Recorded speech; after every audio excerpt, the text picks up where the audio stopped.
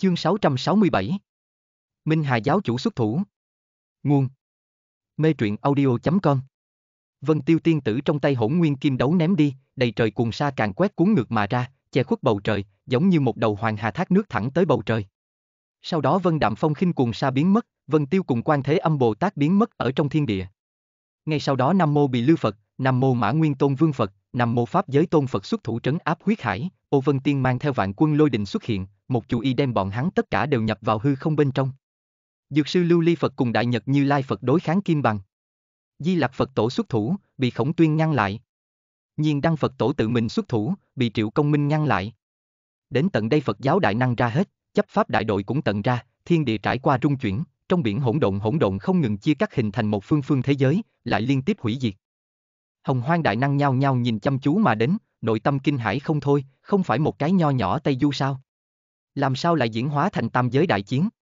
Liền ngay cả thánh nhân cũng từ thần du lịch thái hư bên trong tỉnh táo lại, nhìn chăm chú lên tam giới dị biến, từng cái thật sự là không bớt lo a, bao phủ Thúy Vân Sơn Hạo đảng huyết hải hóa thành huyết vụ, che khuất bầu trời bay lên không, huyết vụ hóa thành huyết vân, hướng phía Linh Sơn phiêu đảng mà đi, huyết vân bên trong vô số Atula tung hoành, sát ý sôi trào. Ông huyết vân trước đó, một cái che lấp trung niên xuất hiện, tay cầm một thanh huyết sắc trường thương. Huyết văn Phật mẫu Bồ Tát trường thương trong tay nâng lên, thì thầm. Nam vô A Di Đà Phật ánh mắt thâm hàn, trường thương đột nhiên đâm ra. Ông vô biên vô hạn huyết vân nhất thời dừng lại, sôi trào lăn lộn không nghỉ, bên trong vô số Atula cũng tất cả đều sinh lòng vẻ sợ hãi, tâm thần hoảng hốt, phản phất gặp được thiên địch, lại phản phất gặp được đế hoàng tồn tại. Tây Thiên trước cửa, Bạch Cẩm tay cầm huyết liên, cười ha hả nói ra. Rốt cục đến ta, có thể hoạt động gân cốt một chút. Mới từ trên ghế ngồi đứng dậy, biểu lộ cứng đờ, tự nói nói ra. Không phải đâu. Sư thúc vậy mà tự mình xuất thủ. Huyết sắc vân vụ lăn lộn, một người mặc áo đen trung niên nam tử từ trong đó đi ra, lấy tay làm kiếm, tiện tay vạch một cái, một đạo lăng lệ sát lục kiếm ý xẹt qua hư không. Huyết văn Phật mẫu Bồ Tát vội vàng nhất thương ngăn tại trước mặt, oanh vết chốc kiếm khí va chạm, huyết văn Phật mẫu Bồ Tát nháy mắt bay ngược trở về, ở trên không vạch ra một đạo vạn dặm hư không thông đạo, thời không sụp đổ. Huyết văn Phật mẫu Bồ Tát nắm chặt trường thương, hai tay run rẩy, sinh lòng hoảng sợ, vội vàng ôm thương thở dài nói ra. Huyết hải sinh linh sáu cánh huyết văn bái kiến Minh Hà giáo chủ. Minh Hà giáo chủ hơi hơi dương mắt, lạnh giọng nói ra. Đã vì huyết hải sinh linh, nào dám ngăn cản đường đi của ta? Bá đạo không? Cũng là bá đạo như vậy, huyết hải sinh linh nhất định phải ta là tối cao. Huyết văn Phật mẫu Bồ Tát cung kính nói ra. Giáo chủ, ta cũng là vì huyết hải suy nghĩ. Phật giáo chính là thánh nhân đại giáo, nội tình thâm hậu, huyết hải làm sao có thể địch. Còn mời giáo chủ nghĩ lại. Minh Hà giáo chủ lần nữa tiện tay một trảm. Huyết văn Phật mẫu đồng tử co rụt lại, không dám đón đỡ, thân thể nháy mắt hóa thành vô số huyết văn tứ tán bỏ trốn. Quanh ngàn vạn kiếm khí tung hoành, tạo thành dày đặc lưới. A giáo chủ tha mạng. Giữa thiên địa vang lên huyết văn Phật mẫu Bồ Tát hoảng sợ tiếng kêu. Phốc phốc phốc huyết hoa bắn tung tóe, hư không vỡ nát một mảnh hỗn độn, vô số huyết văn bị kiếm khí ma diệt, chỉ có rải rác mấy cái đào tẩu. Minh Hà giáo chủ tiếp tục tiến lên, bước ra một bước, sau một khắc xuất hiện tại đại lôi âm tự bên ngoài. Giờ phút này đại lôi âm bên trong chỉ có Như Lai Phật tổ một Phật, thần sắc có chút bối rối, Minh Hà giáo chủ giết đến tận cửa, đánh không lại làm sao bây giờ. Thực sự thực sự thực sự Minh Hà giáo chủ đi vào đại lôi âm tự, vẫy tay nói ra. Như Lai, nghe nói ngươi rất lợi hại, trên trời dưới đất chỉ có ngươi là nhất, đến, để ta lãnh giáo một chút Phật tổ bá đạo. Như Lai Phật tổ da mặt run rẩy hai lần, nỗ lực giải thích nói ra.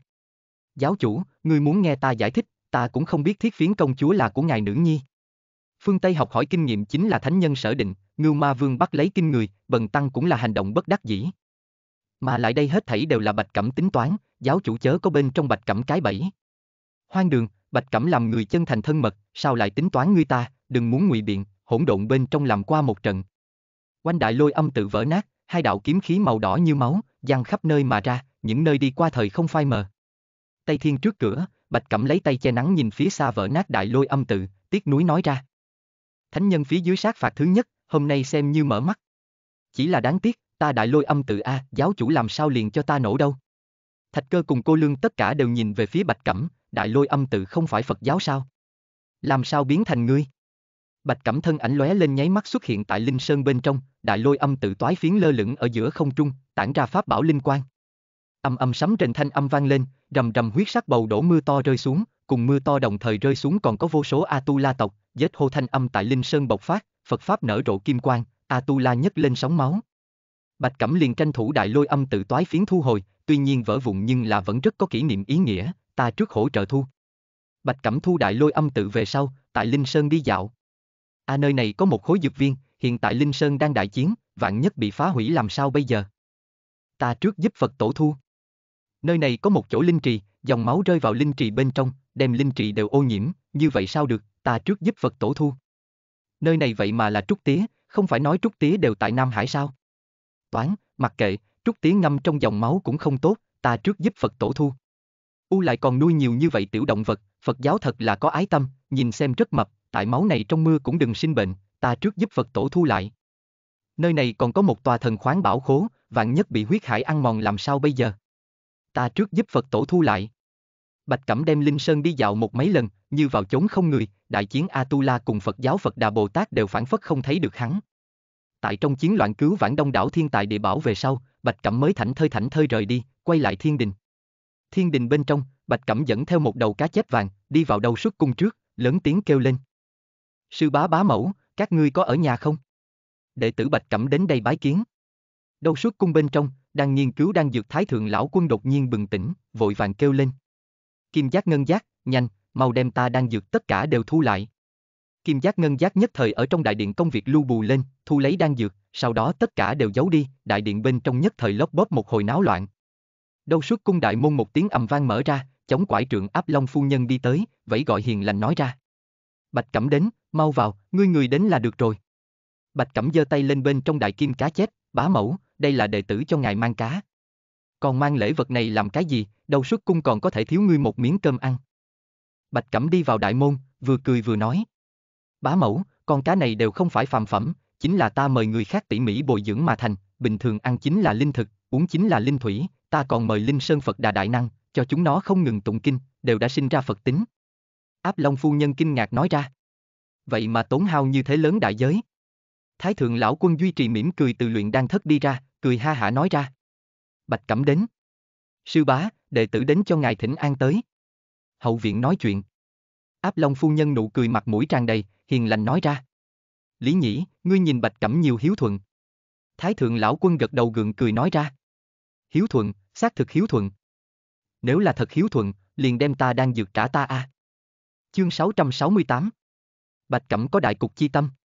Nguồn Mê truyện audio.com một hàng ba người đi vào trong hậu viện, đầu xuất cung chính là thiên định thần cung kiến trúc, cùng bát cảnh cung tự nhiên khó mà so sánh, nhưng cũng có một phen cảnh đẹp. Ba người đi tại vượt ngang hồ nước vượt đường cầu gỗ thượng, hạ mặt là ao nước trong suốt chậm rãi chảy xuôi. Bạch Cẩm dừng bước lại, nói ra. Bá mẫu, con cá này trước hết nuôi thả tại cái này trong hồ nước có thể. Áp Long phu nhân cười ha hả gật đầu nói. Có thể, có thể, cái này trong hồ nước lúc đầu cũng không có thứ gì, nuôi mấy con cá còn nhiều sinh khí, rất tốt. Bạch Cẩm cầm trong tay kim sắc cá chép ném vào trong hồ nước, ba vừa vào nước nháy mắt hóa thành ngàn vạn linh ngư nhanh chóng du tẩu, trận trận đàn hương từ trên mặt hồ truyền ra. Áp Long phu nhân kinh ngạc nói ra. Lại có nhiều như vậy, ta còn tưởng rằng chỉ có một đầu đâu. Đưa cho bá mẫu một con nơi nào đủ. Tự nhiên là đem ta bồi dưỡng toàn bộ đều đưa cho ngài, không phải vậy làm sao biểu đạt đệ tử nho nhỏ tâm ý. Áp Long phu nhân vẻ mặt tươi cười, nếp nhăn đều giãn ra, cười ha hả nói ra. Người đứa nhỏ này cũng là quá hiếu thuận. Thái thượng lão quân ở bên cạnh cũng mãn ý gật đầu, rốt cục nhìn thấy quay đầu hàng, không dễ dàng a, à, đúng, ngươi sư bá khoảng thời gian này lại luyện chế một chút đan dược, chờ một chút ngươi đi xem một chút có hay không thích, lấy về khi đường ăn. T. Thái thượng lão quân tay khẽ run rẩy thu hạ một cọng râu, vội vàng nói. Phu nhân, thật sự là không khéo, ta những đan dược kia đều bị Ngọc Hoàng Đại Đế cầm đi. Bạch Cẩm cũng liền vội vàng nói. Bá mẫu, lần trước ngài tặng cho ta đan dược ta còn không có ăn xong, lần này coi như đi. Áp Long phu nhân đưa tay lặng lẽ vặn thái thượng lão quân một chút, nhỏ giọng nói ra. Ngươi đối Ngọc Hoàng Đại Đế hào phóng như vậy làm cái gì? Liền xem như thiên đế hắn cũng là ngoại nhân, có đồ tốt đương nhiên muốn trước cho chính chúng ta người, lần sau lại có tốt đang dược đều cho Bạch Cẩm giữ lại. Thái thượng lão quân liên tục gật đầu nói ra. Biết, phu nhân nói rất đúng, ta lần sau nhất định chú ý. Áp Long phu nhân lúc này mới hài lòng gật đầu, nhìn về phía Bạch Cẩm thân thiết nói ra. Bạch Cẩm, đang dược ăn xong cùng bá mẫu nói, bá mẫu chuẩn bị cho ngươi. Đa tạ bá mẫu. Đã đến, cơm trưa ngay ở chỗ này ăn, vừa vặn ngươi mang đến một chút tôm cá, ta đi thu xếp một chút thức ăn ngon. Bá mẫu, ta đi cấp ngài đánh cái hạ thủ. Không cần, không cần, ngươi bồi tiếp Lý Nhĩ đi uống trà. Lý Nhĩ, đem ngươi này trân tàn lá trà đều lấy ra, Được rồi. Bạch Cẩm cung kính thở dài thi lễ, đưa mắt nhìn áp long phu nhân rời đi. Bạch Cẩm cùng Thái Thượng Lão Quân đi đến một vị trí ngồi xuống. Thái Thượng Lão Quân vuốt trâu nói ra. Lần này các ngươi huyên náo có thể đủ lớn. Bạch Cẩm vội vàng nói. Sư bá minh giám, việc này là cùng ta không hề có một chút quan hệ a. Thái Thượng Lão Quân từ chối cho ý kiến, nói ra. Chèn ép Phật giáo một chút cũng tốt, khoảng thời gian này Phật giáo đúng là quá đắc ý, đường Tam Tạng học hỏi kinh nghiệm còn chưa kết thúc, Đông Thắng Thần Châu cùng Nam Chim Bộ Châu đã là chùa miếu ngàn vạn. Bọn họ đã không nhịn được sao? Chớ để ý bọn họ. Thái thượng lão quân nhìn xem Bạch Cẩm lời nói thấm thía nói ra. Bạch Cẩm A về sau nếu là có thời gian, liền đi thêm sư phụ ngươi nhị sư bá nơi đó đi một chút, tuổi bọn họ lớn, ở trong hỗn độn rất là tịch mịch, lần trước bọn họ còn tại nói muốn ngươi. Bạch Cẩm liên tục gật đầu nói ra. Đại sư bá nói đúng lắm, ta ngày sau nhất định đi thêm sư phụ ta cùng nhị sư bá chỗ đi một chút. Thái thượng lão quân vuốt trâu gật gật đầu, hiện tại đâu suốt cung cũng không giàu có a, bại gia nương môn không biết bảo bối trân quý. Bạch Cẩm nói ra. Sư bá, thất thánh định Tây Du liên quan chúng lớn, bởi vì nguyên nhân nào đó, hiện tại huyết hải cùng Phật giáo đánh lên, tam giới rung chuyển, nếu là không thêm vào ngăn lại, chỉ sợ phương Tây học hỏi kinh nghiệm sự tình lại nhận khó khăn trắc trở. Thái thượng lão quân liếc Bạch Cẩm liếc một chút, không cao hứng nói ra. Chỉ là huyết hải cùng Phật giáo đại chiến. Bạch Cẩm dựng thẳng lên ngón út, bấm đốt ngón tay không có ý tứ nói ra. Cái kia ta cũng nhúng tay một chút xíu. Một chút xíu. Chấp pháp đại đội cùng Phật giáo đều nhanh muốn đem hỗn độn lật tung, ngươi nói đây là một chút xíu. Sư bá, Minh Hà giáo chủ chính là cùng ngài trong tử tiêu cung đồng thời nghe đạo đại năng giả, luận bối phận ta phải gọi một tiếng sư thúc. Mà lại sư thúc đối ta cũng không tệ lắm, ta bản mệnh pháp bảo tru tiên thí thần đại trận cũng là sư thúc tặng huyết liên luyện chế mà thành. Hiện tại sư thúc nhận ngoại nhân khi dễ, làm vãn bối, làm sao đều muốn ray tay giúp đỡ một thanh, sư bá, ngài nói có đúng hay không đạo lý này? Cho nên hiện tại ngươi tìm đến ta là vì cái gì? Đệ tử cảm thấy không sai biệt lắm là được, Phật gia cũng nhận được giáo huấn, muốn lấy đại cục làm trọng, mời sư bá ngài đi ngăn lại trận này tranh chấp, chủ trì tam giới chính nghĩa. Thái thượng lão quân nhìn về phía hồ nước, cảm khái nói ra. Chỉ có cá quá mức thức ăn mặn, đối lão người nhà thân thể không tốt, gần nhất muốn ăn một điểm làm. Hiểu, an bài. Bạch Cẩm duỗi tay ra xuất ra một cái viên cầu, viên cầu bên trong mơ hồ có thể nhìn thấy một mảnh nhỏ bé thổ địa, bên trong có vạn năm linh chi, tức năm nhân sâm, tinh thần lấp lánh tam tinh cỏ, long ngâm phượng minh lửa hoàng hoa vân vân khó mà tính toán thiên tài địa bảo. Bạch Cẩm cung kính đem viên cầu đưa lên nói ra. Sư bá, đây là đệ tử nhắc lấy đến một chút rau dại, sư bá nếu là không chê, còn mời sư bá vui vẻ nhận, cải thiện một chút khẩu vị. Rau dại. Rau dại tốt. Ta thích ăn nhất rau dại, vậy ta coi như không khách khí. Chỉ là một chút rau dại mà thôi, sư bá có thể thu hạ, đệ tử sẽ chỉ cảm thấy cao hứng. Thái thượng lão quân đem viên cầu thu hồi, vẻ mặt tươi cười, tài liệu luyện đang lại có. Sau khi ăn cơm trưa xong, Bạch Cẩm tại áp Long phu nhân tiễn biệt hạ, nắm đại giác ngưu đi ra đầu xuất cung. Hỗn độn bên trong giống như mãnh liệt đại hải bành trướng, từng loại đại đạo cuốn dao chấn động, nặng nề thanh âm từ bốn phương tám hướng truyền đến. Bạch Cẩm nắm đại giác ngưu đi ở trong hỗn độn, những nơi đi qua trung chuyển bất an hỗn độn biển tất cả đều khôi phục lại bình tĩnh, giống như từ táo bạo hùng sư hóa thành một con dịu dàng ngoan ngoãn con cừu nhỏ. Quanh phía trước hỗn độn biển nổ tung, một vị kim Phật từ lúc lấy chuyển từ hỗn độn bên trong xô ra. Minh Hà giáo chủ thân ảnh vô thanh vô tức xuất hiện tại kim Phật bay ngược phương hướng, một quyền đánh ra. Ken một tiếng vang vọng ở trong hỗn độn truyền ra, quyền đầu chính giữa kim Phật đầu. Kim Phật kêu thảm một tiếng, phanh lần nữa xông ra, bay ra vạn dặm xa mới miễn cưỡng dừng lại. Bạch Cẩm Ba ba vỗ tay kêu lên. Sư thúc tốt thần uy. Minh Hà giáo chủ cười ha hả nói ra. Sư Điệt đến. Ông quyền đối Thái Thượng Lão Quân thi lễ nói ra. Sư Huynh. Thái Thượng Lão Quân khẽ gật đầu. To lớn kim Phật ổn định thân hình, cũng bay trở về, chắp tay trước ngực thi lễ, cung kính nói ra. Bái kiến Thái Thượng Lão Quân. Thái Thượng Lão Quân mỉm cười nói. Bạch Cẩm đến đây tìm ta, nói là Phật giáo cùng A-tu-la giáo bởi vì nguyên nhân nào đó tạo thành hiểu lầm, hai vị giáo chủ ở trong hỗn độn ra tay đánh nhau, A-tu-la giáo càng là công bên trên Linh Sơn, thậm chí cả ảnh hưởng tam giới. Bạch Cẩm có đại cục chi tâm, sinh lòng lo nghĩ, chuyên tới để đâu xuất cung tìm ta, mời ta ra mặt ngăn lại trận này tự dưng tranh đấu. Chương 559 Nhất định phải làm cho Minh Hà xin lỗi. Nguồn Mê truyện audio.com Minh Hà giáo chủ đối Bạch Cẩm mỉm cười gật đầu, nên ra khí cũng đều ra, mình cũng không có khả năng thật giết đa bảo, hiện tại kết thúc vừa vặn. Bạch Cẩm đây là tại tiền cho ta cái bậc thang hạ a, thật sự là hữu tâm, có như thế một cái người sư điệt này coi như không tệ, đáng tiếc tại sao không có tìm một chút nhận biết đâu. Bạch Cẩm cũng đối Minh Hà giáo chủ cũng lộ ra một trận chân thành thiện lương nụ cười, nhếch miệng lộ ra một ngụm thuần khiết lớn răng trắng. To lớn kim Phật quang mang lóe lên, thu nhỏ hóa thành đa bảo Như Lai, chỉ là hiện tại mặt mũi bầm dập, một mắt đen ngòm, phi thường chật vật. Như Lai Phật tổ sờ sờ con mắt, tê hít sâu một hơi, đau quá, trong lòng càng là tuôn ra một cơn lửa giận, đại cục chi tâm. Sinh lòng lo nghĩ. Chuyện này cũng là hắn ở sau lưng âm mưu tính kế, cố ý dẫn đạo ngã Phật giáo cùng huyết hải là địch, xấu, bạch cẩm tâm địa thực tế là xấu vô cùng. Thái thượng lão quân cười ha hả nói ra. Đa bảo Như Lai, ngươi cảm thấy thế nào? Ta còn có thể thế nào cảm giác? Đương nhiên cũng là chỉ có thể lựa chọn kết thúc, không phải vậy liền muốn bị đánh. Đa bảo đè xuống bất mãn trong lòng, cung kính nói ra. Lấp không bằng khai thông, hết thảy cuối cùng cũng phải có cái kết cục, còn mời sư bá công chứng làm chủ. Thái thượng lão quân vuốt trâu, cười ha hả nói ra. Nói có lý, vậy liền đi Thúy Vân Sơn đi. Minh Hà giáo chủ cũng gật đầu đồng ý, từ Thúy Vân Sơn lên cũng tại Thúy Vân Sơn kết thúc, cái gì? Ngươi nói tích lôi sơn. Tích lôi sơn cùng ta huyết hải nhất mạch có quan hệ gì? Bạch Cẩm vội vàng nói. Có đại sư bá làm chủ, tất nhiên là tất cả đều vui vẻ, đây là tam giới chi phúc. Như là đã đến hỗn độn, đệ tử nghĩ tiện đường đi cho sư phụ cùng sư bá thỉnh an, còn mời đại sư bá thứ lỗi. Thái thượng lão quân gật đầu cười ha hả nói ra. Đi thôi. Nơi này liền giao cho ta. Huyết hải giáng lâm, tam giới trong ngoài tất cả đều bị chiến hỏa nhóm lửa, sát ý bay thẳng đấu ngưu, thiên đình chu thiên thần linh vận chuyển thiên địa pháp tắc, làm hao mòn giữa thiên địa sát khí, để tránh đối phạm nhân chiếu thành ảnh hưởng. Đại chiến tiếp tục ba ngày ba đêm, ba ngày sau đó, âm âm tích lôi sơn trên không phá không một cái trống rỗng, ba đạo nhân ảnh từ trong đó đi ra.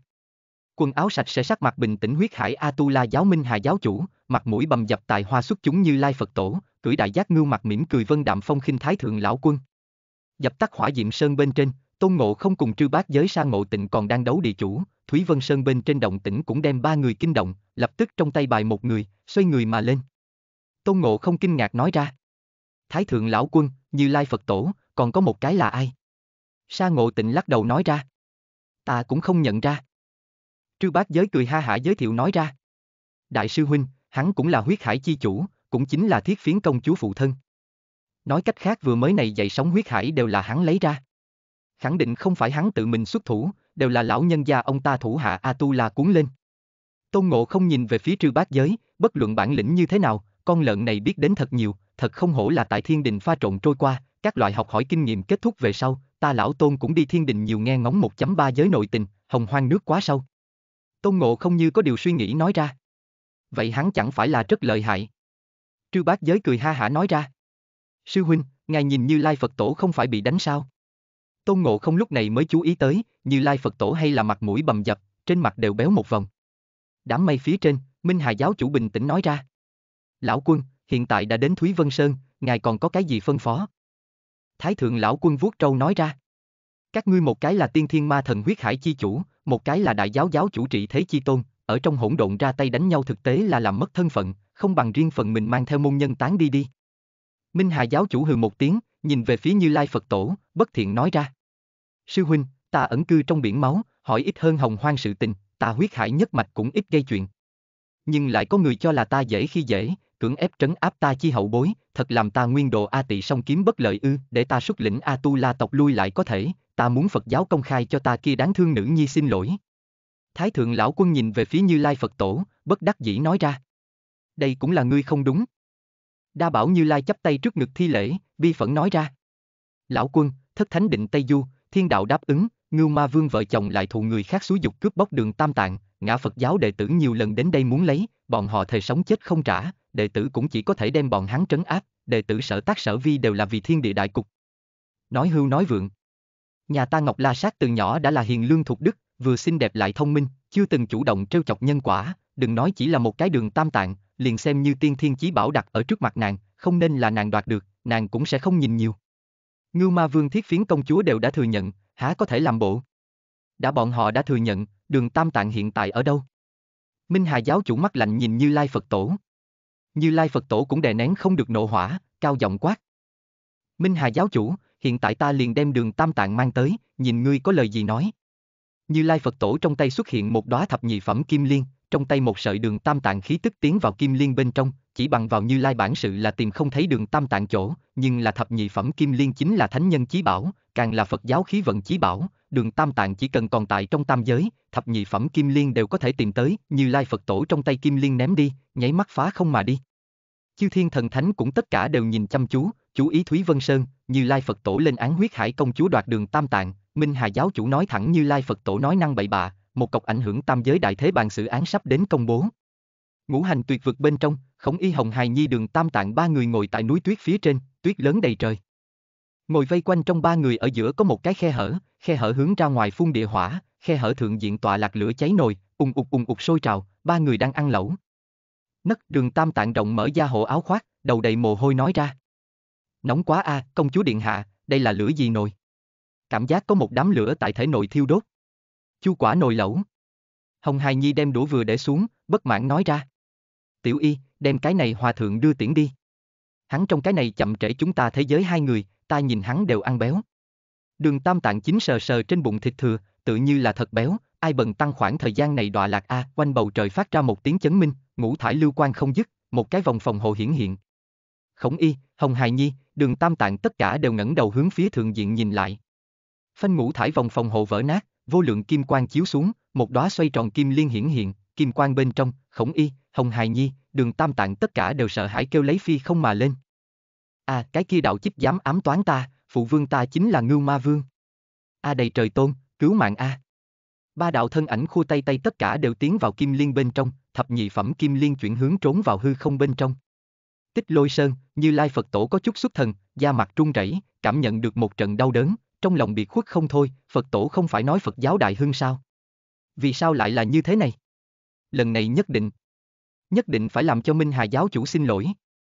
Chương 560 Quay lại huyết hải Nguồn Mê truyện audio.com Bầu trời hư không đột nhiên vặn vẹo, giống như mặt nước nổi lên gợn sóng, gợn sóng bên trong kim liên bay ra, trên bầu trời Thúy Vân Sơn xoay chậm chậm.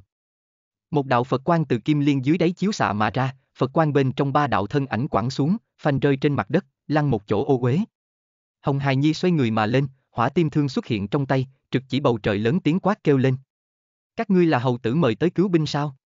Khổng y cũng người nhẹ nhàng mà lên, trên thân bốc cháy lên hỏa diễm, nháy mắt đem trên người ô uế hóa thành hư vô, ngưng trọng nhìn lên bầu trời ba đạo thân ảnh, vậy mà có thể xuất thủ đánh vỡ bà ngoại thiết lập bình chướng, có thể thấy được là kẻ đến không thiện, mà lại thực lực rất mạnh. Đường Tam Tạng chắp tay trước ngực cúi đầu, kích động tiền chiếc khấu nói ra. Đệ tử đường Tam Tạng bái kiến bản sư. Hỏa Diệm Sơn bên trên, Tôn Ngộ không vào đầu bức tai cười hắc hắc nói. Tiểu Hòa Thượng tìm tới, bác giới, sa sư đệ, chúng ta cũng đi qua. Trư bác giới vội vàng một tay giữ chặt Tôn Ngộ không, nói ra. Hầu ca, Thái Thượng Lão Quân, Như Lai Phật Tổ, Minh Hà Giáo Chủ cũng đều ở đây. Chúng ta đợi một chút lại đi qua, sa ngộ tịnh cũng liền vội vàng nói. Đại sư huynh, nhị sư huynh nói đúng a, bọn họ khả năng còn có chuyện muốn làm đâu. Tôn Ngộ không gật gật đầu, nói ra. Tốt. Lần này ta lão tôn nghe các ngươi. Đám mây bên trên, như Lai Phật tổ chỉ vào phía dưới, nói ra. Minh Hà giáo chủ, Ngưu Ma Vương chi tử ngay tại phía dưới, hiện tại ngươi có lời gì nói? Hiện tại hẳn là ngươi muốn công khai cho Phật giáo xin lỗi. Minh Hà giáo chủ mặt không đổi sắc, bình tĩnh nói ra. Thánh Anh là Thánh Anh, Ngưu Ma Vương là Ngưu Ma Vương, Thánh Anh cướp bóc đường Tam Tạng, các ngươi tìm Thánh Anh chính là, vì sao đi tìm Ngưu Ma Vương cùng Ngọc La Sát? Tuần tự sụp đổ tích lôi sơn cùng Thúy Vân Sơn, các ngươi Phật giáo thật sự là thật là uy phong. Thánh nhân có nói, cha không dạy con chi tội.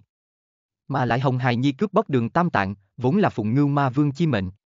Nói hưu nói vượng. Liền xem như thánh anh mang đi đường tam tạng, ngươi lại sao là cướp bóc mà đi, ta còn nói là đường tam tạng bắt cóc thánh anh, muốn trị hắn một cái dụ dỗ nhi đồng chi tội. Giáo chủ chớ có đổi trắng thay đen, đường tam tạng hắn chỉ là một kẻ phàm nhân, như thế nào dụ dỗ kim tiên đại năng. Phàm nhân trí tuệ cũng không thể khinh thường, ngươi không có phát hiện đường tam tạng ăn béo sao? Nào có làm tù phạm hồng quang đầy mặt, còn béo mấy cân? Như Lai Phật tổ yên lặng, trong lòng thầm mắng đường tam tạng bất tranh khí, bị bắt không chút nào khẩn trương, lại còn mỗi ngày ăn uống thả cửa, Thái Thượng Lão Quân cười ha hả nói ra. Hai vị giáo chủ, hiện tại Ngưu Ma Vương cùng Thiết Phiến Công Chúa không có tổn thương, Phật giáo học hỏi kinh nghiệm người cũng đã tìm tới, có thể nói là tất cả đều vui vẻ, không bằng các ngươi cho ta một bộ mặt, cứ như vậy quên đi.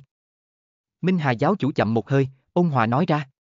Thái thượng sư huynh đều mở miệng, đương nhiên phải cho ngài mặt mũi này, Phật giáo khi dễ hại tử nhà ta sự tình, ta liền không tính toán với hắn.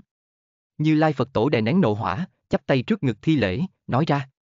Thái thượng, thiên địa phân âm dương, người chia thiện ác, sự tình chia đúng sai, Minh Hà giáo chủ xâm nhập Linh Sơn, phá hủy đại lôi âm tự, càng lấy huyết hải chi thủy ô nhiễm Linh Sơn thánh địa, Quyết hải tu la đồ sát Phật giáo tu sĩ, chỗ tạo tội nghiệt há có thể một lời mà qua.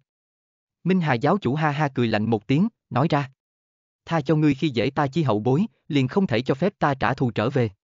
Như vậy đạo lý, cũng là chuẩn đề thánh nhân cũng không dám nói. Như Lai Phật tổ chỉ vào phía dưới, chính nghĩa lăng nhiên nói ra. Thì phi đúng sai liếc một chút khả biện, ngươi nếu không tin có thể đem ngưu ma vương thiết phiến công chúa tìm đến, hỏi một chút liền biết. Ta vì Phật tổ, nhất định phải vì Phật giáo đòi lại một cái công đạo, phải vì này chết đi Phật giáo đệ tử chính danh. Ha ha như thế ngược lại là đơn giản. Minh Hà đưa tay hướng phía thượng diện nhất chỉ, cùng cùng huyết vân tràn ngập, che đậy thương khung, huyết vân bên trong bắn xuống một đạo quan trụ, cột sáng thu nạp biến mất, hai thân ảnh xuất hiện ở trong đó, Ngưu Ma Vương cùng Thiết Phiến công chúa. Thiết Phiến công chúa nhìn thấy Hồng Hài Nhi lập tức chạy tới, một thanh nắm chặt Hồng Hài Nhi lỗ tai, tức giận kêu lên. Ngươi hỗn tiểu tử này không làm gì tốt, hết lần này tới lần khác đi cướp bóc đường Tam Tạng, hiện tại tốt, chúng ta nhà đều không có.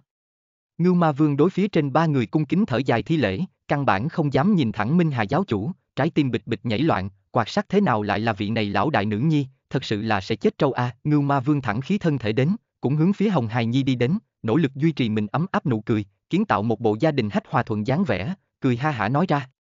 La sát ngươi liền chớ nên trách tội thánh anh, đứa bé kia cũng là có ý tốt, bắt đến đường tam tạng cũng là vì hiếu kính ta, thật sự là phụ vương hảo hài tử a. Liền như là ta có một viên thuần hiếu chi tâm. Ngọc La sát thủ hạ nhất thời liền mềm xuống tới, đúng a, đứa nhỏ này đúng là ra ngoài hiếu tâm, chỉ là sau cùng có thể là bị Phật giáo truy sát quá gấp, không có đem đường tam tạng đưa đến. Hồng Hài Nhi tránh thoát Ngọc La sát tay, xoa xoa lỗ tai, kêu lên. Ai nói đường tam tạng là bắt đến đem cho các ngươi? Đây là ta đưa cho tiểu y. Tức giận kêu lên. Các ngươi vậy mà muốn cướp ta đưa ra ngoài lễ vật, thực tế là đáng ghét, một điểm đại nhân dạng đều không có. Ngưu Ma Vương dẫm chân xuống, biểu lộ cứng ngắc, không phải đưa cho ta. Lão tử vì giúp ngươi, mời toàn bộ Tây Ngưu Hạ Châu yêu vương cùng Phật gia đại chiến, lão tử vốn liếng đều bị đánh hụt, tiểu thiếp cũng đánh không, thậm chí còn biến thành tù nhân, hiện tại ngươi nói cho ta đường tam tạng không phải đưa cho lão tử. Lão tử một mực là tại tự mình đa tình. Ngưu Ma Vương trong lỗ mũi phun ra một cổ nhiệt khí, con mắt lật đỏ, ngươi cái này hố cha hàng, lão tử muốn đánh chết ngươi. Ngọc Diện La Sát cũng là sắc mặt tối đen, vô ý thức xem ra liếc một chút bên cạnh khổng y, dáng dấp ngược lại là rất xinh đẹp, nếu là có thể làm con dâu cũng không tệ. Hồng Hài Nhi nhảy đến khổng y trước mặt, khu tay hỏa tim thương dương dương đắc ý nói ra. Tiểu y, có ta ở đây ngươi cứ yên tâm đi, đường tam tạng ai cũng đoạt không đi. Khổng y nhỏ giọng nói ra. Kỳ thật ta cũng không muốn. Ta đưa cho ngươi, ngươi cứ yên tâm thu. Hồng Hài Nhi ngẩng đầu nhìn bầu trời ba người, tay cầm hỏa tim thương nóng lòng muốn thử nói ra. Về phần bọn hắn không cần lo lắng, vừa mới chỉ là ta không cẩn thận bị đánh lén mà thôi, kỳ thật ta so với bọn hắn lợi hại nhiều. Minh Hà giáo chủ quay đầu nhìn về phía Như Lai Phật Tổ, hiện tại thấy rõ. Đường Tam Tạng từ đầu đến cuối đều cùng Thúy Vân Sơn không có bất cứ quan hệ nào, ngươi vậy mà đánh tới Thúy Vân Sơn, trấn áp nữ nhi của ta, ngươi nói ngươi có đáng đánh hay không? Như Lai Phật Tổ một tráng hắc tuyến, tại sao sẽ là như vậy? Khóe miệng có quắp động hai lần, cúi đầu bất đắc dĩ nói ra. Là ta không có xem xét rõ ràng, còn mời giáo chủ thứ tội. À, Thái Thượng ở đây, ta liền tha cho ngươi lần này. Minh Hà giáo chủ đưa tay chọc một cái, phía dưới Hồng Hài Nhi nhất thời hướng phía phía trên bay đi. Hồng Hài Nhi không ngừng dãy dụ kêu lên. À, ngươi là ai? Nhanh lên thả ta ra, phụ vương, mẫu hậu, cứu mạng A. Minh Hà giáo chủ một tay lấy Hồng Hài Nhi bắt bỏ vào trong tay, nói với thiết phiến công chúa. Theo ta hồi máu biển. Thiết phiến công chúa gật gật đầu, dâng lên một trận huyết vân, hướng phía phía trên bay đi, đứng ở Minh Hà giáo chủ bên người, không nói một lời. Chương 561 Chu Tước hiện thân Nguồn Mê truyện audio.com Ngưu Ma Vương vội vàng kêu lên. Chờ một chút ta còn có ta đây. Lập tức đằng vân hướng phía thượng diện bay đi. Ngưu Ma Vương hét lớn một tiếng ở trong thiên địa tiếng vọng. Bầu trời nổi lên cực quang, cực quang bên trong thạch cơ cùng cô lương bay ra. Ngưu Ma Vương nhất thời dừng lại đám mây, ngẩng đầu kinh ngạc nhìn về phía hai người, trong lòng đột nhiên dâng lên một trận bất an. Thạch cơ xuất ra một khối kim bài, nghiêm túc nói ra.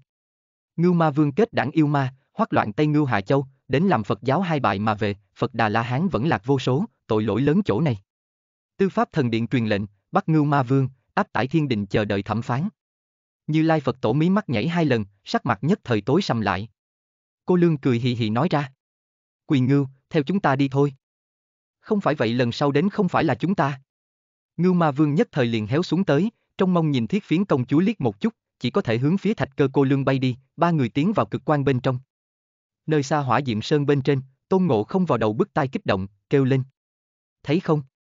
Thấy không? Đây chính là ta lão tôn chỗ tư pháp thần điện uy thế.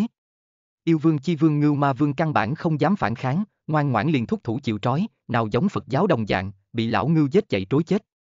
Trư bác giới dựng thẳng lên bà tử đồng ý nói ra. Thiên đình ngưu bức. Sa ngộ tịnh cũng gật đầu nói. Thiên đình ngưu bức.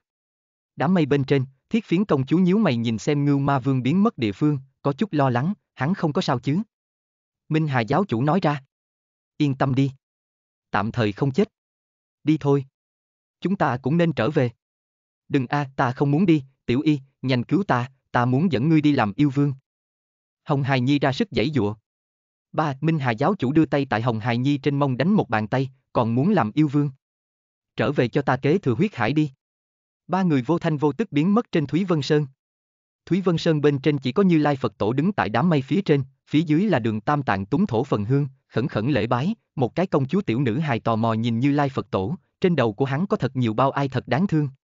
Như Lai Phật Tổ cúi đầu nhìn xem phía dưới, uy nghiêm nói ra. Chư ác chớ làm, chúng thiện thừa hành, tự tịnh kỳ ý, là chư Phật giáo. Hạ giới tiểu yêu, cổ động yêu vương cướp bóc đường tam tạng, lòng có ác niệm, khi theo bần tăng đi linh sơn thanh tu, trừ khử nghiệp chướng. Lần này Phật giáo tổn thất quá lớn, cái này tiểu yêu nữ nhìn xem bất phàm, không bằng độ nhập Phật môn, ngày khác cũng có thể trở thành nhất tôn Bồ Tát. Đường Tam Tạng ngẩng đầu vội vàng kêu lên. Khởi bẩm Phật tổ, cướp bóc bần tăng sự tình cùng vị này nữ thí chủ không quan hệ, chính là cái kia hồng hài nhi gây nên, nếu không phải vị này nữ thí chủ bảo vệ, bần tăng đã sớm bị này tiểu yêu vương hại. Như Lai Phật tổ thật lớn thanh âm vang lên. Lòng có thiện niệm, như thế rất tốt, ngày khác có thể tu thành chính quả. Đưa tay hướng phía khổng y vồ xuống. Khổng y quanh thân thời không ngưng kết, điểm điểm kim quang hiển hiện, hình thành một đóa hoa sen đem khổng y bao phủ trong đó.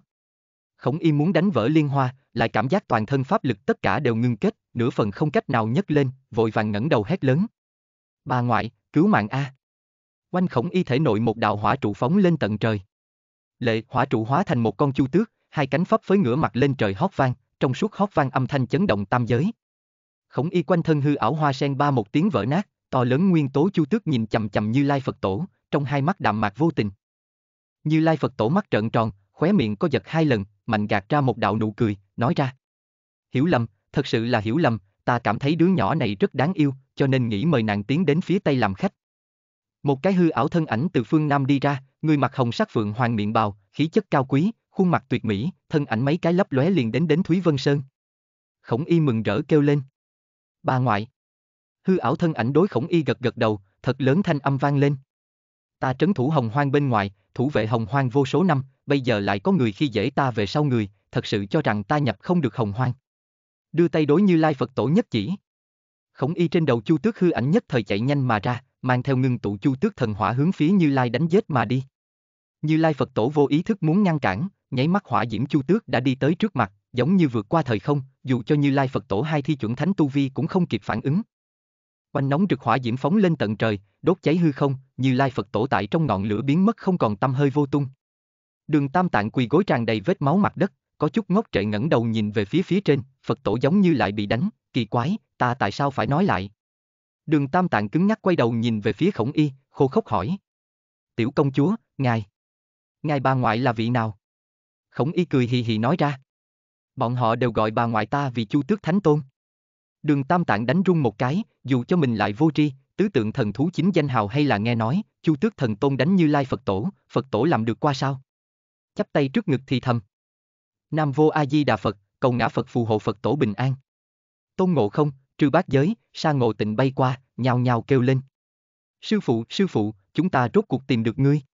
Tiểu hòa thượng, ngươi chạy đi đâu? Trư bát giới trên người đường tam tạng sờ tới sờ lui, vui mừng nói. Sư phụ không có chuyện, thật sự là quá tốt. Đường tam tạng cũng vui mừng gật gật đầu, bát giới là thật tâm quan tâm ta, ngộ tịnh cũng đối với ta tốt, về phần cái kia hầu tử, ai không đề cập tới cũng được. Đường tam tạng vui mừng nói ra.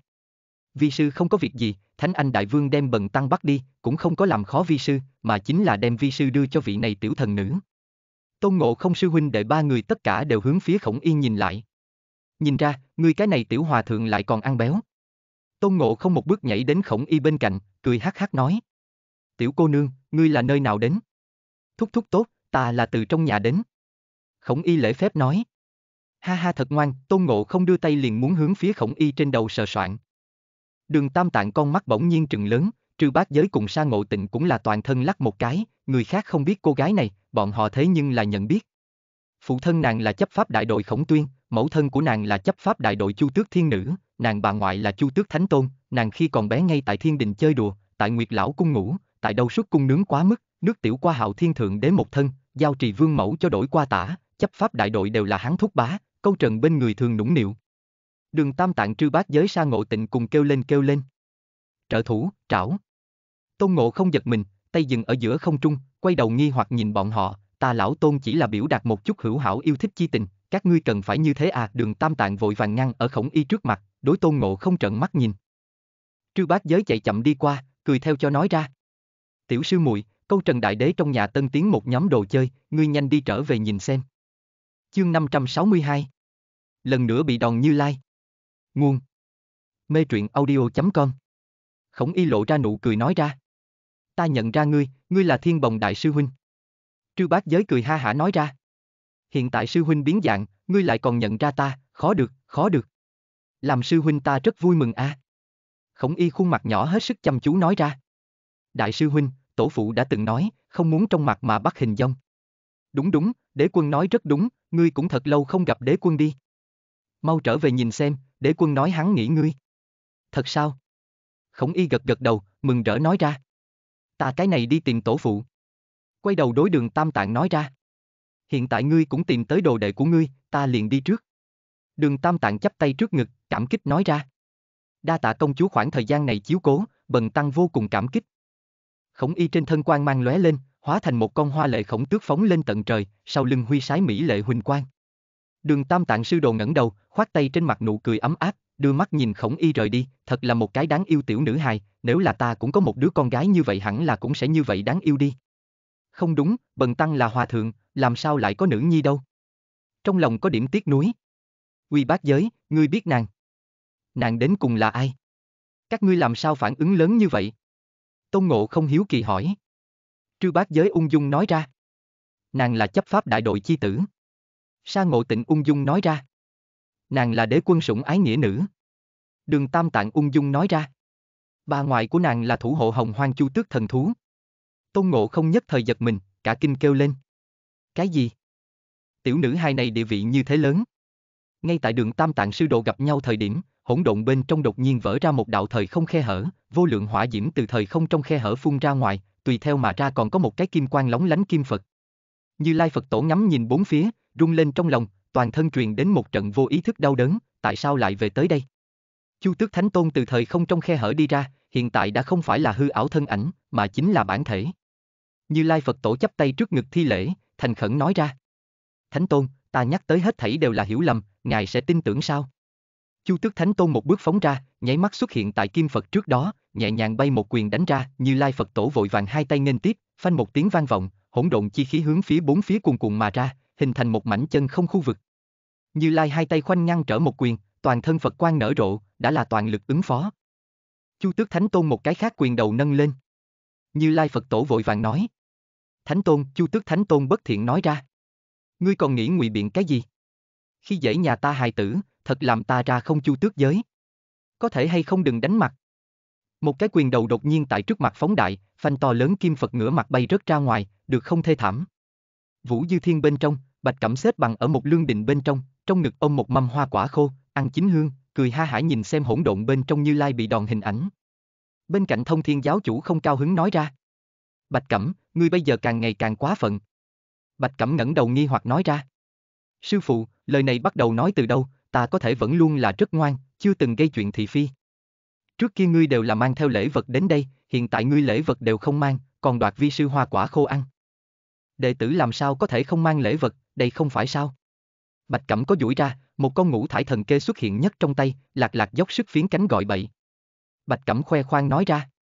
Sư phụ, thế nhưng là chính đệ tử bồi dưỡng gia cầm, vì nuôi những này gia cầm, đệ tử ta cho chúng nó ăn chính là linh thảo thần dược, uống chính là linh tuyền sương mai, còn mời ngàn vạn Phật đà cho này gà niệm kinh, để bọn chúng tâm linh thanh tịnh, chất thịt càng đẹp.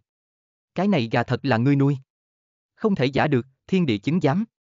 Bạch Cẩm đưa tay hướng phía bên ngoài nhất chỉ, ầm ầm vô số vỡ vụn kiến trúc tài liệu hiển hiện, thường diện thiêu đốt lên tam mùi chân hỏa, tại chân hỏa bên trong vặn vẹo, dung hợp tạo hình. Quanh một cái bao phủ vạn dặm cương vực to lớn hàng rào tọa lạc ở phía dưới đại địa phía trên, trên hàng rào còn có một chút vỡ vụn hoa văn, liên hoa, thần long chi thuộc. Bạch Cẩm tiện tay đem ngũ thải gà ném vào trong đó, nhất thời hóa thành mấy ngàn phi cầm tẩu thú chạy mà ra, đều là chút gà Việt thỏ dương chi thuộc, nhưng là tất cả đều rất là bất phàm. Bạch Cẩm cười ha hả nói ra. Sư phụ, về sau ngươi muốn ăn liền tự mình giết, đừng khách khí với ta.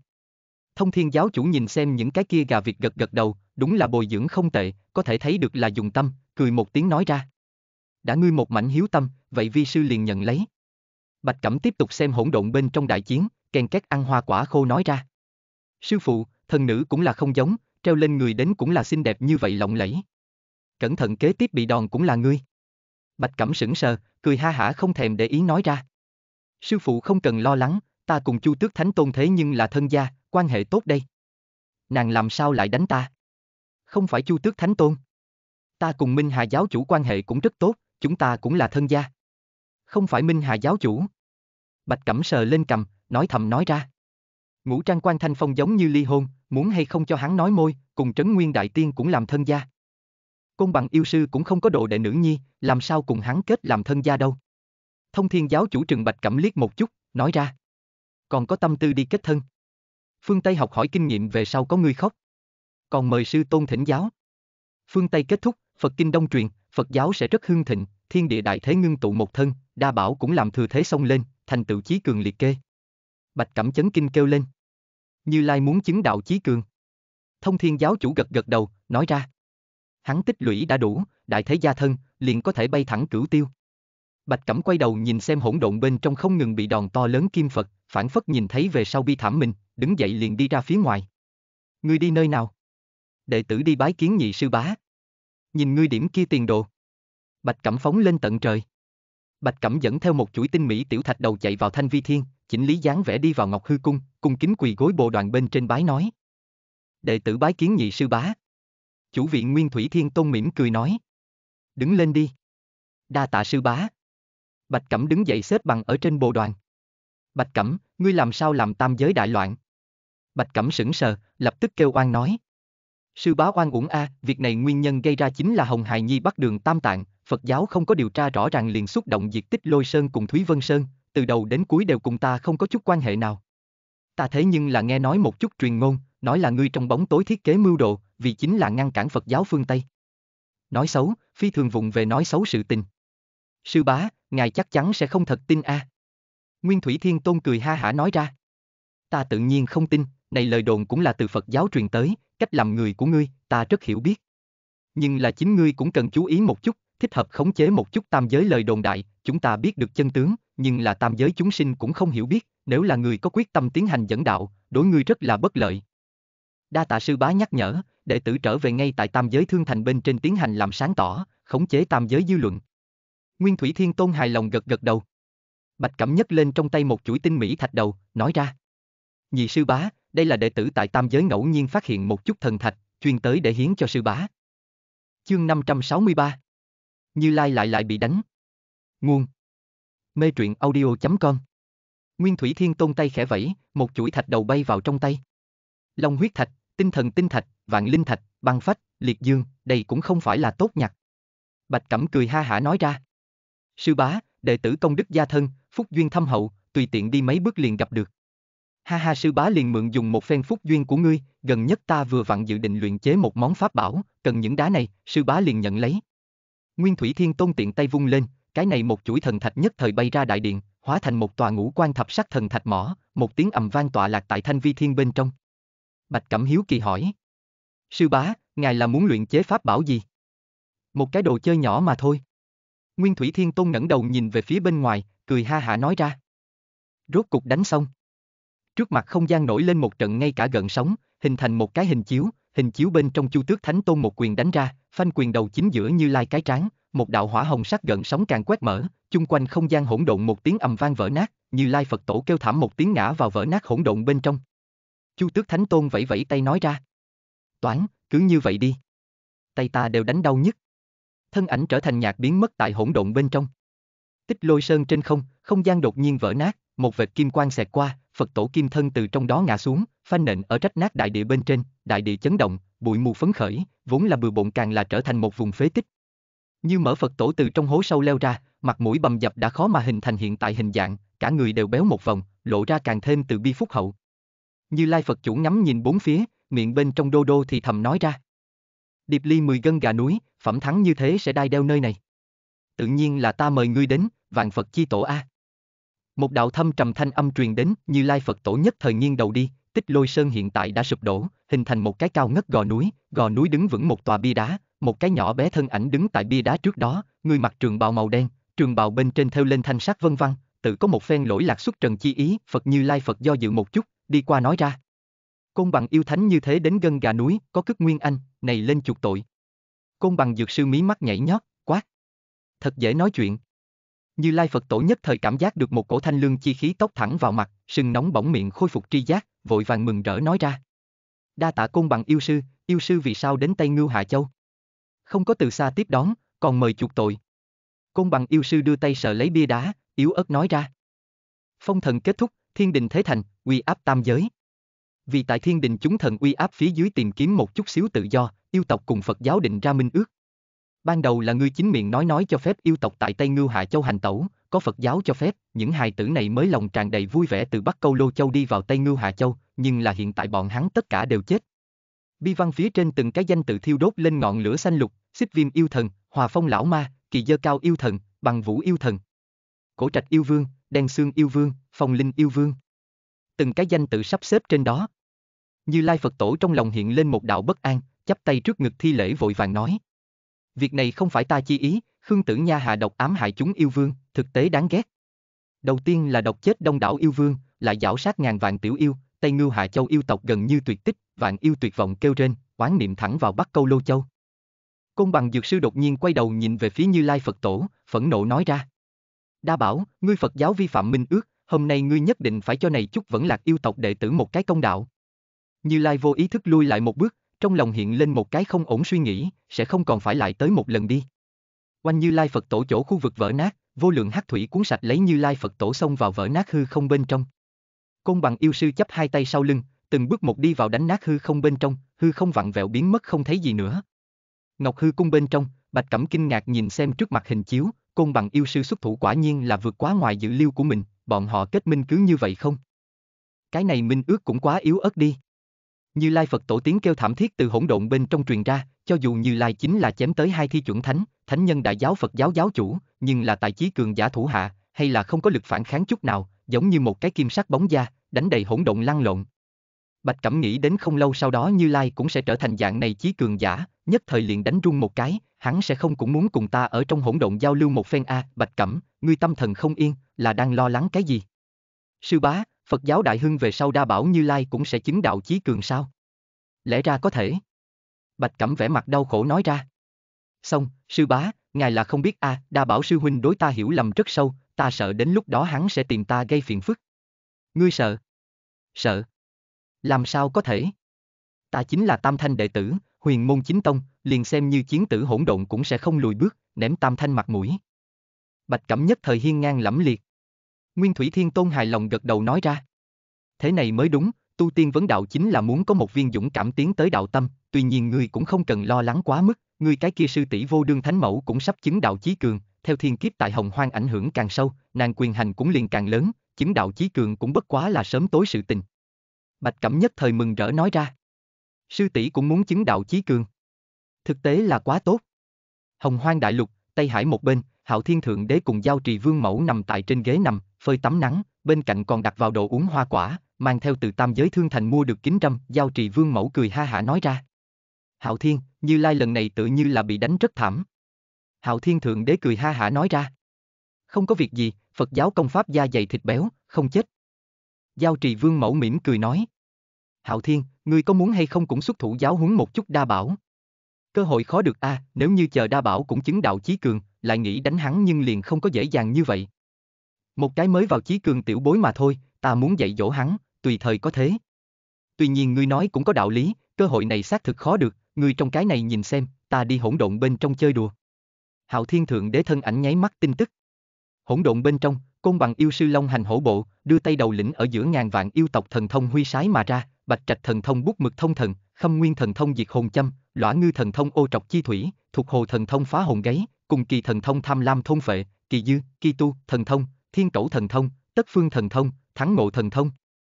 Vô số hồng hoang thần thú yêu thú thần thông tất cả đều hạ bút thành văn, phát huy uy lực khủng bố phi thường, liền xem như những này yêu thần chi tổ tại thế, cũng muốn cam bái hạ phong, hốt hoảng mà chạy.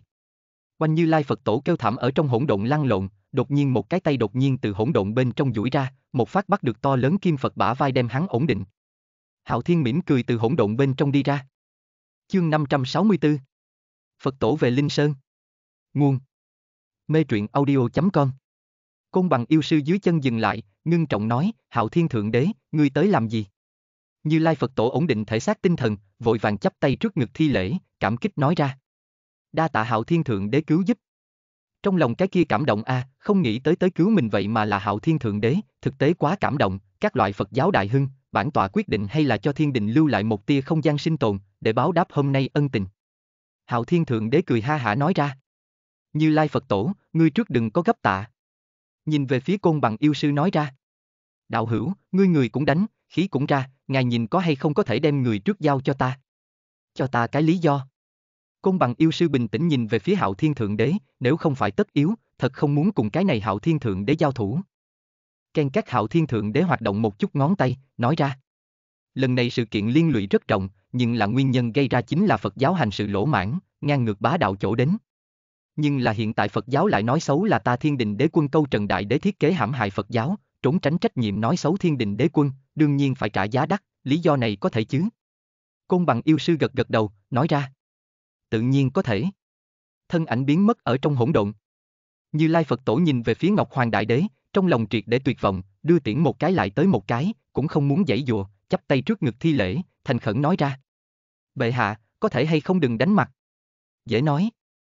Một cái quyền đầu tại Như Lai Phật tổ trước mặt nở rộ. À, một tiếng hét thảm âm thanh ở trong hỗn độn vang lên. Ngọc Hư cung bên trong, Bạch Cẩm lắc đầu, cảm khái nói ra. Thật thê thảm a. Lại là thế gian mấy ngày sau, da tróc thịt bông Như Lai Phật tổ mới có thể quay lại Linh Sơn.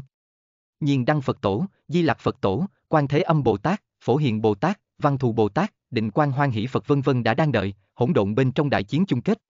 Đột nhiên một đạo đại nhật trên bầu trời linh sơn nở rộ, đại nhật nở rộ vô lượng kim quang, chướng mắt chói mắt, chỉ có thể mơ hồ nhìn thấy đại nhật bên trong có nhất tôn ngồi xếp bằng vĩ ngạn thân ảnh, cái khác tất cả đều thấy không rõ.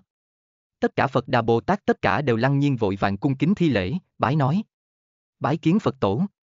Quan Thế Âm Bồ Tát, Phổ Hiền Bồ Tát, Văn Thù Bồ Tát, Đại Nhật Như Lai Phật, Định Quan Hoan Hỷ Phật vân vân Phật Đà Bồ Tát, cũng đều là toàn thân mang thương, mặt mũi bầm dập, nhưng là so với Như Lai Phật tổ lại là được không muốn quá nhiều.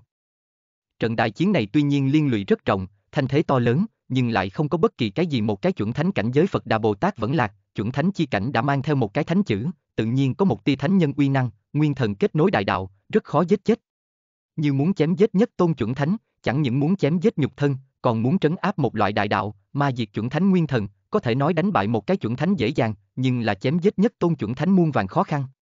Chúng Phật bên trong, chỉ có đồng dạng đại đạo hai thi chuẩn thánh nhiên đăng Phật tổ, Di Lạc Phật tổ có thể nhìn thấu kim quang, nhìn thấy Như Lai Phật tổ dáng vẻ, hai vị Phật tổ tất cả đều toàn thân run một cái, trong lòng hơi hơi run rẩy, Phật tổ đến cùng là gặp được cái gì, làm sao lại bị đánh thảm như vậy, lấy tu vi của hắn vậy mà cũng khó có thể khỏi hẳn. Như Lai Phật tổ ngắm nhìn bốn phía, thần thánh linh sơn bên trong, quanh năm lấp lánh Phật quang đã biến mất, ngày ngày không dứt phạn âm ngâm sướng cũng biến mất mất, toàn bộ linh sơn thánh địa đều bị dòng máu ô nhiễm, giống như chư Phật tận thế giáng lâm. Nam Vô A Di Đà Phật thật lớn Phật hiệu ở trong thiên địa tiếng vọng. Linh sơn nhất thời tỏa hào quang rực rỡ, từng tòa đỉnh núi Phật quang lấp lánh, tín đồ tỳ khưu từ chỗ núp đi ra, tất cả đều quỳ rạp trên đất, phản âm ngâm sướng thanh âm ở trong thiên địa tiếng vọng. Đại lôi âm tự di chỉ bên trên, đông đảo Phật Đà Bồ Tát cũng tất cả đều số chẳng chấp tay trước ngực, thì thầm. Nam Vô A Di Đà Phật, Phật hiệu tại thiên địa giữa thiên địa tiếng vọng, từng đạo Phật quan càng quét mà ra, loại trừ học hải lưu lại ô uế, xu tan tại Linh Sơn thật lâu không rời học hải huyết khí, thiên địa sát phạt chi khí. Như Lai Phật tổ uy nghiêm thật lớn thanh âm ở trong thiên địa tiếng vọng. Từ xưa đến nay, có âm tất yếu dương, có chính tất có tà, âm dương tướng ông, hòa phúc tương y, đại hưng tất nương theo đại kiếp. Đây là ngã Phật giáo đại hưng trước đó sau cùng chi kiếp, kiếp nạn đã qua, chư thiên chúng sinh khi nghênh Phật hưng.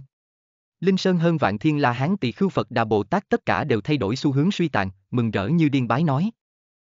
Nam Vô A Di Đà Phật, tán dương bản sư Phật Như Lai. Chu Thiên Phật Đà Tôn giả ai về chỗ nấy, các thủ kỳ chức. Tôn Pháp chỉ. Thật lớn thanh âm trên bầu trời Linh Sơn tiếng vọng. Tất cả Phật Đà Bồ Tát La Hán, tất cả đều các vị các vị, đại lôi âm tự di chỉ bên trên chúng cường giả cấp chuẩn thánh, cũng đều chắp tay trước ngực thi lễ, thân ảnh trở thành nhạt biến mất không thấy gì nữa, tiến đến riêng phần mình trong đạo trường bế quan dưỡng thương, hiện tại thực tế là không mặt mũi gặp người. Kim quang chói mắt như lai Phật tổ rơi vào di chỉ phía trên, tiện tay cho mình thực hiện một cái biến hóa chi thuật, chỉ ít từ bên ngoài nhìn cùng trước kia giống nhau như đúc, tán đi kim quang. Đa bảo như lai nhìn xem chật vật linh sơn đỉnh núi, khí âm thầm nghiến răng nghiến lợi, đánh nhau thì đánh nhau, phá nhà có gì tại ba. Ta đại lôi âm tự không có A, tuy nhiên không quan hệ, cũ thì không đi mới thì không tới, Phật giáo sắp đến đại hưng, trước đó đại lôi âm tự xác thực hẹp hòi một chút, bản tọa xây lại tạo một tòa càng thêm to lớn đại lôi âm tự, dùng cái này đến hiển lộ rõ ràng Phật giáo đại hưng uy nghi. Đại lôi âm tự sụp đổ, trách nát tài liệu hẳn là bị A Nan già dịp thu lại, làm không tệ, những tài liệu này còn có thể hai lần lợi dụng. Như Lai Phật tổ thật lớn thanh âm vang lên. A Nan, già dịp hai đạo Phật quan bay vụt mà đến, rơi vào Như Lai Phật tổ trước mặt, hóa thành A Nan già dịp thân ảnh. A Nan già dịp chắp tay trước ngực, cung kính nói ra. Bái kiến Phật tổ. Như Lai Phật tổ mặt lộ vẻ mỉm cười, trên mặt nhất thời truyền đến một trận đau đớn, tê da mặt run rẩy một chút. Như Lai Phật tổ nói ra. Phật giáo gặp huyết kiếp, đại lôi âm tự vỡ vụn đây là định số, bản tọa cùng rất nhiều Phật Đà Bồ Tát đối kháng ma đầu thời điểm, các ngươi có thể đem đại lôi âm tự toái phiến thu hồi, như thế rất tốt, bản tọa lòng mang vui mừng. A Nan già dịp đối mặt một lời. A Nan tôn giả nhỏ giọng nói ra. Khởi bẩm Phật tổ, Linh Sơn nhận tiếng cung thời điểm, chúng ta đang cật lực ngăn cản A Tu La, chưa từng thu lấy đại lôi âm tự toái phiến. Như Lai Phật tổ biểu lộ cứng đờ, bọn họ không có thu lấy đại lôi âm tự toái phiến, này đại lôi âm tự toái phiến đi đâu? Cái này đều là ta ước vạn năm đến thu thập thiên tài địa bảo luyện chế mà thành. Gia Diệp nhỏ giọng nói ra. Phật tổ, không chỉ là đại lôi âm tự toái phiến, chúng ta linh sơn khoáng mạch bảo khố, linh tuyền, trúc tía, tự dưỡng Phật tính linh ngư, Phật tính chim súc, còn có một chỗ Phật tổ ngài dược điền. Tàn kinh cát, rau quả vườn vân vân, tất cả đều biến mất không thấy gì nữa. Cái gì? Như Lai Phật tổ kinh hô một tiếng, thân ảnh lóe lên biến mất không thấy gì nữa. Sau một khắc, Như Lai Phật tổ xuất hiện tại một cái trên đất trống, trùi lũi đất trống cùng chung quanh cảnh sát hình thành chênh lệch rõ ràng, nơi này vốn là Phật giáo không đúng, là bản tọa trân tàn khoáng sản địa phương, hiện tại đừng nói khoáng sản, ngay cả bảo khố đều không có. Chương 565 Chư Thánh gặp mặt Nguồn Mê truyện audio.com Như Lai Phật tổ thân ảnh lần nữa biến mất, nháy mắt xuất hiện tại một cái hố sâu trước đó, nơi này vốn là tiên thiên linh thực trúc tí chỗ, hiện tại biến thành một cái hố to, đào ba thước đất, đừng nói trúc tí, ngay cả cái sợi rễ đều không có lưu lại. Như Lai Phật tổ ngơ ngác đứng tại chỗ, địa phương khác cũng không cần nhìn, khẳng định cùng nơi này không khác nhau chút nào, nắm chặt quyền đầu, cắn chặt răng, não hải một trận mê muội. A Nan già diệt bay tới. A Nan cẩn thận từng ly từng tí nói ra. Phật tổ, chúng ta đang toàn lực truy tra trọng cướp người. Không cần tra, có thể làm ra loại chuyện này người toàn bộ hồng hoang trừ hắn còn có thể là ai? Như Lai Phật tổ trong mắt mang theo căm giận ngút trời. Già Diệp nghi hoặc hỏi. Phật tổ, ngài nói là người phương nào? Tự nhiên là cái kia nịnh nọt hèn hạ độ vô sĩ bạch cẩm. Như Lai Phật tổ thân ảnh nháy mắt biến mất không thấy gì nữa. A Nan nhỏ giọng thầm thì nói ra. Câu Trần Đại Đế. Không thể nào. Câu Trần Đại Đế thế nhưng là danh xưng hồng hoang lương tâm, làm việc quang minh chính đại, làm sao lại làm ra trọng cấp loại chuyện này? Gia Diệp cũng nhỏ giọng nói ra. Có thể là Phật tổ hiểu lầm đi. Bạch Cẩm chính là thiên đình câu trần đế quân, làm sao lại thừa dịp Phật giáo chi uy, đến trọng đạo. Cho dù là câu trần đại đế lấy đi khoáng mạch bảo khố, linh tuyền, trúc tía, linh ngư, chim súc, dược điền vân vân, nhưng là cũng sẽ không đi nhặt đại lôi âm tự toái phiến A, đường đường đế quân làm sao lại nhặt ve chai. A Nan gật đầu, kiên định nói ra. Có đạo lý, cho nên khẳng định là Phật tổ hiểu lầm, chúng ta muốn tiếp tục dò xét đạo tặc, cho chúng ta Phật giáo tìm về tổn thất. Huynh đệ đồng lòng, kỳ lợi đoạn kim.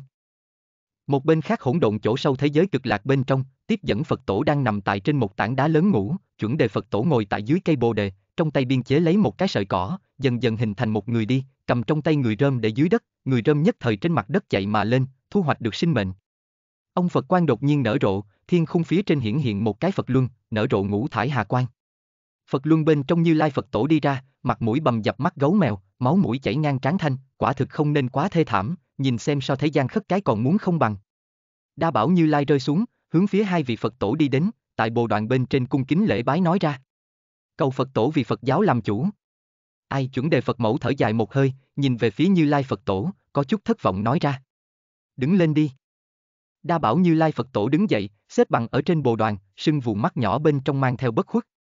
Chuẩn đề Phật mẫu đưa tay đối Như Lai Phật tổ nhất chỉ, chí cường chuẩn thánh lưu lại đạo thương tổn, tất cả đều vô thanh vô tức khỏi hẳn, Phật Như Lai người lần nữa khôi phục thành đoan trang đại khí hình tượng.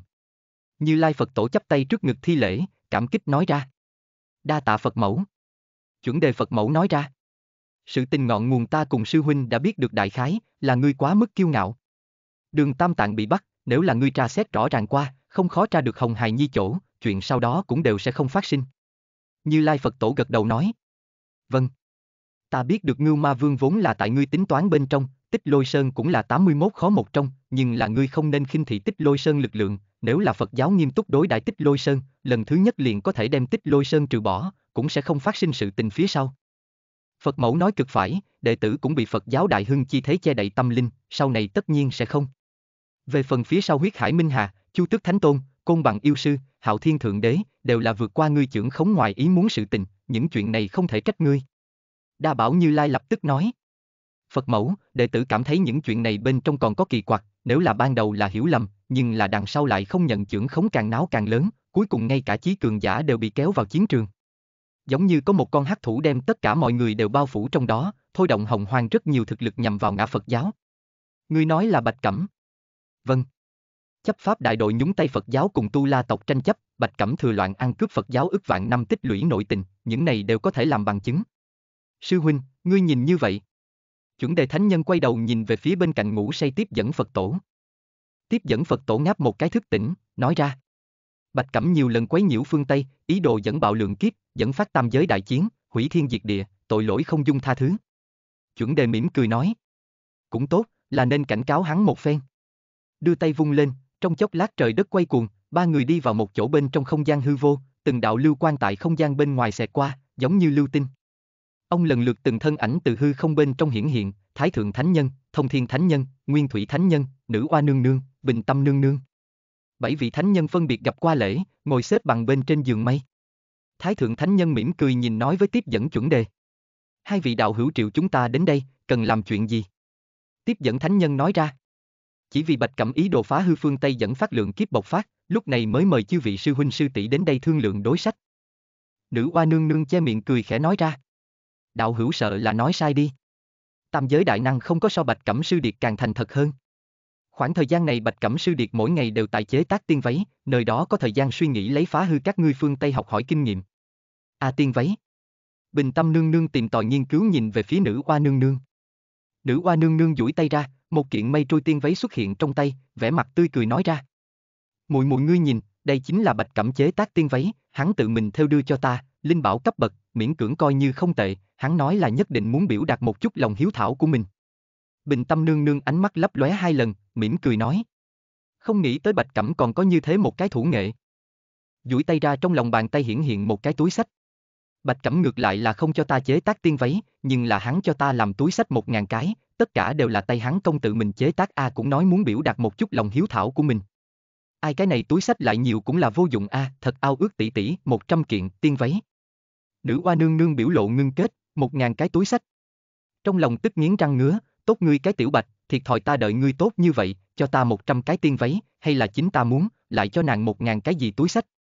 Bình tâm nương nương trong lòng cũng là vô cùng tức giận, tốt ngươi cái tiểu bạch, thiệt thòi ta đợi ngươi tốt như vậy, cho nữ oa đưa một trăm kiện tiên váy, liền cho ta đưa một cái gì túi sách, không có một ngàn kiện, không có một trăm kiện, chỉ có một kiện, vì ép nữ oa nương nương một đầu, đại từ đại bi bình tâm nương nương cũng nói láo, tuy nhiên cũng không tính là nói láo, một ngàn kiện là có, còn có 9.999 kiện không có giao hàng mà thôi. Ngọc Hư cung bên trong, Bạch Cẩm hắc xì hắc xì liên tục đánh hai nhảy mũi. Chủ viện Nguyên Thủy Thiên Tôn nhìn xem đến, sắc mặt có chút cổ quái. Chương 565 Phật tổ đế quân đối chất. Nguồn. Mê truyện audio.com Bạch Cẩm sờ mũi một cái, vội vàng nói. Sư bá, đệ tử thực tế là có chút khó kìm lòng nổi, còn mời sư bá thứ tội. Nguyên Thủy Thiên Tôn mỉm cười nói. Vô sự, chính ngươi nhiều hơn bảo trọng. Bạch Cẩm cảm động nói ra. Đa tạ sư bá quan tâm. Hư không không gian bên trong, thông thiên giáo chủ thần sắc tức giận, truyền âm nói ra. Đại huynh, ta cảm giác hiện tại Bạch Cẩm biến, có đồ tốt cũng không biết trước hiếu kính ta người sư phụ này. Ngươi cũng đừng thêm phiền, Bạch Cẩm đem váy tặng cho ngươi, ta sợ ngươi sẽ đánh chết hắn. Như thế nào là thêm phiền?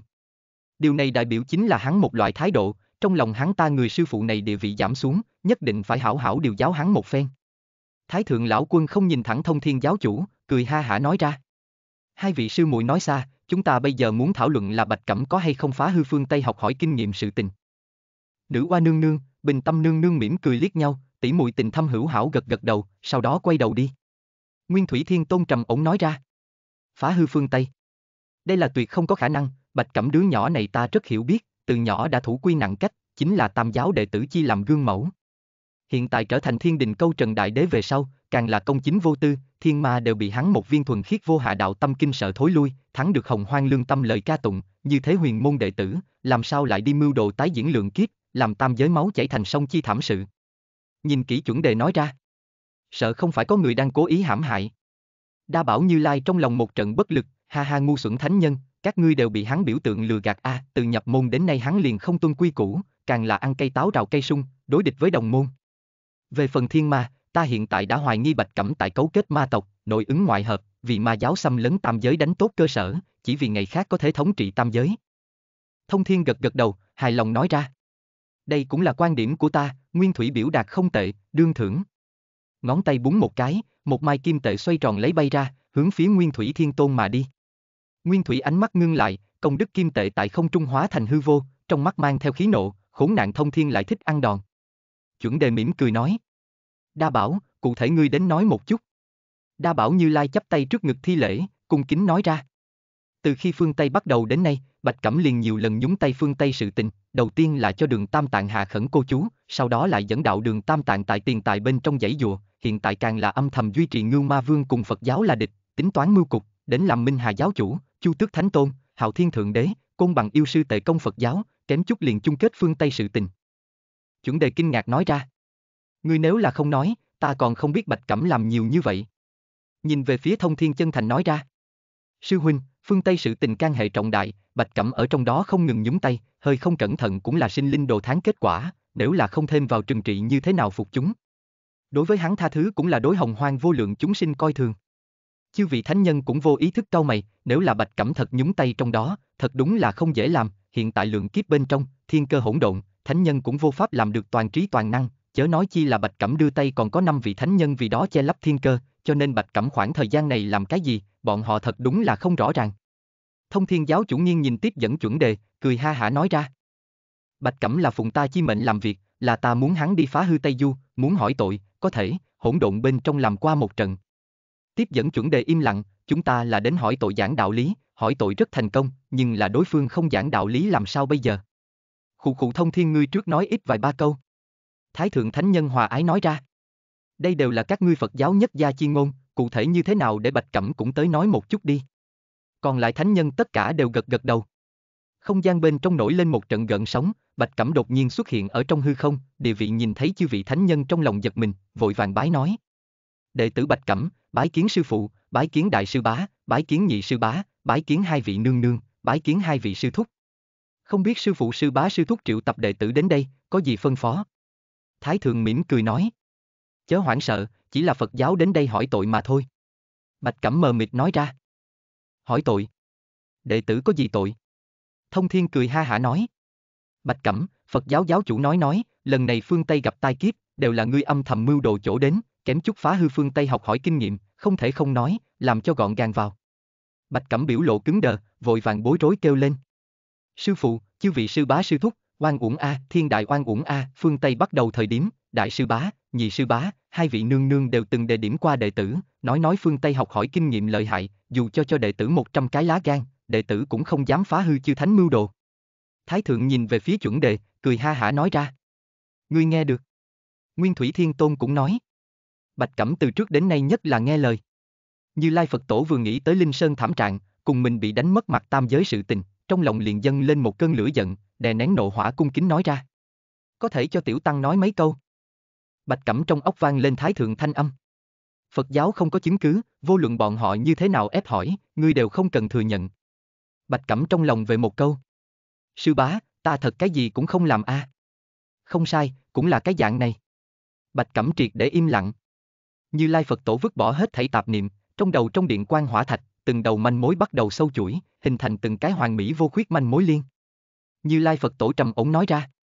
Quỳ Ngưu chính là ngày xưa tiệt giáo đệ tử, Quỳ Ngưu chi tử Hồng Hài Nhi cũng coi là nửa cái tiệt giáo đệ tử, Bạch Cẩm làm tiệt giáo ngoại môn đại sư huynh, có thống lĩnh tiệt giáo đệ tử chi năng. Thế là hắn vụng trộm truyền lệnh Hồng Hài Nhi, để hắn cướp bóc đường Tam Tạng, sau đó đưa đến một cái tam giới thần thánh đều khó mà tìm tới địa phương, chính là Chu Tước Thánh Tôn thành lập không gian độc lập. Sau đó hắn lại để cho Ngưu Ma Vương cùng Thiết Phiến công chúa công khai thừa nhận cướp bóc đường Tam Tạng, dạng này liền hình thành một sáng một tối hai đầu tuyến, mê hoặc hồng hoang chúng thần thánh, cũng mê hoặc Phật giáo. Đệ tử cũng bị hắn chỗ lừa gạt, điều động Phật giáo tu sĩ tiến đánh tích lũy núi Thúy Vân Sơn, tổn thất nặng nề, sau đó như hắn sở liệu dẫn xuất huyết hải minh hà giáo chủ, hắn càng là khiến chấp pháp đại đội xuất thủ ngăn lại Linh Sơn Phật Đà Bồ Tát, phát sinh huyết hải chìm Linh Sơn thảm kịch. Nếu như sự tình tiếp tục như vậy phát triển tiếp, Phật giáo cùng huyết hải sẽ không chết không thôi, đường Tam Tạng cũng đem triệt để mất đi tung tích, phương Tây cũng liền không thể nào nói đến.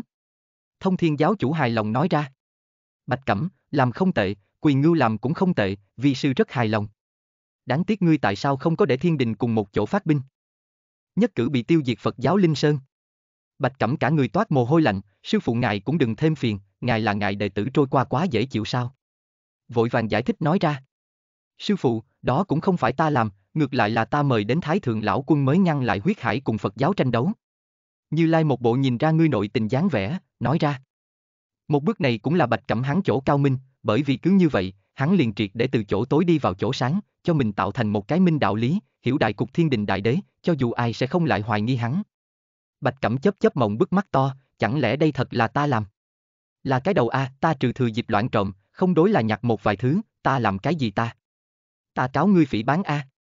Chương 567 Đối chất Nguồn Mê truyện audio.com như Lai Phật Tổ trầm thấp nói ra Âm hiểm nhất chính là Bạch Cẩm dĩ nhiên khiến Hồng Hài Nhi đem đường Tam Tạng giấu ở Chu Tước Thánh Tôn lập hạ không gian độc lập bên trong, Bạch Cẩm cũng là hạ quyết tâm, cho dù hắn khuyên can Phật giáo cùng huyết hải, chúng ta cũng tìm không thấy đường Tam Tạng chỗ, bởi vậy phương Tây vẫn là không thể tiến hành. Nhưng là nằm ngoài sự dự liệu của hắn chính là, Tiểu Tăng mượn dùng thập nhị phẩm kim liên chi lực, tìm tới đường Tam Tạng, tuy nhiên cũng đắc tội Chu Tước Thánh Tôn. Thái Thượng Thánh Nhân hỏi. Bạch Cẩm, những này đều là thật. Bạch Cẩm vội vàng kêu lên. Oan uổng, thiên đại oan uổng a. Thông thiên giáo chủ cười ha hả nói ra. Oan uổng cái gì? Ta tiệt giáo đệ tử đi đến đang ngồi đến bưng, có cái gì không dám thừa nhận. Bạch Cẩm, ngươi làm rất tốt. Bạch Cẩm im lặng, như thế hố độ để sư phụ có người muốn sao? Ta là không muốn. Thông thiên giáo chủ nhiều hứng thú hỏi. Bạch Cẩm còn làm cái gì?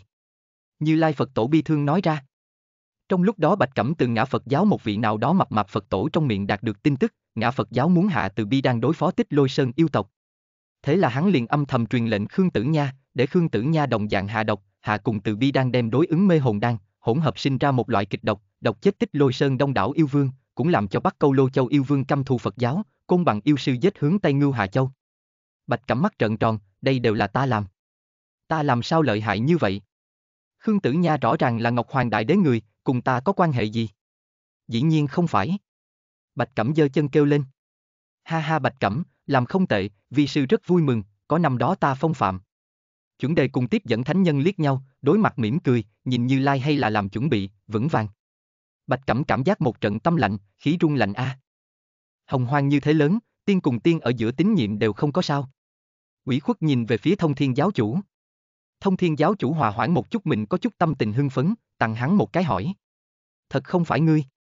Bạch Cẩm con mắt đột nhiên biến lớn một vòng, giống như hai viên lớn trân châu treo ở trên mặt, nháy ngập nước mắt to, ủy khuất kêu lên. Sư phụ, ngài nhìn ta cái này chân thành ánh mắt. Nhìn qua, không phải ngươi. Ta thông thiên cả đời lỗi lạc giật đảng, sở tác sở vi cũng là không thẹn lương tâm, ta dạy dỗ đến đệ tử như thế nào là am hiểu âm mưu quỷ kế đồ hèn hạ. Khụ khụ, thái thượng ho khan hai tiếng, không có tiệt giáo tam đệ, càng ngày càng khó lấy suy nghĩ. Thái thượng truyền âm hỏi. Thật không phải ngươi. Sư bá, thật không phải ta a. Quá để tâm bên trong nắm chắc, cười ha hả nói ra. Đã chư thánh tề tụ, muốn biết rõ ràng cũng là đơn giản, mời Minh Hà giáo chủ, Hồng Hài Nhi đến đây một hồi đi. Còn lại chư thánh tất cả đều gật gật đầu, như Lai Phật tổ giống như đấu sĩ nhìn gần Bạch Cẩm, lần này nhất định phải vạch trần diện mục thật của ngươi. Hư vô kỳ lạ không gian nổi lên một trận gần sóng, gần sóng bên trong Minh Hà giáo chủ lôi kéo Hồng Hài Nhi đi ra. Minh Hà giáo chủ ông quyền thi lễ. Gặp qua chư vị sư huynh sư tỷ. Rất nhiều thánh nhân cũng đều gật đầu mỉm cười. Hồng Hài Nhi cũng nhu thuận ông quyền thở dài nói ra. Đệ tử Hồng Hài Nhi bái kiến thánh nhân. Minh Hà giáo chủ đứng dậy hỏi. Không biết chư vị sư huynh sư tỷ triệu ta đến đây, cần làm chuyện gì? Dư quan liếc liếc một chút như lai Phật tổ, trong lòng nổi lên từng đợt nói thầm, tốt ngươi cái tiểu lồi đầu, đánh không lại liền cáo trạng. Thái thượng thánh nhân mỉm cười nói. Triệu tập sư đệ đến đây, chỉ là muốn hỏi Hồng Hài Nhi một việc mà thôi. Sư huynh mời nói. Thái thượng lão quân nhìn nói với Hồng Hài Nhi. Ta hỏi ngươi mấy vấn đề, nhất định muốn thành thật trả lời. Hồng Hài Nhi liên tục gật đầu, nói thực ra nói. Thánh nhân xin hỏi, ta nhất định biết gì nói nấy. Phật tổ có lời, ngươi cướp bóc đường tam tạng chính là phụng câu trần đại đế chi mệnh, nhưng có việc này. Hồng Hài Nhi mộng bức nói ra. Câu trần đại đế? Ai vậy? Ta vì cái gì phụng hắn ra lệnh làm việc? Ta Hồng Hài Nhi nhưng là muốn khi đại yêu vương, làm sao lại nghe cái gì đại đế? Thánh nhân liếc mắt liền nhìn ra, hắn nói đây là nói thật, sắc mặt có chút cổ quái. Bạch Cẩm kích động kêu lên. Sư phụ, sư bá, sư thúc, Hồng Hài Nhi nói mới là thật, ta rốt cục trầm oan đắc tuyết. Như Lai vội vàng nói. Hồng Hài Nhi, nếu không phải người khác thụ ý, ngươi làm sao lại đem đường tam tạng giấu đến chu tước thánh tôn lập không gian bên trong? Làm sao ngươi biết nơi đó có thể tránh né Phật giáo điều tra? Hồng Hài Nhi lẽ thẳng khí hùng nói ra. Cái gì tránh né điều tra? Ta không biết a, ta mang theo đường tam tạng đi qua, đương nhiên là bởi vì tiểu y ở nơi đó, đem đường tam tạng đưa cho tiểu y, tiểu y liền đáp ứng cùng với ta khi yêu vương a. Minh Hà đưa tay vỗ một cái hồng hài nhi sọ não, không cao hứng nói ra. Về sau thiếu cho ta gây phiền toái, nhìn thấy nữ hài kia trốn xa một chút, không phải vậy về sau ngươi chết như thế nào cũng không biết. À, hồng hài nhi ủ rũ ứng một tiếng, ta khi đại yêu vương nguyện vọng, còn chưa có bắt đầu liền đã kết thúc, tiểu y a, ca ca cuối cùng vẫn là phụ ngươi. Như Lai Phật tổ mắt trợn tròn, tại sao sẽ là như vậy? Hiện tại hai tử nhỏ như vậy liền biết tìm đạo lữ. Bần tăng bây giờ còn chưa có đạo lữ đâu.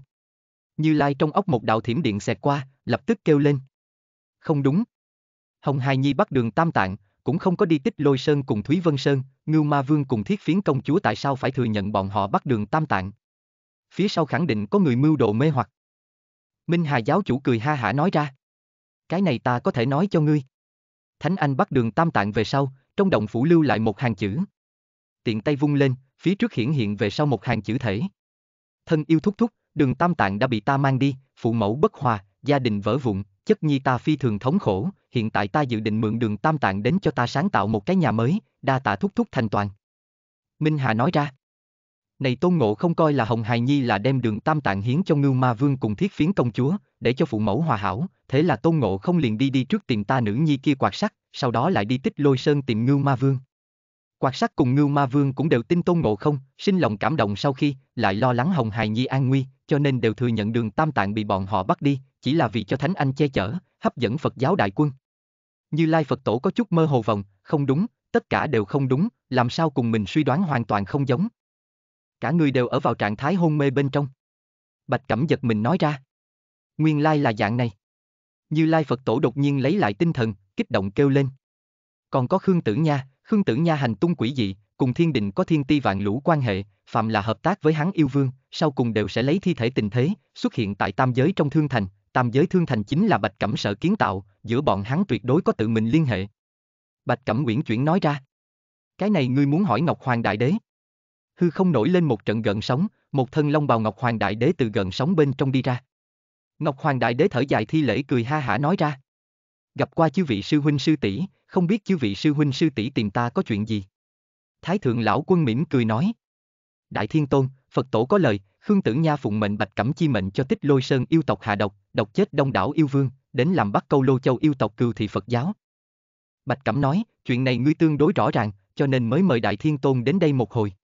Chương 568 Thiên đạo đại thệ Nguồn Mê truyện audio.com Ngọc Hoàng Đại Đế sững sờ một chút, nhìn về phía Bạch Cẩm hữu hảo gật gật đầu, cười nói. Nếu là chuyện này, ta xác thực tương đối rõ ràng. Bởi vì Khương Tử Nha cũng là phụng ta chi mệnh hành động. Còn mời nói rõ. Ngọc Hoàng Đại Đế sắc mặt sầu lo, cảm khái nói ra.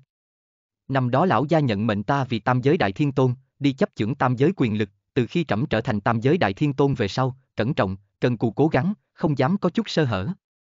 Nam Chim Bộ Châu, Đông Thắng Thần Châu tại thiên đình quản lý hạ đều là chúng sinh an cư, mưa thuận gió hòa, vạn linh chủng tộc đều có ở, nhưng Tây Ngưu Hạ Châu bên trong, có yêu ma hoắc loạn một phương, tàn hại ức vạn sinh linh, chà đạp linh sơn tịnh thổ. Thân ta là trời đế, nhìn thấy cảnh này, trong lòng rất là bất an, thế là mời đến danh chấn thiên hạ hàng yêu tông sư, côn luân trưởng môn Khương Tử Nha. Dựa vào sự giúp đỡ của hắn, thiết kế thanh trừ Tây Ngưu Hạ Châu làm sằng làm bậy huyết sát cuốn thần đại yêu vương, nhưng là yêu vương đông đảo, Khương trưởng môn thế đơn lực bạc, chỉ có thể mượn dùng một chút thủ đoạn. Nhưng là vì thiên hạ chúng sinh, hèn hạ cũng tốt, vô sĩ cũng tốt, thế gian bêu danh, Khương trưởng môn nguyện ý một mình gánh chịu. Ngọc Hoàng Đại Đế nhìn về phía Nguyên Thủy Thiên Tôn, cảm thán nói ra. Sư huynh thật sự là giáo một đồ đệ tốt a.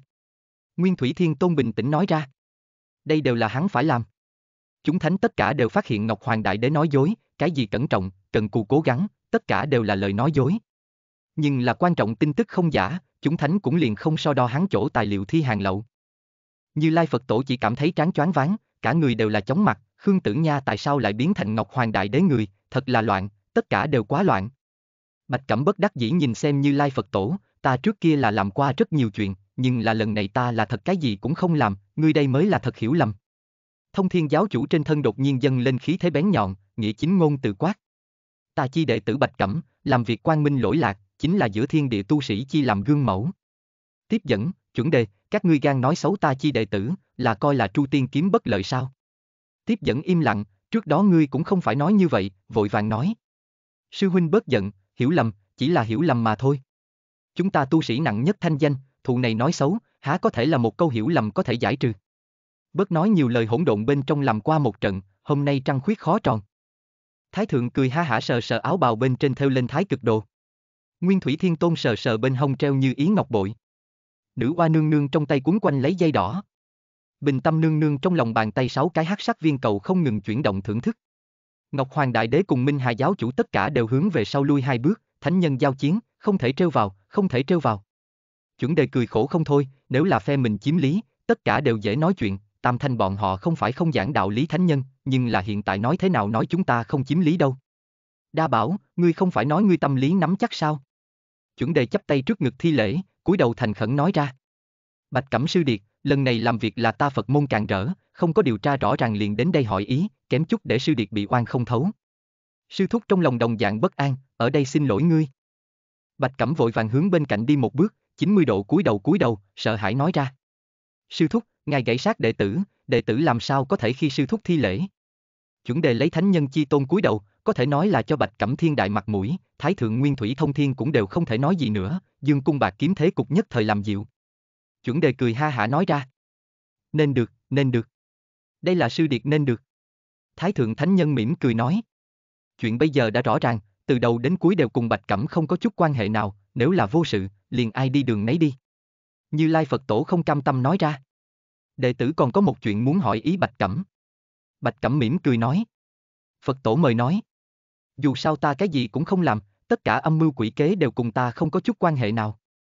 Phật giáo cùng huyết hải đại chiến thời điểm, có người tiến đến Linh Sơn đánh cắp đại lôi âm tự, trúc tía, linh trì một tòa, Trần quý dược điền một khối, linh ngư vô số, khoáng mạch thần điện, phi cầm tẩu thú vô số vân vân, không biết thế nhưng là đế quân gây nên. Như Lai Phật tổ ánh mắt nghiêm nghị nhìn kỹ Bạch Cẩm, chuyện này tuyệt đối sẽ không có sai. Bạch Cẩm biểu lộ cứng đờ, ta đi những chuyện này thật đúng là ta làm. Thái thượng thánh nhân, Nguyên Thủy Thiên Tôn, Thông Thiên giáo chủ tất cả đều da mặt nhảy lên hai lần, những vật này làm sao nghe được quen thuộc như vậy. Thái thượng thánh nhân lập tức quát. Hồ nháo, Bạch Cẩm chính là thiên đế, sao lại đi đi trộm cắp sự tình. Hiện tại ai đi đường nấy đi. Thông Thiên giáo chủ bất mãn nói ra. Đa bảo, từ khi ngươi rời đi tiệt giáo đi Phật giáo, đều học tập cái gì? Hiện tại đã miệng đầy hoang ngôn sao? Đa bảo như lai vội vàng nói. Giáo chủ, ta cùng Bạch Cẩm tương giao ức vạn năm, đối với hắn hết sức quen thuộc, việc này tuyệt đối là hắn hành động. Nguyên Thủy Thiên Tôn uy nghiêm nói ra. Bạch Cẩm từ khi tiến vào huyền môn, ngay tại ta lúc này trưởng thành, làm việc tự có quy củ, sao lại đi trộm cướp sự tình. a à, ta yêu nhĩ Phật giáo gặp nạn, liền không tính toán với ngươi, trở về đi. Chuẩn đề thánh nhân mỉm cười nói. Ba vị sư huynh chớ gấp, sao không nghe nghe Bạch Cẩm nói như thế nào? Chúng thánh tất cả đều nhìn về phía Bạch Cẩm, mấy thánh dò xét, mấy thánh khẩn trương. Bạch Cẩm nhất thời 45 độ nhìn về phía phía trên, cảm khái nói ra. Ta nếu là nói không phải ta làm, đoán chừng ngươi cũng không tin. Như Lai Phật Tổ nhìn xem Bạch Cẩm nói ra. Trừ ngươi, ta nghĩ không ra những người khác. Bạch Cẩm duỗi ra một tay làm kiếm chỉ, chỉ vào phía trên nghiêm mặt nói ra. Ta Bạch Cẩm ở đây thề, đại lôi âm tự tuyệt không trong tay ta, như lời ấy có hư, tất nhận lôi đình thiên tru, thiên đạo giám chi. Trong không gian không có nửa điểm động tĩnh. Bạch Cẩm nhìn nói với Như Lai Phật Tổ. Như thế ngươi có thể tin. Như Lai con mắt đột nhiên trừng lớn, làm sao lại không trong tay hắn.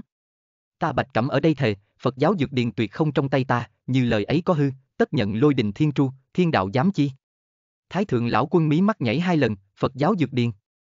Là cái kia rau dại đi. Bạch Cẩm hít sâu một hơi, có chút bi phẫn nói ra. Phật tổ, thiên đạo dám chứng ngươi có thể tin. Như Lai Phật tổ không nói một lời, tay có chút run rẩy, chẳng lẽ ta lại sai?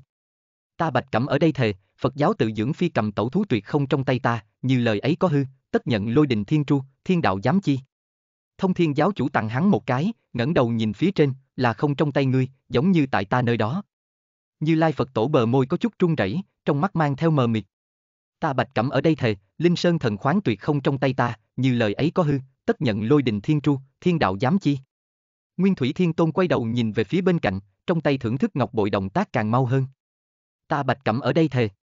Bạch Cẩm một đau khổ trong lòng vẫn nhìn xem như Lai Phật Tổ, giống như nhận thiên đại ủy khuất. Chuẩn đề thánh nhân đột nhiên mở miệng nói ra. Bạch Cẩm sư điệt, dừng ở đây đi. 7017 ca. Chương 569, cuối cùng. Nguồn. Mê truyện audio.com Bạch Cẩm trong lòng buông lỏng, ngươi có thể rốt cục mở miệng, không phải vậy ta cũng không biết đằng sau làm sao biên, còn có một cái linh ngư, sau đó liền tất cả đều trong tay ta. Bạch Cẩm trong lòng buông lỏng, mặt ngoài bi phẫn kêu lên. Sư thúc, ngài đừng cản ta, đệ tử nhất định muốn chứng minh trong sạch của mình. Chuẩn đề thánh nhân chân thành nói ra. Sư Điệt, không cần như thế, ta tin tưởng ngươi tuyệt đối là trong sạch, thiên đạo lời thề liền không cần. Sư thúc tin ta.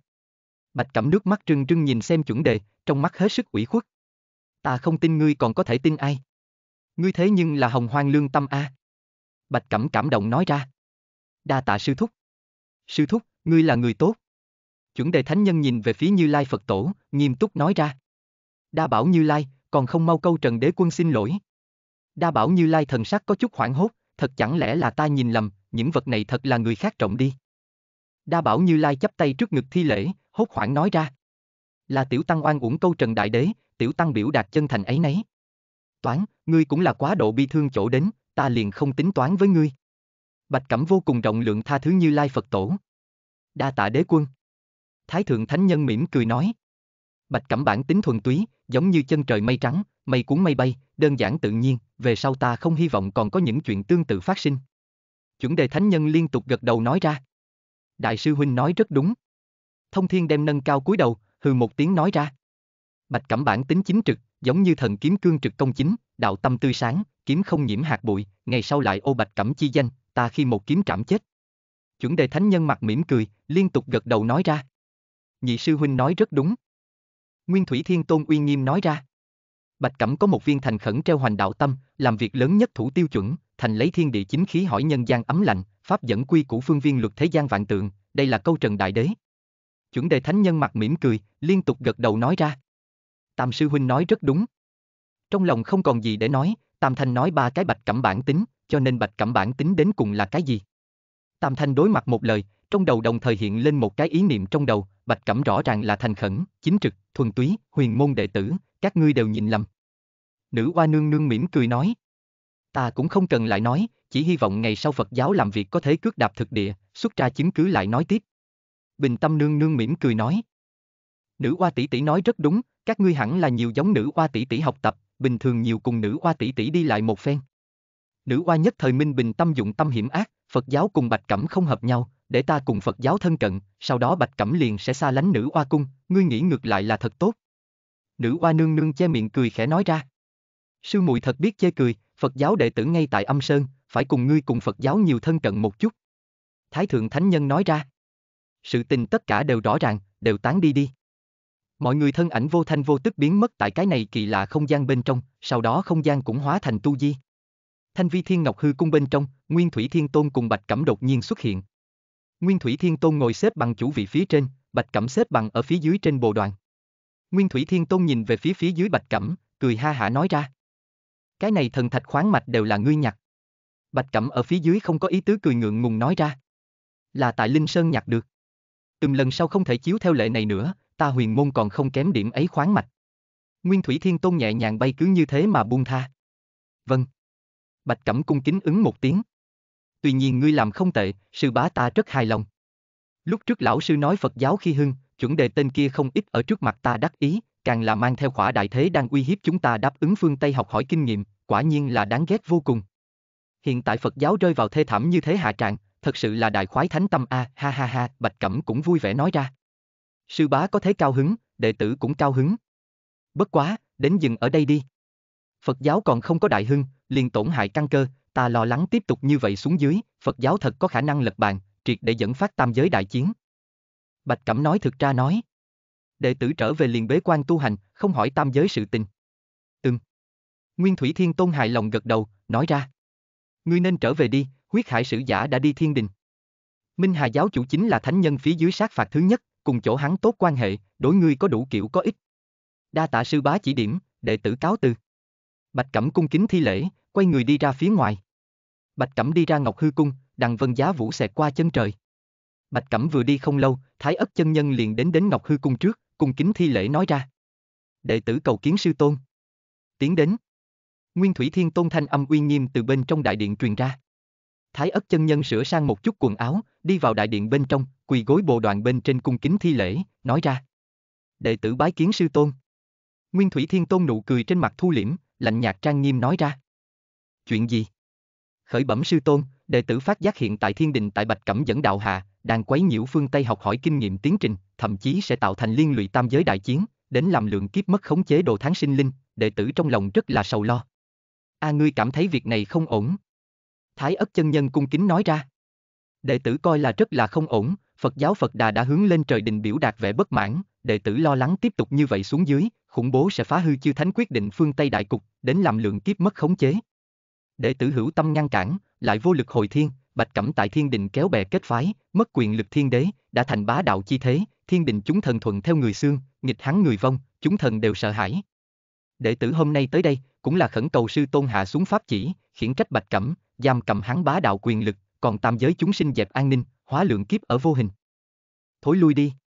Bạch Cẩm làm rất tốt, vi sư rất hài lòng. Thái ất chân nhân đột nhiên ngẩng đầu, kinh ngạc nhìn về phía chủ viện Nguyên Thủy Thiên Tôn, vội vàng nói. Sư Tôn, Bạch Cẩm là muốn phá hư thánh nhân mưu đồ, đem tam giới chúng sinh kéo vào huyết hải thâm uyên bên trong, còn mời Sư Tôn nghĩ lại. Bạch Cẩm làm ra rất tốt, ngày sau ngươi không được lại cùng Phật giáo có liên quan tới, thối lui đi. Nguyên Thủy Thiên Tôn thân ảnh biến mất tại chủ vị phía trên. Thái ất chân nhân cúi đầu, vạn bất đắc dĩ đáp. Vâng. Đứng dậy rời khỏi Ngọc Hư Cung. Một bên khác Bạch Cẩm một đường quay lại thiên đình, không chút nào biết mình vừa đi, Thái ất chân nhân liền cáo mình kén ăn hình, dù cho biết cũng không thèm để ý, đại sư bá nói qua, nhị sư bá là yêu ta. Bạch Cẩm vừa trở lại tổ chim, còn không có vào cửa, Thạch Cơ liền chào đón. Sư huynh. Sư muội, ngươi làm sao ở chỗ này? Thế nhưng là huyết hải sử giả đến. Huyết hải sử giả? Không có nhìn thấy. Ta ở chỗ này chờ sư huynh là bởi vì Quyền Ngưu, Quyền Ngưu từ khi đi vào thiên đình về sau vẫn bị giam giữ tại tư pháp thần điện, nên như thế nào định tội, còn mời sư huynh định đoạt. Chương 570, Ngưu Ma Vương Hạ Trang. Nguồn. Mê truyện audio.com. Bạch Cẩm dưới chân dừng lại, nói ra. Đi, chúng ta đi trước nhìn xem Quyền Ngưu. Bạch Cẩm cùng Thạch Cơ hướng phía tổ chim đi đến, trên đường đi vừa đi vừa nói, Bạch Cẩm cũng biết Quyền Ngưu đến thiên đình tình huống. Hiện tại Ngưu Ma Vương ở độc lập tiểu viện, ăn thiên đình chúng thần đưa tới riêng phần mình kỳ trân dị quả, trôi qua nhàn nhã tiêu sái, có thể nói là từ khi tiến vào tư pháp thần điện, hắn liền tân khách không dứt, tất cả đều là các phương thần linh tinh quân, thần vị tương đối thấp thần linh ngay cả đến đây bái phỏng đều tư cách đều không có, làm lớn nhất lãnh đạo tài xế, ngưu ma vương mặt bài vẫn phải có. Bạch Cẩm đi vào tư pháp thần điện, tất cả thiên binh thiên tướng tất cả đều ngẩng đầu ưỡn ngực, túc nhiên nhi lập, trong mắt mang theo lửa nóng ánh mắt. Triệu công minh nghênh đón từ bên trong nghênh đón ra, ông quyền thở dài nói ra. Đại sư huynh. Bạch Cẩm cũng ông quyền đáp lễ, nói ra. Sư đệ. Làm lễ về sau, hai người đứng dậy, Bạch Cẩm nói ra. Làm phiền sư đệ mang ta tiến đến nhìn một chút Quỳ ngưu. Tốt. Sư huynh mời đi theo ta. Triệu công minh dẫn Bạch Cẩm hướng phía bên trong đi đến, vừa đi vừa nói nói. Sư huynh, từ khi đem Quỳ ngưu cầm lại thiên định về sau, vẫn đem hắn nhốt tại một tòa độc lập trong sân, bởi vì Quỳ ngưu làm kỳ thật cũng không tính được làm trái thiên điều, cho nên cũng một mực không cách nào đem hắn định tội. Bạch Cẩm gật gật đầu. Một tòa u tĩnh trong tiểu viện, Ngưu Ma Vương cùng Tăng Trường Thiên Vương Ma Lễ Thanh, Đà Văn Thiên Vương Ma Lễ Hồng, Trì Quốc Thiên Vương Ma Lễ Hải, Quảng Mục Thiên Vương Ma Lễ Thọ đang ăn uống thả cửa, cả bàn hảo tử thức ăn ngon, tất cả đều là từ ngự thú dám mang tới. Đa Văn Thiên Vương Ma Lễ Hồng bưng chén rượu lên cười ha hả kêu lên. Quỳ ngư huynh đệ, nghe nói ngươi tại hạ giới là yêu, tự do tự tại, còn lấy vợ sinh con, thật sự là ao ước a, ta mời ngươi một chén. Ngưu Ma Vương bưng chén rượu lên cười ha hả nói ra. Cùng đi. Phóng khoáng uống một hơi cạn sạch, uống một hơi cạn sạch. Rót đầy rót đầy, ha ha huynh để chúng ta rất lâu không có uống rượu với nhau, thật sự là thống khoái. Trì quốc thiên vương ma lễ hải cảm khái nói ra. Chúng ta những này tại thiên đình vì thần chính là so không ngưu đại ca, thật là khiến thần ao ước a, à, ngưu huynh, ta cũng tới kính ngươi một chén. Ngưu ma vương uống một hơi cạn sạch phóng khoáng cười to nói ra. Chư vị huynh đệ nếu là muốn tiêu sái, có thời gian hạ giới đến, làm huynh đệ khẳng định hảo hảo chiêu đãi chư vị. Tăng trường thiên vương ma lễ thanh cười ha hả nói ra. Như thế trước hết đa tạ quỳ ngưu huynh đệ, có cơ hội chúng ta nhất định xuống dưới. Khụ khụ hai tiếng ho khan thanh âm vang lên. Trong sân đang ăn uống thả cửa mấy người nhất thời yên tĩnh, quay đầu nhìn lại, chỉ thấy viện lạc cổng vòng tiền trạm lấy ba đạo thân ảnh, Bạch Cẩm, Triệu Công Minh, Thạch Cơ. Tứ đại thiên vương vội vàng đứng lên, cùng nhau chắp tay nói ra. Gặp qua sư huynh. Ngưu ma vương cũng liền vội vàng đứng dậy, chà chà miệng cười ngây ngô kêu lên. Sư huynh. Bạch Cẩm gật gật đầu, nói ra. Các ngươi đi về trước đi. Ta có mấy lời muốn nói với quyền ngưu. Vâng. Tứ đại thiên vương đối ngưu ma vương một trận nháy mắt ra hiệu, sau đó lặng yên rời đi. Bạch Cẩm đi vào trong sân, mỉm cười nói. Quyền ngưu, ngươi thời gian này trôi qua rất không tệ a. Quyền ngưu cười ngây ngô nói ra. Đều là sư huynh để chiếu cố ta. Liền vội vàng tiến lên kéo ra một cái ghế, nói ra. Sư huynh mau mời ngồi. Bạch Cẩm ngồi xuống ghế dựa, quyền ngưu ngồi tại Bạch Cẩm đối diện. Bạch Cẩm nhìn trên bàn hảo tử thức ăn ngon, cười ha hả nói ra. Thích ăn liền ăn nhiều một chút, về sau khả năng liền ăn không được. Sư huynh, ngài đây là ý gì? Chết tự nhiên là ăn không? Ngưu ma vương sắc mặt nụ cười cứng đờ, cười lớn nói ra. Sư huynh, ta. Ta cái này còn tội không đáng chết a. Đến không đến chết, ta nói không tính, muốn nhìn Minh Hà giáo chủ. Ngươi cưới thiết phiến công chúa, vốn là ngươi một cọc tạo hóa, nhưng là về sau ngươi nhưng lại vứt bỏ mẹ con bọn hắn, ngươi cảm thấy ngươi còn có thể sống. Ngưu ma vương đồng tử co rụt lại, trong lòng tuôn ra một cái ác mộng thân ảnh, trong lòng hiện ra thấy lạnh cả người hiện tại thánh nhân không ra thời đại, Minh Hà giáo chủ muốn giết một người, ai cũng không gánh nổi, hạo thiên thượng đế đều không được. Ngưu ma vương nhất thời thê thảm kêu lên. Sư huynh, cứu ta a! Ghé vào trên mặt bàn, trong mong nhìn xem bạch cẩm. Bạch cẩm bật cười bất đắc dĩ nói ra.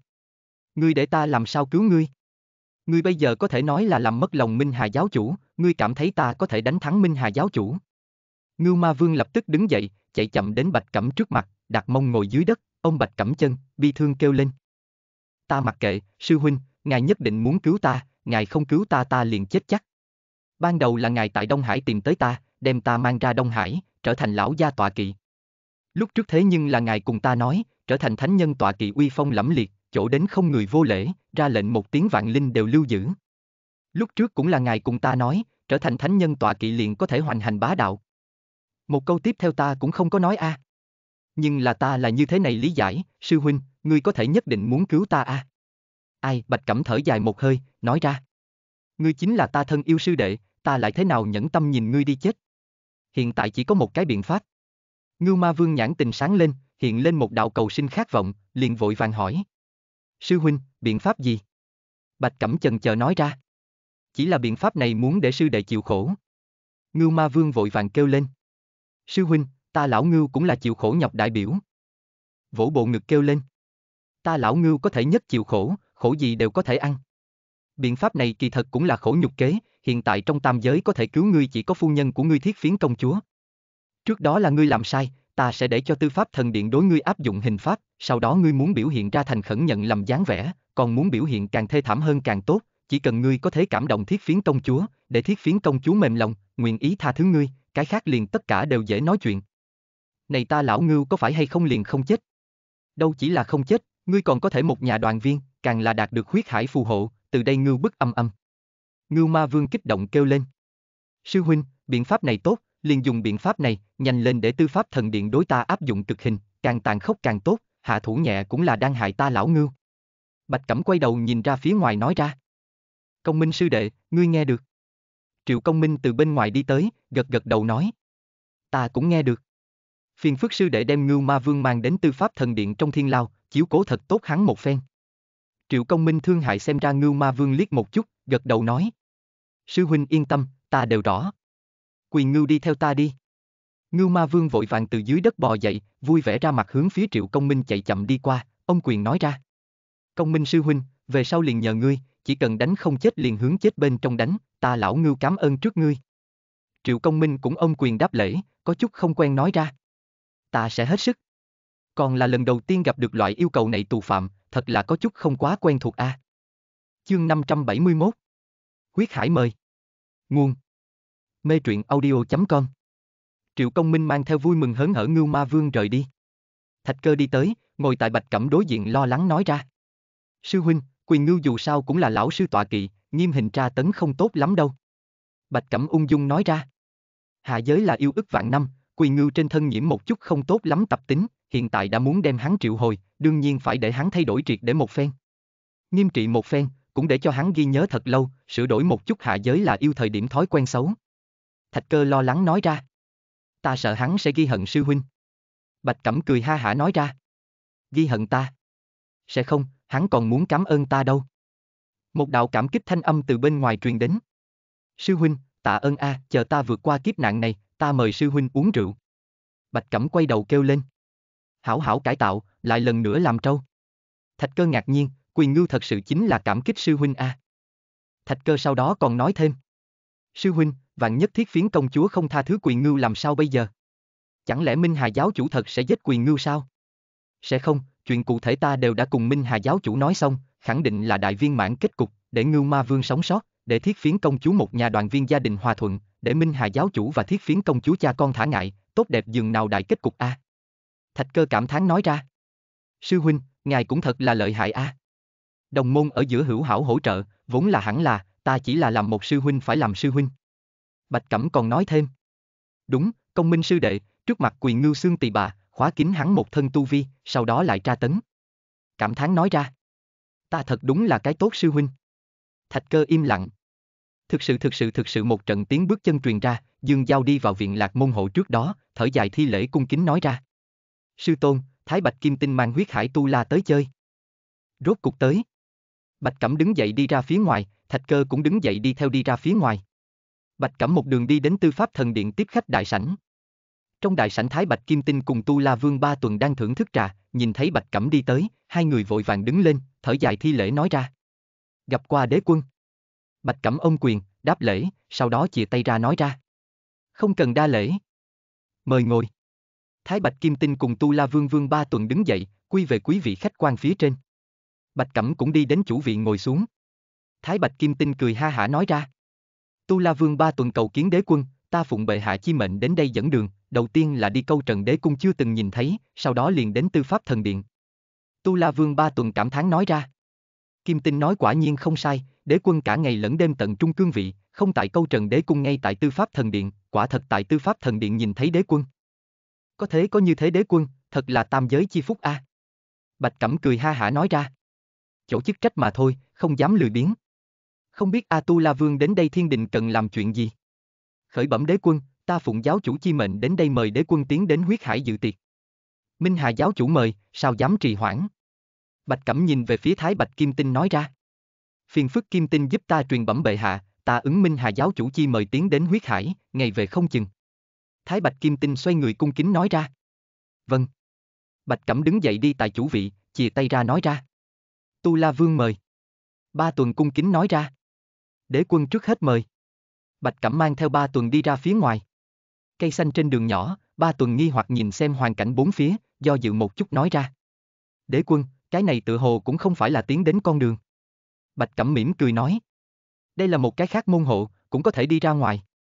Ba tuần gật gật đầu, có lẽ là một chỗ gần đường đi. Liền không hỏi thêm nữa. Sau một lát, ẩn ẩn có tiếng kêu thảm thiết đau đớn truyền ra. À đau quá, ta biết sai. Đau chết ta lão ngưu. Tha ta đi. Tiếng kêu thảm thiết càng ngày càng vang. Ba tuần trong lòng hơi động, nhìn về phía bên cạnh tòa kia nắm tay xăm nghiêm cung điện, hiếu kỳ hỏi. Đế quân, nơi này là...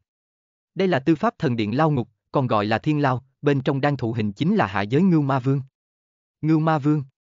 Ba tuần nhất thời cười, khi biết tu la tộc công chúa ở bên ngoài thụ ủy khuất thời điểm, A tu la tộc tất cả đều nổi giận, bao quát tứ đại tu la vương, hận không thể đem hắn rút gân lột da, nhưng là la sát công chúa không có đáp ứng, làm ngoại nhân bọn họ cũng sẽ không ra tay, bây giờ tại tư pháp thần điện nghe đạo ngưu ma vương kêu thảm, nhất thời cảm giác tâm tình thật tốt, ánh nắng đều tươi đẹp mấy phần. Một bên khác, Thái Bạch Kim Tinh quay lại tử ngưng điện, bên trong đại điện Ngọc Hoàng Đại Đế đang soát lấy tam giới thương thành. Thái Bạch Kim Tinh thở dài thi lễ nói ra. Bệ hạ, câu trần đế quân đã tiến đến huyết hải. từng ta biết. Ngọc Hoàng Đại Đế tùy ý ứng một tiếng, hết sức chăm chú nhìn xem tam giới thương thành, Đông Hải Long Vương mới đẩy ra kim long cá, cũng không biết có ăn ngon hay không. Thái Bạch Kim Tinh đứng dậy nói ra. Bệ hạ, Khương Tử Nha truy vấn tiểu thần, lúc nào đem hắn chia cho hắn. Ngọc Hoàng Đại Đế nhất thời ngẩng đầu, không cao hứng nói ra. Tây Du không phải còn chưa kết thúc sao? Gấp cái gì? Thái Bạch Kim Tinh Nguyễn chuyển khuyên. Bệ hạ, thương thành bên trên yêu vương thi thể cũng bán không sai biệt lắm, nếu không ngại nhiều ít vẫn là cho hắn một điểm, không phải vậy Khương Tử Nha làm việc cũng không hề động lực a. Ngọc Hoàng Đại Đế nhất thời nhíu mày nói ra. Không hề động lực khó mà làm được. Tổng cộng bán bao nhiêu tiền? Thái Bạch Kim Tinh cung kính nói ra. Nhất Tôn Kim Tiên Yêu Vương bán ra một vạn công đức tệ, Thái Ất Yêu Vương giá trị 10 vạn công đức tệ, Đại La Yêu Thần trăm vạn công đức tệ, tổng cộng bán đi 3 tôn Đại La Yêu Thần, 11 tôn Thái Ất Yêu Vương, 18 tôn Kim Tiên Yêu Vương. Tổng cộng 428 vạn công đức tệ. Ngọc Hoàng Đại Đế cười ha hả nói ra. Vậy mà giá trị cao như vậy. Ngân hàng không mượn ta, trẫm cũng có biện pháp kiếm tiền. Phần lớn đều là một chút đại năng mua đi, tỷ như Thái Thượng Lão Quân, Câu Trần Đại Đế, Minh Hà Giáo Chủ, Trấn Nguyên Đại Tiên vân vân. Ừm. Cũng chỉ có bọn họ mới có thể mua nổi, cũng ăn được lên. Ngọc Hoàng Đại Đế cũng chẳng suy nghĩ gì nữa. 428 vạn phân cho Khương Tử Nha hai thành cũng là 856,000, phân cho tiểu thần hai thành cũng là 856,000, thuộc về bệ hạ chính là 256 vạn 8 ngàn. Ngọc Hoàng Đại Đế hít một hơi sáng lên, hơn 400 vạn đảo mắt biến thành hơn 200 vạn, tiền của ta lại muốn cho ra đi nhiều như vậy, thực tế là đau răng không được, trong lòng không cam lòng a. Ngọc Hoàng Đại Đế chớp mắt, tặng hắn một cái, nghiêm mặt nói ra.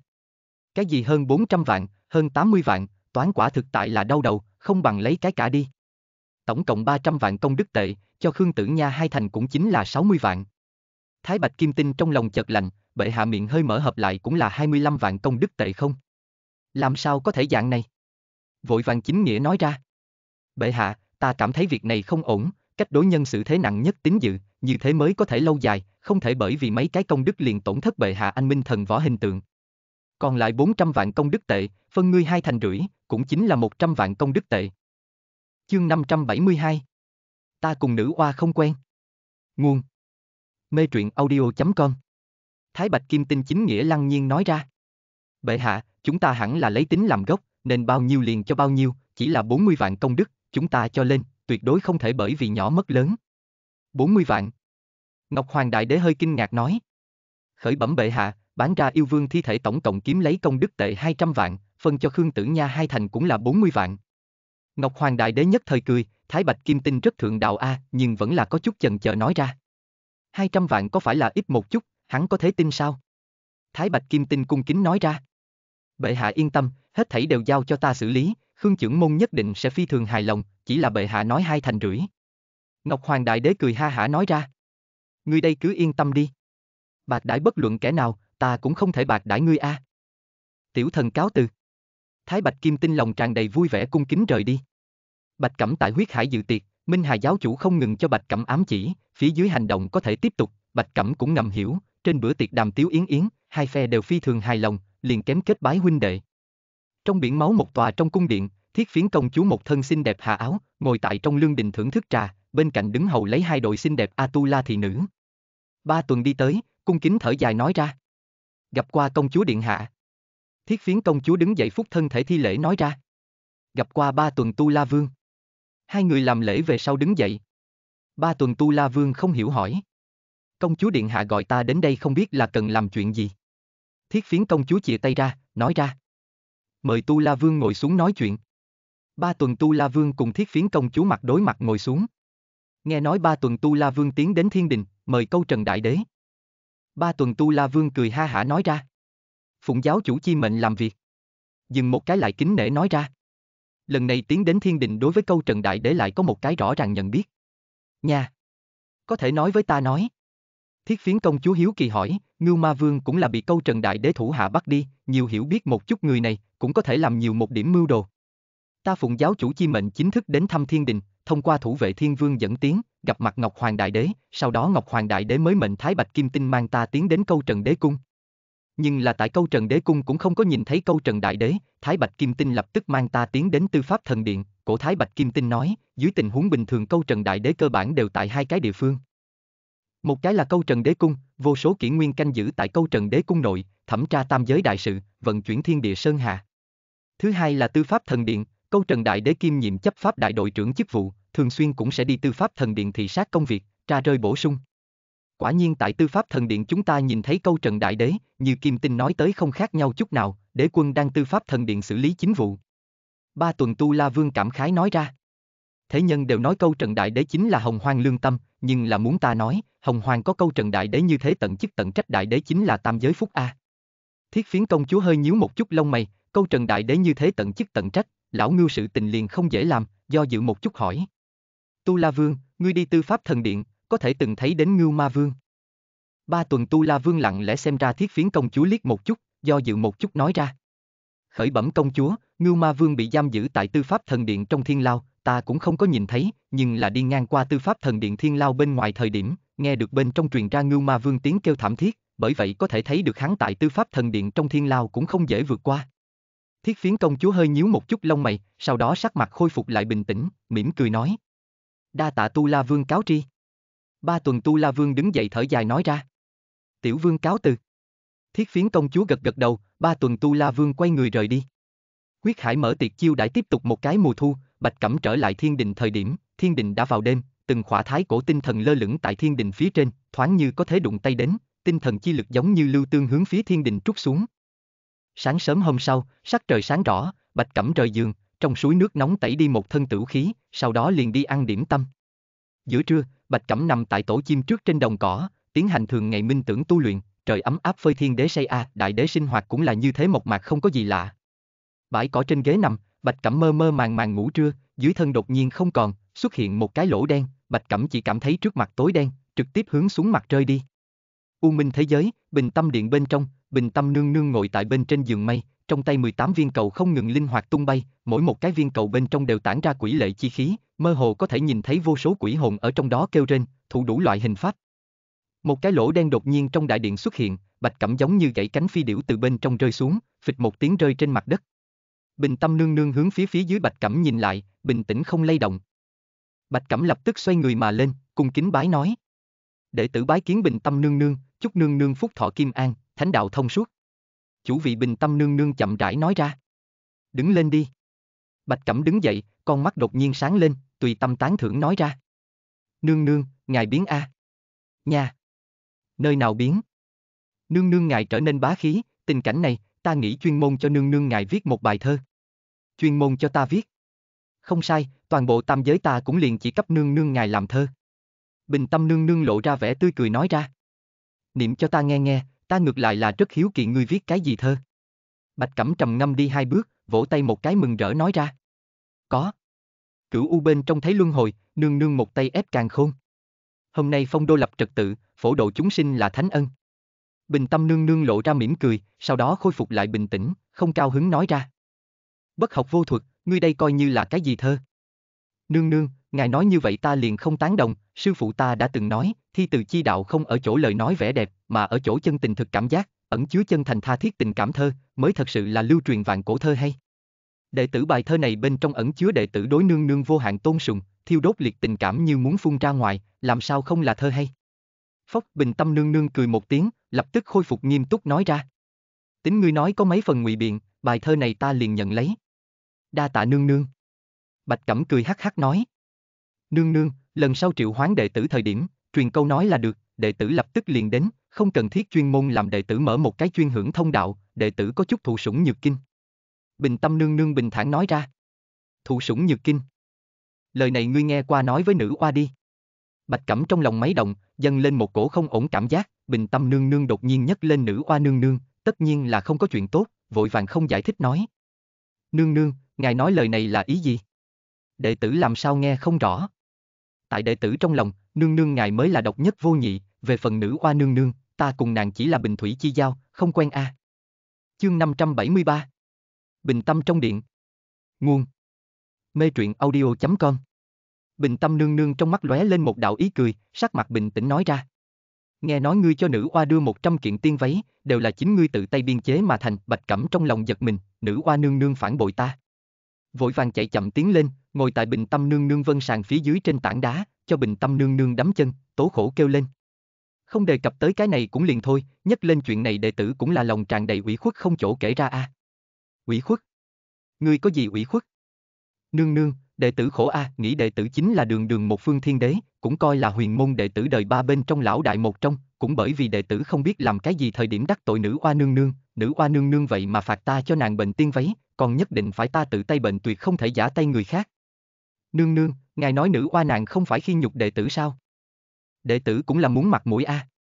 Ừm đúng là lấn hạt quá đáng, ngươi liền không có đi tìm ngươi sư phụ cùng hai vị sư bá. Bạch Cẩm thở dài một hơi nói ra.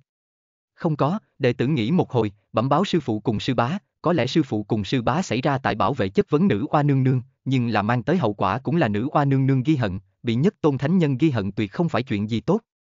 Mà lại nữ oa nương nương là một vị trung lập thánh nhân, nàng lão người nhà chỗ đứng có thể nói là chi phối hồng hoang đại cục, cho nên đệ tử chỉ có thể nhẫn. Hư nữ oa hiện tại càng ngày càng không giảng đạo lý. Bình tâm nương nương đưa tay sờ sờ bạch cẩm đầu, vui mừng nói ra. Đúng là ủy khuất ngươi, về sau ta vì ngươi đòi lại. Bạch cẩm kiên cường nói ra. Đệ tử không khổ. Tiện tay cho bình tâm nương nương đấm chân càng thêm dùng sức. Bạch cẩm lại hiếu kỳ hỏi. Nương nương, ngài là làm sao biết ta xuất sắc một trăm kiện tiên váy? Nữ oa chính miệng nói cho ta, ngươi đưa ta một cái túi sách, sau đó đưa cho nữ oa một trăm kiện tiên váy, ta còn tưởng rằng ngươi đem ta quên đâu. Bình tâm nương nương mỉm cười nhìn xem bạch cẩm, tại về số lượng tăng thêm ngữ khí. Bạch cẩm lập tức nghiêm mặt nói ra. Nương nương, đệ tử cho nữ oa nương nương xuất sắc một trăm kiện tiên váy, nhưng là đều là nàng ép, cùng đệ tử cho ngài cái túi sách kia hoàn toàn không giống, cái túi sách kia là đệ tử thiết kế tỉ mỉ, dùng sức luyện chế mà thành, ẩn chứa đệ tử chân tâm thật ý. Ừm, bình tâm nương nương hài lòng gật đầu, Bạch Cẩm vừa nói như vậy mình liền minh bạch, nữ qua vậy mà nói láo gạt ta, còn nói cái gì là Bạch Cẩm một mảnh hiếu tâm, sự thật lại là nàng cưỡng ép muốn đến, quả thực là không muốn thể diện. Bình tâm nương nương nói ra. Lần sau lại phát sinh loại chuyện này ngươi đến nói cho ta, ta đi vì ngươi xuất đầu. Bạch Cẩm cảm động nói ra. Nương nương, ngài đối đệ tử thật tốt. Bình tâm nương nương lộ ra nụ cười ấm áp, nói ra. Đừng sợ, về sau ta vì ngươi chỗ dựa. Tích tích tích, một trận thanh âm thanh thúy vang lên. Chủ nhân, thạch cơ tiên tử phát tới video thỉnh cầu. Tiểu kim thanh âm vang lên. Nương nương, đệ tử trước tiếp một cái video, có thể là thiên đình có việc. Ừm. Đi thôi, Bạch Cẩm đứng dậy đi đến bên cạnh, nói ra. Tiểu Kim, kết nối video trò chuyện. Một cái màn ảnh tại trước mặt triển khai, trong màn hình xuất hiện thạch cơ thân ảnh. Thạch cơ, thế nhưng là có việc. Sư huynh, huyết hải tu la công chúa tới. Bạch Cẩm lộ ra một đạo nụ cười nói ra. Thế gian cũng trôi qua một năm đi. Nàng rốt cục đến, lần này liền từ chúng ta tới làm một lần ác nhân. Thạch cơ, ngươi nghe ta an bài, là sát công chúa nếu là muốn thấy Ngưu Ma Vương, ngươi liền mang nàng đi gặp, trước đó để Ngưu Ma Vương biểu hiện thê thảm một chút, đồng thời muốn biểu hiện ra chân thành ăn năn chi ý, nàng nếu là thỉnh cầu phóng thích Ngưu Ma Vương, các ngươi trực tiếp cự tuyệt, liền nói là Ngưu Ma Vương vi phạm nhìn tiệt giáo giáo quy, nhất định phải chấp hành gia pháp, muốn tại thiên lôi phía dưới thần hồn câu diệt, tất yếu tình huống dưới có thể vận dụng vũ lực đem hắn khu. Trục Thiên Đình. Thạch Cơ có chút chần chờ nói ra. Nếu là Minh Hà giáo chủ nhúng tay đâu? Bạch Cẩm mỉm cười nói. Yên tâm đi. Minh Hà giáo chủ tạm thời sẽ không nhúng tay, sau cùng Minh Hà giáo chủ sẽ còn cảm tạ chúng ta. Vâng. Ta dựa theo sư huynh nói tới làm. Hình chiếu co vào, video kết nối cúp máy. Bạch Cẩm trở lại vân sàn phía dưới trên tảng đá, dựa vào vân sàn quể oải ngồi. Ngươi lại tại cùng Minh Hà giáo chủ mưu đồ bí mật thứ gì? Bình tâm nương nương hiếu kỳ hỏi. Khởi bẩm nương nương, là như vậy, năm đó bởi vì La Sát công chúa lựa chọn Ngưu Ma Vương, Minh Hà giáo chủ không đồng ý, cho nên bọn họ huyên náo cha con ly tâm. Hiện tại vì hòa hoãn bọn họ cha con quan hệ, cũng là tại Minh Hà giáo chủ thỉnh cầu hạ, ta liền giúp hắn một chút, để ta thiên định làm một lần người xấu. Hiện tại cự tuyệt La Sát công chúa thả người thỉnh cầu, đồng thời đối Ngưu Ma Vương chấp hành tử hình, đợi đến La Sát công chúa mọi loại không cách nào thời điểm, Minh Hà giáo chủ lại cao điệu ra sân, trở thành thiết phiến công chúa trong tuyệt vọng thánh quan, sau đó bá khí tiến vào thiên đình, cứu Ngưu Ma Vương. Đến lúc đó, bọn họ cha con quan hệ tự nhiên cũng liền hòa hoãn, Ngưu Ma Vương bọn hắn một nhà cũng có thể gương vỡ lại lành, có thể nói là tất cả đều vui vẻ. Bình tâm nương nương hơi tưởng tượng cứu minh bạch trong đó quan khiếu, như có điều suy nghĩ nói ra. Ngươi ngược lại là tính toán khá lắm, từ nay về sau Minh Hà giáo chủ cũng liền trở thành ngươi trợ lực. Hắc hắc nương nương, ta nhưng không có nghĩ nhiều như vậy, đệ tử chỉ là đơn thuần tưởng muốn giúp người vì để mà thôi. Vậy ngươi có bằng lòng hay không giúp ta một chuyện? Nương nương nhưng có phân phó, đệ tử muôn lần chết không từ, đừng nói một chuyện, liền xem như một ngàn cái, một vạn cái cũng tuyệt không phải vấn đề. Bình tâm nương nương mỉm cười nói. Không dùng đến một vạn cái, lần trước ngươi đưa ta cái túi sách kia, ta rất thích, chỉ là một cái quá ít, không có đổi dùng. Nương nương thích, cũng là đệ tử vinh hạnh, đệ tử trở về liền lại giúp nương nương chế tác một cái. Bình tâm nương nương khẽ lắc đầu. Hai cái cũng được, đệ tử trở về liền chế tác. Bình tâm nương nương vẫn lắc đầu. Hai cái cũng không đủ a, ta đưa cho nương nương ngài ba cái, cùng lắm vất vả một điểm. Bình tâm nương nương hay là mỉm cười lắc đầu. Bốn cái. Năm cái. Sáu cái. Mười cái. Bạch Cẩm trong lòng dâng lên một cổ không ổn chi tình, cẩn thận từng ly từng tí hỏi. Nương nương, ngài cần bao nhiêu cái? Cái này túi sách chế tác không dễ, áp dụng chính là da rồng, phượng vũ, đều lấy thủ núi chi đồng luyện chế lúc này mới luyện chế mà thành. Bình tâm nương nương mỉm cười nói. Không nhiều, tuy nhiên cũng chính là 999 kiện mà thôi. Bạch Cẩm toàn thân đánh rung một cái, chấn kinh kêu lên. Nương nương, cái này còn không nhiều. 999 cái, sẽ mệt chết thần. Bình tâm nương nương mỉm cười nói. Ta còn chưa nói xong đâu. Nương nương, còn có cái gì? Một trăm kiện tiên váy ta cũng muốn. Bạch Cẩm mặt đều xanh, vẻ mặt đau khổ nhìn xem bình tâm nương nương tuyệt vọng nói ra. Nương nương, ta đã nói qua a, này một trăm kiện tiên váy, đều là nữ oa nương nương cưỡng ép hỏi ta tác thủ, kỳ thật ta căn bản sẽ không chế tác tiên váy a. Chương 574 Tự nguyện dân tặng lễ vật Nguồn Mê truyện audio.com Bình tâm nương nương ôn nhu nói ra. Nữ oa cưỡng ép tác thủ, ta đương nhiên sẽ không giống như nàng. Bạch Cẩm buông lỏng một hơi, vội vàng nịnh nọt nói ra. Nương nương từ bi. Nương nương tại đệ tử trong lòng chính là tam giới thiện lương nhất tồn tại, là đệ tử trong lòng vĩnh hằng nữ thần, nương nương vinh quang chiếu rọi tam giới. Như vậy ngươi nguyện ý chủ động hiến cho ta sao? Bình tâm nương nương mỉm cười, ôn nhu nhìn xem Bạch Cẩm. Giác Bạch Cẩm mắt trợn tròn, ngu ngơ nhìn xem bình tâm nương nương. Bạch Cẩm, ngươi nhìn cái gì đấy? Bạch Cẩm đột nhiên lấy lại tinh thần, vô ý thức nói ra. Ta nhìn nương nương xinh đẹp không gì sánh được. Bình tâm nương nương đưa tay tại Bạch Cẩm trên đầu bắn ra, bật cười nói ra. Miệng lưỡi trơn tru. Mau nói, ngươi có nguyện ý hay không? Bạch Cẩm nỗ lực gạt ra một đạo nụ cười sáng lạng, nói ra. Đệ tử đương nhiên nguyện ý cực kỳ. Đây là đệ tử vô thượng vinh hạnh. Bình tâm nương nương khóe miệng cười mỉm, nói ra. Thế nhưng là ngươi tự nguyện đưa cho ta, ta thế nhưng là không có cưỡng cầu. Nương nương nói rất đúng, đúng là đệ tử tự nguyện, xuất phát từ nội tâm chỗ sâu tự nguyện.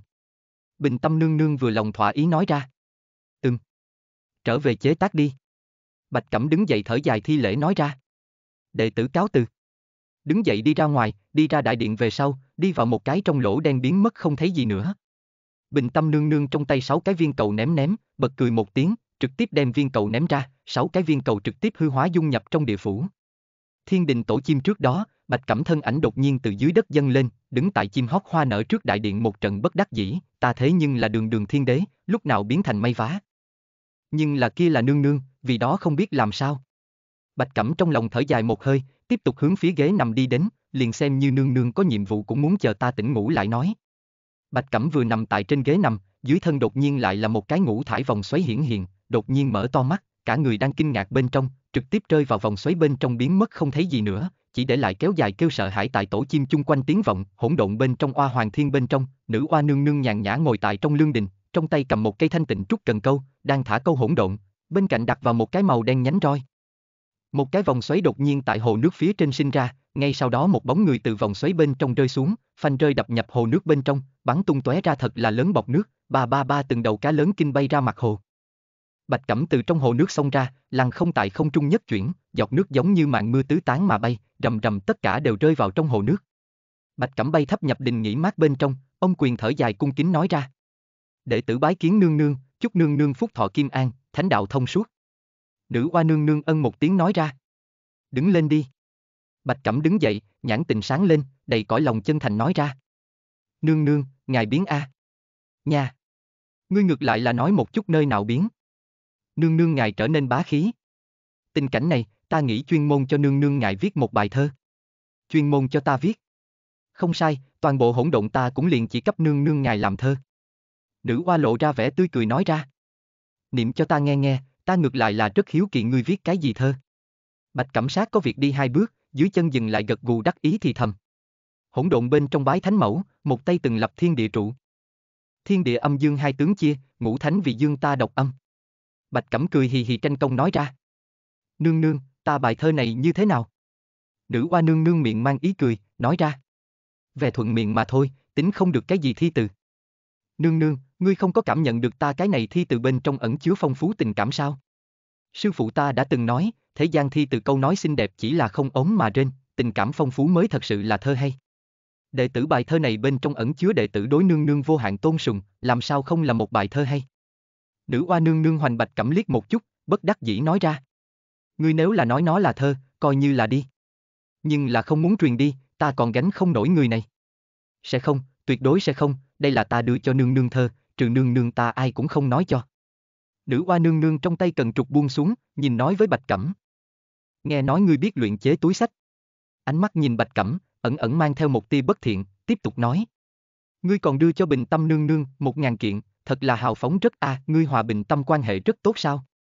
Bạch Cẩm trong lòng dâng lên một cổ không ổn cảm giác, ta mới đáp ứng Bình Tâm nương nương một ngàn kiện, nữ oa nương nương lập tức liền biết, các nàng sẽ không là liên hệ tin tức đi. Nhưng là từ bình tâm nương nương nơi đó nhìn cũng không quá giống A, Bạch Cẩm trong đầu từng cái suy nghĩ hiện lên, lập tức chạy chậm đi qua, ngồi ở phía dưới mặt đất, ông nữ oa nương nương bắp chân, khóc lóc kể lễ kêu lên. Nương nương, đệ tử trôi qua khổ A.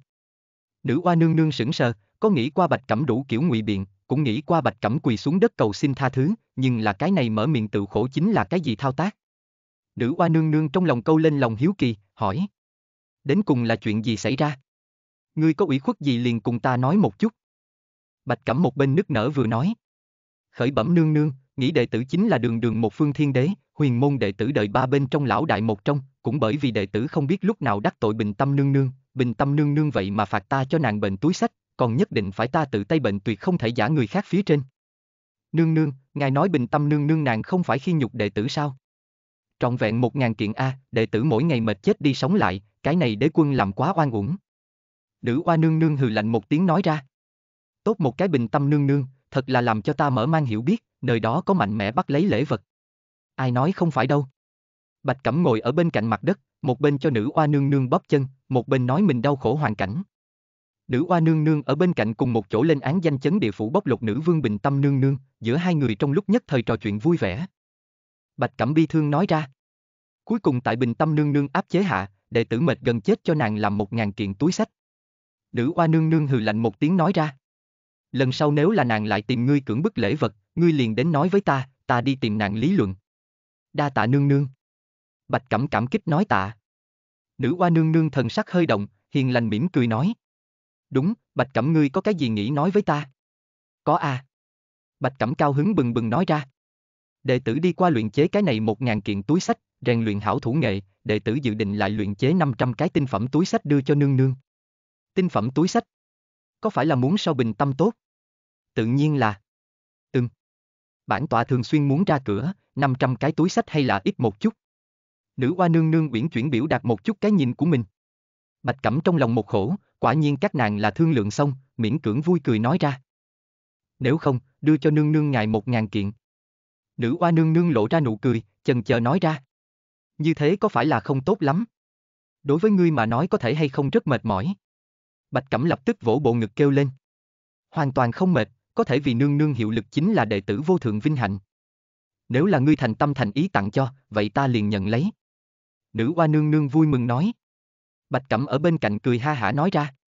Nương nương, đây đều là đệ tử một điểm chân thành tâm ý. Đinh linh linh một trận tiếng chuông vang lên, bên cạnh cần trục nhất thời bị kéo uốn lượn, hình thành một cái công.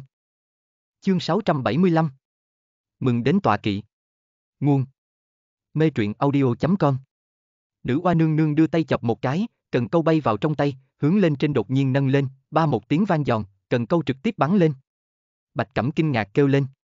Thoát câu. À, nữ oa nương nương cũng có chút kinh ngạc, nhiều hứng thú nhìn xem hồ nước, mỉm cười nói. Bạch Cẩm, ngươi đi đem hắn bắt tới.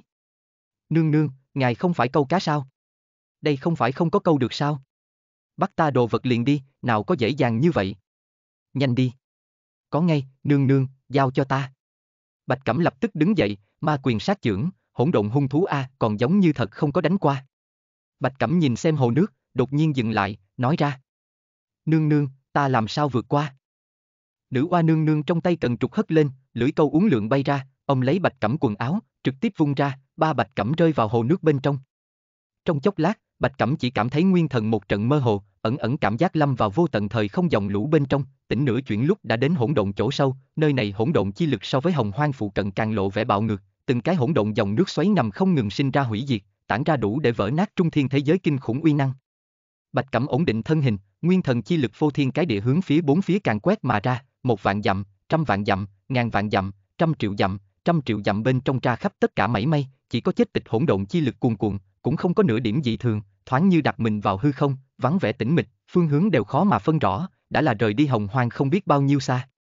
Hồng hoang vẫn luôn có truyền thuyết, thánh nhân phía dưới đều là dung dế, đối với thánh nhân không có sao bạch cẩm càng thêm quen thuộc, nhưng là lần này nữ oa nương nương xuất thủ thật trung động đến hắn, thân ở hồng hoang lực lượng lại bức xạ đến hỗn độn bên trong không biết không ít thời không bên ngoài, uy năng như thế quả thực khó có thể tưởng tượng, lấy mình hai thi chuẩn thánh cảnh giới, cũng vô pháp điều tra nữ oa nương nương chỗ thi triển thủ đoạn. Bạch Cẩm rung động nữ oa nương nương uy năng về sau, tập trung ý chí, sờ lên cầm nói thầm nói ra. Này hỗn độn hung thú, cướp đoạt nữ oa nương nương mồi nhữ, hẳn là còn không có cách xa, hiện tại làm sao không gặp. Bạch Cẩm sau lưng hỗn độn cuồn cuộn không nghĩ, hỗn độn chi khí bên trong một tia khói đen thẩm thấu mà ra, vô thanh vô tức ngưng tụ thành nhất tôn hỗn độn hung thú, cá sấu đầu thân hổ, há to miệng rộng hình thành một cái cự đại đầu thú hư ảnh, vô thanh vô tức hướng phía Bạch Cẩm thôn phệ mà đi. Ông từng đạo kim sắc tiền tài xiềng xích ở trong hỗn độn hiển hiện, ngàn vạn xiềng xích từ bốn phương tám hướng đột nhiên đâm vào hư ảo cá sấu đầu bên trong, một chỗ khác uốn lượn hướng phía hỗn độn hung thú bao phủ tới, nghiêm chỉnh hình thành một cái xiềng xích lưới lớn. Bạch Cẩm quay người cười ha hả nói ra. Bắt đến ngươi, mau nói ngươi cầm nữ oa nương nương thứ gì? Rống to lớn hung thú gào thét một tiếng, thân ảnh đột nhiên đột nhiên hư ảo, biến thành một tia vũ khí hướng phía nơi xa trốn chạy, thoát khỏi công đức xiềng xích lưới lớn. Hư ảo năng lực, chẳng lẽ ngươi chính là dựa vào cái này từ nữ oa nương nương lưỡi câu bên trên tránh đi? Nhưng là không nên a. Bạch Cẩm chấp hai tay sau lưng hướng phía hắc vụ trốn chạy phương hướng đi đến, mang trên mặt ý cười, lấy Bạch Cẩm thực lực bây giờ dù cho gặp được hỗn độn ma thần cũng không sợ mảy may, chớ nói chi là chỉ là một cái hỗn độn hung thú. Rầm rầm công đức tiền tài tạo thành xiềng xích nổ tung, vô số công đức tiền tài phóng lên tận trời tổ hợp ngưng tụ cùng một chỗ, ông một viên bao trùm vạn dặm hỗn độn to lớn tiền tài hiển hiện, tiền tài xoay tròn bốc cháy lên công đức liệt diễm, tiền tài đại đạo quán thông hỗn độn. Trốn chạy sương mù màu đen đột nhiên dừng lại, chật vật hướng phía phía trên dâng lên. Rống sương mù màu đen nhất thời khôi phục thành hỗn độn hung thú, dương nanh múa vuốt gào thét hướng phía phía dưới chạy, nhưng là tất cả đều vô dụng, tại tiền tài đại đạo giao dịch hạ, hay là không ngừng hướng phía tiền tài tiền mắt bay đi, cho đến tất cả đều tiến vào tiền trong mắt, to lớn công đức tiền tài đột nhiên có vào. Ngao ô hỗn độn hung thú gào thét gào thét một tiếng, toàn thân bất lực bò tới hỗn độn bên trong. Vô số công đức tiền tài hướng phía Bạch Cẩm bay tới, tới gần Bạch Cẩm về sau, tất cả đều biến mất không còn tâm hơi vô tung, chỉ để lại hỗn độn hung thú ghé vào hỗn độn bên trong, chỗ cổ bị một viên đại hình công đức tiền tài kẹp lại, đầu cắm ở tiền trong mắt, một đầu công đức tiền tài hình thành xiềng xích ở trong hỗn độn phiêu đảng. Bạch Cẩm tiến lên, dắt xiềng xích vừa cười vừa nói. Đi thôi. Một cổ kéo túng chi lực đột nhiên từ bên hông truyền ra, lần này Bạch Cẩm nỗ lực bảo trì thanh tĩnh, từ nơi sâu xa cảm nhận được một cổ thật lớn khí tức bao khỏa tự thân, tại loại khí tức này phía dưới, mình vẫn lấy làm kiêu ngạo tiền tài pháp tắc, cũng biến thành phi thường dị thường nhỏ bé, ở trong đó cảm nhận được thời không vận mệnh, thậm chí là đạo khí tức, sau đó Bạch Cẩm liền có mơ hồ đi qua. Rầm rầm qua hoàng thiên bên trong hồ nước nổ tung, Bạch Cẩm cùng hỗn độn hung thú từ trong hồ nước xông ra, rơi vào đình nghỉ mát bên trong. Nữ oa nương nương tay rung một cái, treo Bạch Cẩm trên quần áo lưỡi câu bay ra. Bạch Cẩm tỉnh táo lại, nắm hỗn độn hung thú đi tới, cười kêu lên. Nương nương, hung thú đệ tử cho ngài bắt trở về. Rống ngao, hỗn độn hung thú phát ra từng tiếng gầm nhẹ tiếng gầm, trong mắt mang theo hung quang, nhìn hầm hầm nữ oa nương nương. Nữ oa nương nương bình tĩnh nhìn một cái. Ô ô hung thú nhất thời cục đuôi, phát ra từng tiếng rên rỉ, hướng phía bạch cẩm sau lưng tránh đi. Ta muốn câu chính là hỗn độn huyền quy, cái này cùng ta vô dụng, cho ngươi đi. Bạch cẩm vội vàng thở dài thi lễ, cảm kích nói ra. Đa tạ nương nương. Hồng hoang phụ cận cũng không hỗn độn hung thú tung tích, cho nên cái này hỗn độn hung thú có lẽ còn là rất trân quý, cũng có thể đáng giá không ít tiền đi. Bạch Cẩm lại cùng nữ oa nương nương nói chuyện phím một lát, cho nương nương thu xếp một bàn thức ăn ngon, liền nắm hỗn độn hung thú quay lại thiên đình. Thiên đình tổ chim bên trong, Bạch Cẩm ngồi trên ghế, trước mặt lơ lửng một khối gấm hoa, dùng kim khâu tại gấm hoa bên trên theo lên bách hoa đồ án, hiện tại tài nấu nướng của ta thế nhưng là không phải tầm thường. Hỗn độn hung thú hổ ngạc nằm ở bên cạnh thẳng nháp. Vân Tiêu đi tới, mỉm cười nói. Sư huynh, không có quấy rầy ngươi đi. Hổ ngạc lập tức ngẩng đầu, cảnh giác nhìn về phía môn hộ phương hướng, nhìn thấy Vân Tiêu đi tới, nhất thời lại hữu khí vô lực nằm rạp trên mặt đất, đây cũng là cái đánh không lại. Đến vừa vặn, mau tới giúp ta cắt mây tiên váy. Vân Tiêu mỉm cười đi đến bên cạnh ngồi xuống, thực tế là hiếu kỳ hỏi. Sư huynh, ngài làm nhiều như vậy tiên váy đều là đưa cho ai a? Đưa tay cầm lấy bên cạnh một kiện hoàn thành tiên váy. Ai tự nhiên là bình tâm nương nương. Ta đoán cũng thế, toàn bộ hồng hoang có thể để cho sư huynh ngài hạ mình làm nữ công trừ hai vị kia nương nương, cũng không có người bên ngoài, ngài xác định để ta giúp ngài sao? Bạch Cẩm do dự một chút, thở dài nói ra. Thôi, hay là chính ta động thủ đi. Vân Tiêu đem tiên váy buông xuống, mỉm cười nói. Sư huynh, thiết phiến công chúa vừa mới lại tới. Ngươi là như thế nào xử lý? Tự nhiên là cự tuyệt yêu cầu của nàng, sau cùng nàng động thủ muốn cướp ngục, ta xuất thủ đem hắn trả lại huyết hải. Ừm. Làm tốt. Minh Hà giáo chủ thật sẽ không tức giận sao? Bạch Cẩm mỉm cười nói. Sau này chúng ta lại lần nữa thêm một cái cường lực minh hữu. Vân Tiêu như có điều suy nghĩ gật gật đầu. Lại là một ngày trôi qua, sáng sớm hôm sau Bạch Cẩm sáng sớm ngay tại tổ chim bên trong tiếp tục theo gấm hoa. Oanh! Một cổ cường đại khí thế đột nhiên càng quét thiên đình. Chương 676 Huyết hải đối thiên đình Nguồn Mê truyện audio.com Bạch Cẩm thủ hạ dừng lại, ngẩng đầu nhìn về phía bên ngoài, tự nói nói ra. Minh Hà giáo chủ đến. Đem châm đừng ở gấm hoa bên trên, đứng dậy đi ra phía ngoài, bước đi ở giữa một thân áo xanh hóa thành đế bào. Bạch Cẩm vừa đi ra tổ chim, liền gặp được Thái Bạch Kim Tinh chính giá vân nhanh chóng mà đến, vẫy gọi lớn tiếng khẩn trương kêu lên. Đế quân, đế quân không tốt, Minh Hà giáo chủ giết tới. Bạch Cẩm sắc mặt bình tĩnh, tay áo hất lên nói ra. Đi, đi lăng tiêu bảo điện. Lăng tiêu bảo điện bên trong, Ngọc Hoàng Đại Đế ngồi cao cửu long đế vị, phía dưới tả hữu phân lập văn võ chúng thần, tinh thần tinh quân. Minh Hà giáo chủ ngồi ngay ngắn huyết liên phía trên, đứng phía sau thiết phiến công chúa cùng Hồng Hài Nhi, Hồng Hài Nhi còn tại hiếu kỳ nhìn quanh, ngẩng đầu ưỡn ngực dương dương đắc ý, phía dưới chúng thần bên trong, chấp pháp đại đội cũng tất cả đều xuất hiện, đại điện nội khí phân hết sức ngưng trọng. Ngọc Hoàng Đại Đế thật lớn thanh âm vang lên. Minh Hà giáo chủ không tại huyết hải hưởng phúc, đến ta thiên đình có gì chỉ giáo. Minh Hà giáo chủ mở miệng nói ra. Không hứng thú chỉ giáo các ngươi. Chỉ là nghe nói các ngươi thiên định bắt Thúy Vân Sơn Ngưu Ma Vương, chuyên tới để muốn lấy. Ngọc Hoàng Đại Đế nhìn về phía chấp pháp đại đội. Chấp pháp đại đội phó đội trưởng Triệu Công Minh tiến lên một bước, trầm ngưng nói ra. Giáo chủ, Ngưu Ma Vương chính là câu Trần Đại Đế tự mình hạ lệnh bắt, thả không được. Thiết phiến công chúa nhịn không được sinh khí kêu lên. Các ngươi thiên định hảo hảo bá đạo, chúng ta vợ chồng hai người tại Thúy Vân Sơn cũng vô vi ác, ngược lại che chở một phương sinh linh, càng không có làm trái thiên điều, các ngươi có tư cách gì bắt phu quân ta, còn đem hắn nghiêm hình tra tấn. Hồng Hài Nhi cũng tức giận kêu lên. Đúng a, các ngươi dựa vào cái gì bắt phụ vương ta? Bởi vì hắn vi phạm tiệt giáo giáo quy. Một đạo thật lớn thanh âm từ bên ngoài truyền đến, thực sự thực sự thực sự Bạch Cẩm Long hành hổ bộ đi vào Lăng Tiêu Bảo Điện, đi theo phía sau Thái Bạch Kim Tinh. Đại điện bên trong tất cả thiên thần tất cả đều cung kính xoay người thi lễ, cùng kêu lên nói ra. Bái kiến thiên hoàng đại đế thái cực thiên hoàng câu trần thiên đế. Thật lớn thanh âm tại lăng tiêu bảo điện bên trong tiếng vọng. Bạch cẩm thân ảnh lóe lên xuất hiện tại câu trần đại đế thần vị trước đó, quay người nhìn thẳng Minh Hà giáo chủ. Minh Hà giáo chủ phi thường ngưng trọng nói ra. Câu trần đế quân. Bạch cẩm cũng ngưng trọng nói ra. Minh Hà giáo chủ. Hai người đối mặt, ánh mắt chỗ giao hội không gian vặn vẹo, pháp tắc sụp đổ, vô hình nguyên thần uy áp càng quét bốn phía, toàn bộ lăng tiêu bảo điện bên trong hình thành vô hình cuồng phong, chúng thần tất cả đều sợ hãi kêu lấy, lão đảo ngược lại một chỗ, đại điện bên trong một mảnh hỗn độn liền ngay cả Ngọc Hoàng Đại Đế cũng ngồi không vững đế vị, nỗ lực viện cửu long tay viện. Quanh một tiếng vang trầm tại lăng tiêu bảo điện bên trong vang lên, giống như im ắng kinh lôi, vặn vẹo không gian khôi phục bình thường, to lớn nguyên thần uy áp cũng đều nháy mắt biến mất, chúng thần tất cả đều lão đảo từ dưới đất bò dậy, trong lòng tràn đầy kinh hãi, mạnh, thực tế là quá mạnh. Bạch Cẩm quay người mặt hướng chủ vị, cung kính thở dài thi lễ nói ra. Bệ hạ, ngài không có sao chứ? Ngọc Hoàng Đại Đế khoát khoát tay, ngồi vững vàng đế vị phía trên, bình tĩnh nói ra. Không có việc gì, các ngươi tiếp tục. Minh Hà giáo chủ thật lớn thanh âm tại lăng tiêu bảo điện bên trong vang lên. Tốt một cái tam giới đế quân câu trần đại đế, tốt một cái hồng hoang tiền tài thần chủ, chấp pháp đại đội đại đội trưởng danh bất hư truyền. Bạch Cẩm quay người nhìn về phía Minh Hà giáo chủ, khí thế không hề rơi xuống hạ phong một chút nào, nói ra. So ra kém giáo chủ ngài danh chấn tam giới. Lăng tiêu bảo điện bên trong mọi người tất cả đều là kinh hãi nhìn xem Bạch Cẩm, lại nhìn xem huyết liên phía trên Minh Hà giáo chủ, đế quân lại có thể chứng minh ứng đối Minh Hà giáo chủ, chẳng lẽ đế quân đã thành tựu chí cường sao? Nội tâm tất cả đều khó mà bình tĩnh. Thiết phiến công chúa cũng là trong lòng huyết hải bốc lên, kinh hãi không thôi, cha mình là thực lực gì, mình rõ ràng nhất bất quá, thánh nhân phía dưới không sợ bất luận kẻ nào, nhưng là bây giờ lại cùng thiên đình câu trần đại đế khí thế đối bính, liều cái tương xứng. Minh Hà giáo chủ ngưng trọng nói ra. Đế quân, đem ngưu ma vương giao cho ta, bản tọa lập tức liền đi. Bạch Cẩm đứng ở phía trên trên bậc thang, đối mặt phía dưới chúng thần, mở ra đế quân chi phong, mặt mỉm cười nói ra. Quyền ngưu phạm giáo quy, khi xử thần hồn câu diệt chi hình, không cách nào trả lại cho giáo chủ.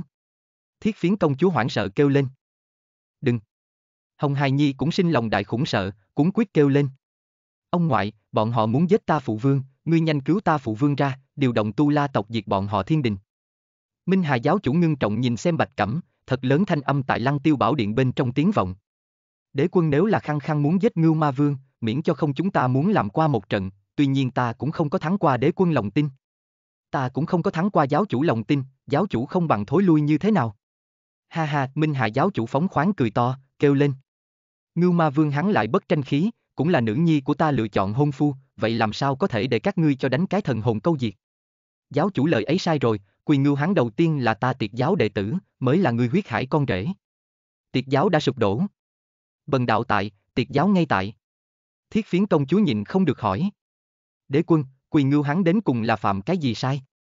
Đáng giá các ngươi thiên đình không buông tha. Bạch Cẩm nghiêm túc nói ra. Quỳ ngưu tội lỗi có ba tội một, thân là giáo chủ tọa kỵ, lưu luyến thế gian ức vạn năm không về, phạm tư đào chi tội, khi phạt cầm trách một vạn côn. Tội hai, thân là giáo chủ tọa kỵ, từ đính hôn sự tình, chưa từng bẩm báo trong giáo, khi trách lôi hỏa chi hình. Tội ba, thân là thánh nhân tọa kỵ, vốn nên tuân theo thánh ý, nghiêm lấy kiềm chế bản thân, hắn lại tại hạ giới là yêu, thậm chí còn bỏ rơi vợ con, đức hạnh có thua thiệt, khi trách thần hồn câu diệt. Thiết phiến công chúa có chút sững sờ, không nghĩ tới quyền ngưu hắn lại còn là thánh nhân tọa kỵ, trong lòng một trận chỉ tiếc rèn sắt không thành thép, thân là thánh nhân tọa kỵ còn không biết nghiêm lấy kiềm chế bản thân, chết cũng xứng đáng. Bạch Cẩm vung tay lên nói ra. Đem ngưu ma vương dẫn tới. Binh binh bang bang một trận tiếng sắt thép va chạm, Dương Giao Dương Tiễn Na Tra Ngao Bính bốn người mang theo Ngưu Ma Vương đi vào Lăng Tiêu Bảo Điện. Giờ phút này Ngưu Ma Vương vết thương chằng chịt, tóc tai bù xù, quần áo phế phẩm, xương tỳ bà bị tỏa liên xuyên qua, khóa kín một thân tu vi. Phanh Ngưu Ma Vương nửa quỳ trong đại điện, cúi thấp đầu, hữu khí vô lực. Thiết phiến công chúa cả kinh kêu lên. Đại Ngưu. Hồng Hài Nhi cũng bị thương kêu lên. Phụ vương. Vô ý thức liền muốn hướng xuống mặt sông ra. Minh Hà giáo chủ nhìn ở trong mắt, trong lòng rất là hài lòng, Bạch Cẩm cũng không phải là nói một chút mà thôi, thật nghiêm trị hắn, ta lòng rất an ủi a, tâm niệm vừa động Hồng Hài Nhi nhất thời bị giam cầm ở nguyên địa. Minh Hà giáo chủ trên thân sắc bén mênh mông khí tức dâng lên, ầm ầm bên ngoài toàn bộ thiên đình đều nổi lên huyết sắc, mây trắng hóa thành huyết vân hội tụ vào một chỗ, vặn vẹo xoay tròn hình thành một vòng xoáy khổng lồ thông đạo, thông qua vòng xoáy có thể nhìn thấy đối diện là huyết hải vô lượng, vô số Atula tộc Tây cầm vũ khí pháp bảo, đứng ở tại huyết hải phía trên, sát lục chi ý thẳng tới thiên đình. Bạch Cẩm nhất thời ngưng trọng lên, quát. Thần uy đại tướng quân. Người mặc thần giáp Vu Chi Kỳ lập tức ra khỏi hàng, ông quyền kêu lên. Có mạc tướng. Truyền ta pháp lệnh, điều thiên binh thiên tướng, chuẩn bị ứng chiến. Chương 677, Phật giáo động tĩnh. Nguồn. Mê truyện audio.com Nặc. Vu Chi Kỳ hét lớn một tiếng, đứng dậy mặt khỉ chỉ là mang theo trong quân sát khí, không gian xung quanh nổi lên một trận gần sóng, nháy mắt biến mất trong đại điện. Đông đông đông sấm rền trống trận thanh âm tại thiên địa vang lên. Vô số thiên binh thiên tướng lái kim vân lên không, lít nha lít nhít chiếm cứ bầu trời, từng tòa đại trận kết thành, trấn áp, tru sát, trừ ma, tứ tượng, ngũ hành vân vân ý cảnh tại thiên đình phía trên quay quanh, thật lớn lực lượng ngưng tụ, chiến ý ngút trời. Tam giới đều bị như thế thật lớn sát khí kinh động, hồng hoang đại năng nhao nhao nhìn chăm chú mà đến, thiên đình phía trên hai đạo thật lớn sát cơ va chạm, hết sức căng thẳng. Linh Sơn, đại lôi âm tự chủ phong bên trên, một tòa mới tinh cung điện tòa lập, cung điện so đại lôi âm tự tiểu không biết bao nhiêu, tài liệu càng là ngày đêm khác biệt, cùng trước kia đại lôi âm tự so sánh giống như nhà lá một nửa. Cung điện bên trong chủ vị, như Lai Phật tổ ngồi ngay ngắn đài sen phía trên, tả hữu đứng quan thế âm Bồ Tát, văn thù Bồ Tát, ngồi xuống định quan hoan hỷ Phật, bị lưu Phật các loại Phật đà Bồ Tát, Phật luân kim quang lấp lánh chiếu rọi linh sơn. Như Lai Phật tổ quay đầu nhìn về phía đông phương, trong mắt mang theo kinh nghi bất định, toàn thân vô ý thức cảm giác một trận nhói nhói, đây là Minh Hà giáo chủ, còn có huyết hải Atula tộc. Còn lại rất nhiều Phật Đà Bồ Tát cũng đều hướng phía thiên đình nhìn lại, sắc mặt kinh nghi bất định. Định quan hoan hỷ Phật cả kinh kêu lên. Phật tổ, cái này. Đây là huyết hải sát khí, chẳng lẽ huyết hải đánh Linh Sơn liền muốn đi đánh thiên đình? Quan Thế Âm Bồ Tát cũng kinh ngạc nói ra. Minh Hà giáo chủ đã như thế bành trướng sao? Bị Lưu Phật lập tức nhìn về phía chủ vị, nói ra. Phật tổ, ta đề nghị chúng ta Phật gia cùng thiên đình tạm thời buông xuống ân oán, hợp lực giải quyết huyết hải nguy hiểm, vì ngã Phật giáo đại hưng bình định chướng ngại. Quan Thế Âm Bồ Tát nói ra. Không ổn, Bồ Tát nghĩ như thế nào? Bị Lưu Phật nhìn về phía Quan Thế Âm Bồ Tát. Quan Thế Âm Bồ Tát trầm ngâm một chút, đột nhiên cười nói.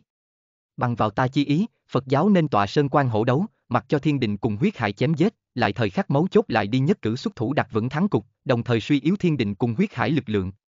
Định quan hoan hỷ Phật cũng mừng rỡ kêu lên. Ta cũng đồng ý quan thế âm Bồ Tát quan điểm, đây là một lần cơ hội trời cho A. Như Lai Phật tổ thật lớn thanh âm ở trong đại điện tiếng vọng. Liền theo quan thế âm Bồ Tát lời nói, truyền lệnh Linh Sơn đấu chiến kim cương Phật chỉnh đốn Phật binh, làm tốt xuất chinh chuẩn bị. Bì lưu Phật, quan thế âm Bồ Tát tất cả đều chắp tay trước ngực, xoay người thi lễ cung kính nói ra. Ngã Phật từ bi. Linh Sơn bên trong, chúng Phật Đà Bồ Tát tất cả đều chờ mong nhìn về phía đông phương, trong lòng không ngừng cầu nguyện. Nam Vô A Di Đà Phật đánh lên, màu đánh đứng lên, huyết hải chìm thiên đình. Tất cả La Sơn Kim Cương cũng đều hội tụ thành quân, tùy thời chuẩn bị xuất chinh thiên đình. Đại điện bên trong, Như Lai Phật Tổ nói ra. Quan Thế Âm Bồ Tát, truyền tin tử vi đại đế, để hắn thời khắc chú ý thiên đình cùng huyết hải ở giữa xung đột, dò xét mệnh ra sao nhân quả. Quan Thế Âm Bồ Tát lập tức đáp. Vâng. Chậm rãi nhắm mắt lại. Sau một lát, Quan Thế Âm mở hai mắt ra, trong mắt mang theo vẻ kinh ngạc, cùng khó có thể tin. Định Quan Hoan Hỷ Phật liền vội vàng hỏi. Hiện tại thiên đình tình huống như thế nào? Quan Thế Âm Bồ Tát lấy lại tinh thần, quay đầu nhìn xem chủ vị, có chút khó có thể tin hỏi. Phật tổ, hiện tại Bạch Cẩm hắn là cảnh giới gì tu vi? Như Lai Phật tổ thật lớn thanh âm vang lên. Địa tiên giới tần triều thời điểm, yêu tộc muốn mượn người tộc chi lực lập xuống nhân gian yêu quốc, bách gia độ biển phạt yêu quốc. Trận chiến kia liên lụy rất rộng, Bạch Cẩm tại Đông Hải bên trên chém tới ác thi, thành tựu chuẩn thánh chi đạo. Phương Tây lượng kiếp trước đó, Bạch Cẩm phổ biến tam giới thương thành, hồng hoang chúng sinh đều thụ hắn lợi, người sử dụng đến không hết, cực lớn tạo phúc hồng hoang chúng sinh, Bạch Cẩm bởi vậy chém tới thiện thi, thành tựu hai thi chuẩn thánh. Quan Thế Âm Bồ Tát chần chờ một chút, nói ra. Tử vi đại đế truyền tin, nói là câu Trần đại đế tại Lăng Tiêu Bảo Điện cùng Minh Hà giáo chủ giằng co, to lớn khí thế không rơi vào thế hạ phong, chúng thần nhao nhao kinh hoảng tránh lui. Bị Lưu Phật vô ý thức kêu lên. Không có khả năng. Định Quan Hoan Hỷ Phật chấn kinh nói ra. Chẳng lẽ Bạch Cẩm hắn đột phá đến chí cường? Văn Thù Bồ Tát cũng quả quyết nói ra. Tuyệt không có khả năng, chí cường chuẩn thánh, thiên địa xúc động, nhất định có dị tượng, Hồng Hoang đã có mấy chục kỷ nguyên không có sinh ra chí cường giả. Như Lai Phật Tổ yếu ớt nhìn về phía đông phương, chậm rãi nói ra. Chỉ có một cái khả năng, Bạch Cẩm hắn dùng mình nịnh nọc bản lĩnh, tại thánh nhân nơi đó đạt được lực lượng nào đó, đủ để đối kháng chí cường. Trong lòng một trận bi phẫn bất đắc dĩ, chẳng lẽ trên đời này liền không có công bình chân chính sao? Ngàn vạn tu sĩ vất vả tu luyện, Phượng Mao lân giác đạp lên đại đạo chi đồ, dốc lòng hỏi thăm trên dưới tìm kiếm, kết quả là lại không bằng một cái nịnh nọc chi đồ, thế đạo sao mà bất công a, như Lai Phật Tổ trong lòng gầm thét phát hạ đại hoành nguyện. Ta nếu vì thánh, tất nhiên muốn chém giết hồng hoang tất cả nịnh nọt chi đồ, dùng cái này chứng đạo. Quan Thế Âm Bồ Tát mỉm cười nói. Minh Hà giáo chủ lấy sát chứng đạo, như thế nào e ngại chỉ là ngoại lực. Coi là ý kiến, huyết hải cùng thiên đình chi chiến, định không thể miễn, hạo thiên thượng đế chưa về, bạch cẩm nếu có thể mượn dùng ngoại lực miễn cưỡng chống lại Minh Hà giáo chủ, huyết hải tất nhiên sẽ tổn thất nặng nề, ngày sau thiên đình sẽ nghênh đón một cái chí cường giả căm thù trả thù. Định quan hoan hỷ Phật cười ha hả nói ra. Không chỉ như vậy, đại chiến như lên, thiên đình chỗ dựa lớn nhất, chấp pháp đại đội cũng có thể rơi vẫn tại đại chiến bên trong, đây chính là Minh Hà giáo chủ A. Chúng Phật Đà Bồ Tát tất cả đều nhìn về phía thiên đình, trong lòng mang theo mơ hồ chờ mong, đánh lên, nhanh lên đánh lên, huyết hải chìm thiên đình, Minh Hà đồ thần linh. Giờ phút này lăng tiêu bảo điện bên trong. Minh Hà giáo chủ, ngươi như chiến, ta liền bồi. Nhưng là ngươi cần phải muốn, ta thiên đình chính là thiên giới chính thống, huyết hải xung kích thiên đình, trận chiến này huyết hải tất bại, huyết hải nhất mạch từ đây tại địa tiên giới tuyệt dấu vết. Bạch Cẩm nhìn thẳng Minh Hà giáo chủ, không lưu tình chút nào phát xuất chiến tranh uy hiếp ngữ điệu, một thân bên trên to lớn khí tức dâng lên, từ nơi sâu xa công đức kim tệ thiêu đốt, thiên đạo khí tức gia trì, quanh thiên đình phía trên tử khí tràn ngập, tường quan ngàn vạn, nặng nề uy áp còn tại Minh Hà giáo chủ phía trên. Minh Hà giáo chủ chấp hai tay sau lưng mà đứng, trong lòng âm thầm tán thưởng, Bạch Cẩm là thế nào làm được. Khí thế bên trong vậy mà xen lẫn một chút thiên đạo chi uy, trong lòng vô ý thức hiện lên một cái ý niệm trong đầu, chẳng lẽ hắn là đạo tổ con riêng sao? Ý niệm trong lòng chợt lóe lên, nguyên độ A tị hai thanh sát kiếm phụ nhất thời hiện tại Minh Hà giáo chủ tả hữu, ánh mắt đạm mạc vô tình, chậm rãi nói ra. Này hai kiếm tên là nguyên độ A tị, chính là bản tọa xen lẫn linh bảo, ở trong chứa tiên thiên sát cơ, đối ứng hồng hoang sát lục pháp tắc, giết người không dính nhân quả, để quân có thể nguyện thử một lần. Bạch Cẩm bên người đồng thời hiển hiện bốn thanh tiên kiếm, trong chốc lát thiên uy giáng lâm, thần uy như ngục, trịnh trọng nói ra. Thanh Minh, Thanh Vũ, Thanh Tiêu, Thanh Vân, sư tôn ban tặng Thanh Thiên bốn kiếm, bốn kiếm hợp nhất có thể dẫn thiên uy, giáo chủ có thể nguyện thử một lần. Sát lục kiếm ý, thiên uy kiếm ý cuốn quýt lấy nhau, thăm dò va chạm, toàn bộ thiên đình đều tại hai cổ chí cường kiếm ý bao phủ phía dưới, thiên địa thoáng như ngưng kết. Chương 678, Ngưu Ma Vương xử phạt. Nguồn. Mê truyện audio.com Minh Hà giáo chủ ngạo nghễ nói ra. Bản tọa cả đời này, giết người, giết yêu, giết vu, giết Phật, giết tiên, thế gian chúng linh, bản tọa chưa từng giết đã không nhiều, mà thiên đế vừa lúc là một cái trong số đó. Ta cả đời này, chiến người, chiến yêu, chiến vu, chiến Phật, chiến tiên, thế gian chúng sinh, trẫm không có chiến trôi qua đã không nhiều, mà giáo chủ vừa lúc là một cái trong số đó. Bạch Cẩm nhìn thẳng Minh Hà giáo chủ. Toàn bộ lăng tiêu bảo điện bên trong chúng thần tất cả đều như ve sầu mùa đông, kinh hải nhìn xem Bạch Cẩm cùng Minh Hà giáo chủ, một cái sát chúng sinh, một cái chiến thiên hạ, không hổ là tam giới chí cường đại năng, uy hiếp của bọn họ đều thật cao, có thể xưng kỳ phùng địch thủ tương ngộ lương tài, nhìn hôm nay huyết hải cùng thiên đình khó tránh khỏi nhất chiến, câu trần đại đế có thể chiến qua Minh Hà giáo chủ sao? Chủ vị, Ngọc Hoàng đại đế lặng lẽ đánh ngáp một cái, ta đều muốn thiên đình nhường ra đi, các ngươi đến cùng còn muốn đánh nữa hay không a? Ta đều nhìn buồn ngủ. Thiết phiến công chúa cũng tâm thần khuấy động, nhìn về phía Minh Hà giáo chủ trong mắt mang theo lo lắng không yên, từ phụ thân ngưng trọng trạng thái đến xem, tất nhiên là gặp được kình địch, chẳng lẽ muốn bởi vì cái này lão ngưu, mà để phụ thân mạo hiểm sao? Thiết phiến công chúa trong lòng từng cái suy nghĩ hiện lên, mắt thấy trạng thái đã xảy ra là không thể ngăn cản, vội vàng hét lớn. Dừng tay. Đưa tay giữ chặt Minh Hà giáo chủ cánh tay, chậm rãi lắc đầu trong mắt mang theo nước mắt nói ra. Phụ thân, không nên đánh, cái kia trâu chết ta không cứu. Minh Hà giáo chủ đưa tay vỗ vỗ thiết phiến công chúa tay, trầm ổn nói ra. Yên tâm, ngươi muốn, ta đều sẽ giúp ngươi đạt được. Phía dưới đứng ngưu ma vương thân ảnh lắc lư hai lần, ngẩng đầu nhìn thiết phiến công chúa, khàn khàn nói ra. Phu nhân, trước kia là ta sai, ta là đáng đời như thế. Ta không nên chống lại giáo quy, đối đại giáo vô nghĩa, đối gia đình bất trung, hết thảy đều là ta gieo gió gặt bão. Thiết phiến công chúa trong mắt trưng trưng nhìn về phía ngưu ma vương, phẫn nộ kêu lên. Ngươi vì cái gì không sớm một chút nghĩ rõ ràng. Ngươi bây giờ liền đi chết đi. Ta cũng không tiếp tục quản ngươi. Ô ô phụ vương. Ta muốn phụ vương. Hồng Hài Nhi cũng bị thương khóc lớn lên. Ngưu ma vương kéo ra một vòng nụ cười, cười ngây ngô nói ra. Phu nhân, ngươi đừng khóc, vì ta loại này trâu thương tâm không đáng, nếu là, nếu là lại cho ta một cơ hội, ta nhất định gấp bội đối ngươi cùng hài tử tốt. Thiết phiến công chúa nghiêng đầu đi, trong mắt mang theo bi thương thống khổ. Ngưu ma vương phanh quỳ gối đại điện bên trong, cúi đầu kêu lên. Đại sư huynh, ngàn sai vạn sai đều là lỗi của ta, ta nguyện ý một mình gánh chịu, cho dù là thịt nát xương tan hồn phi phách tán, ta lão ngưu đều không có một tia lời oán giận. Chỉ cầu sư huynh bỏ qua mẹ con bọn hắn, không muốn bởi vì ta lão ngưu một người mà dẫn phát tam giới đại chiến. Bạch Cẩm bình tĩnh nói ra. Minh Hà giáo chủ, ngươi cũng nghe đến, thối lui đi.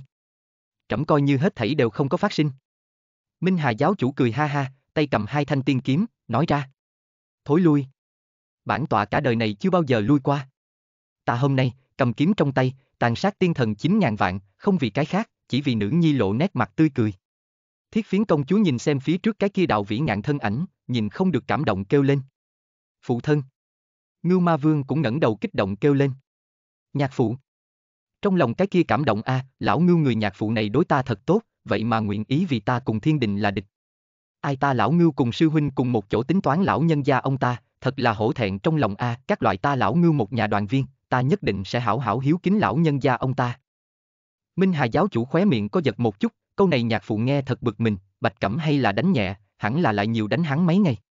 Bạch Cẩm đứng tại trên bậc thang không nói một lời, nhưng là đại điện bên trong đông đảo tiên thần đều có thể cảm nhận được Bạch Cẩm trên thân truyền ra ngưng trọng khí tức, trong lòng cũng đều hiểu, đế quân cũng không nắm chắc, như thế cũng không kỳ quái, Minh Hà giáo chủ thế nhưng là ngày xưa tử tiêu cung thượng khách, tiên thiên ma thần một trong. Linh Sơn đại điện bên trong, quan thế âm bộ mở to mắt, mừng rỡ nói ra. Phật tổ, tử vi đại đế truyền đến tin tức, bọn họ muốn đánh lên. Như Lai Phật tổ lập tức nói. Mệnh trăm vạn Linh Sơn là hán kim cương hướng lên trời đình thúc đẩy. Linh Sơn từng đóa từng đóa kim vân hướng phía thiên đình bay đi, kim vân phía trên đứng lít nhà lít nhít là hán kim cương, uy áp tam giới. Lăng tiêu bảo điện bên trong, Bạch Cẩm hít sâu một hơi, do dự một chút, ngưng trọng nói ra. Thiên đình cùng huyết hải giao chiến, tất nhiên là máu chảy thành sông, sinh linh đồ tháng, cái này đều không phải chúng ta muốn nhìn đến. Minh Hà giáo chủ, nếu như ngươi nhất định muốn cứu Ngưu Ma Vương, hiện tại ta cho ngươi vạch một con đường sáng. Minh Hà giáo chủ nói ra.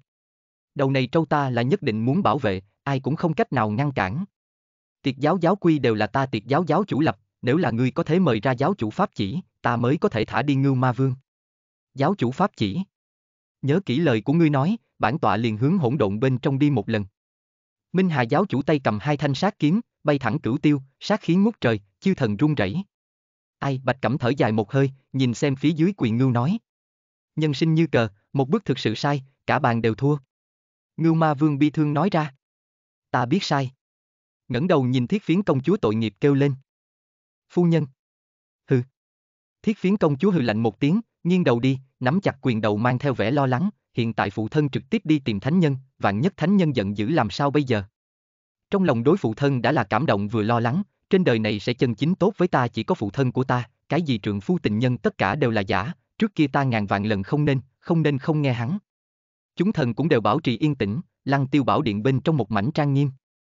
Minh Hà giáo chủ tiến vào hỗn độn bên trong, tại trong bích du cung uống hai chén tửu, đây cũng là thân gia ở giữa lần thứ nhất chính là gặp mặt, sau đó tại thông thiên giáo chủ lễ đưa tiễn, rời đi vũ dư thiên. Thiên đình đại lôi âm tự bên trong, quanh một cổ nặng nề uy áp giảm áp, Minh Hà giáo chủ hư không bên trong đi ra, áo bào liệt đấy, tóc đen tung bay, lạnh lùng bá đạo. Thiết phiến công chúa kích động kêu lên. Phụ thân. Minh Hà giáo chủ đột nhiên tặng hắn một cái, che ở ngực, sắc mặt một trận trắng bệch. Thiết phiến công chúa vội vàng hướng lên trên bay đi, nâng lên Minh Hà giáo chủ, lo lắng hỏi. Phụ thân, ngài không có sao chứ? Hồng Hài Nhi cũng lo lắng kêu lên. Ông ngoại. Minh Hà giáo chủ khoát khoát tay nói ra. Không có việc gì.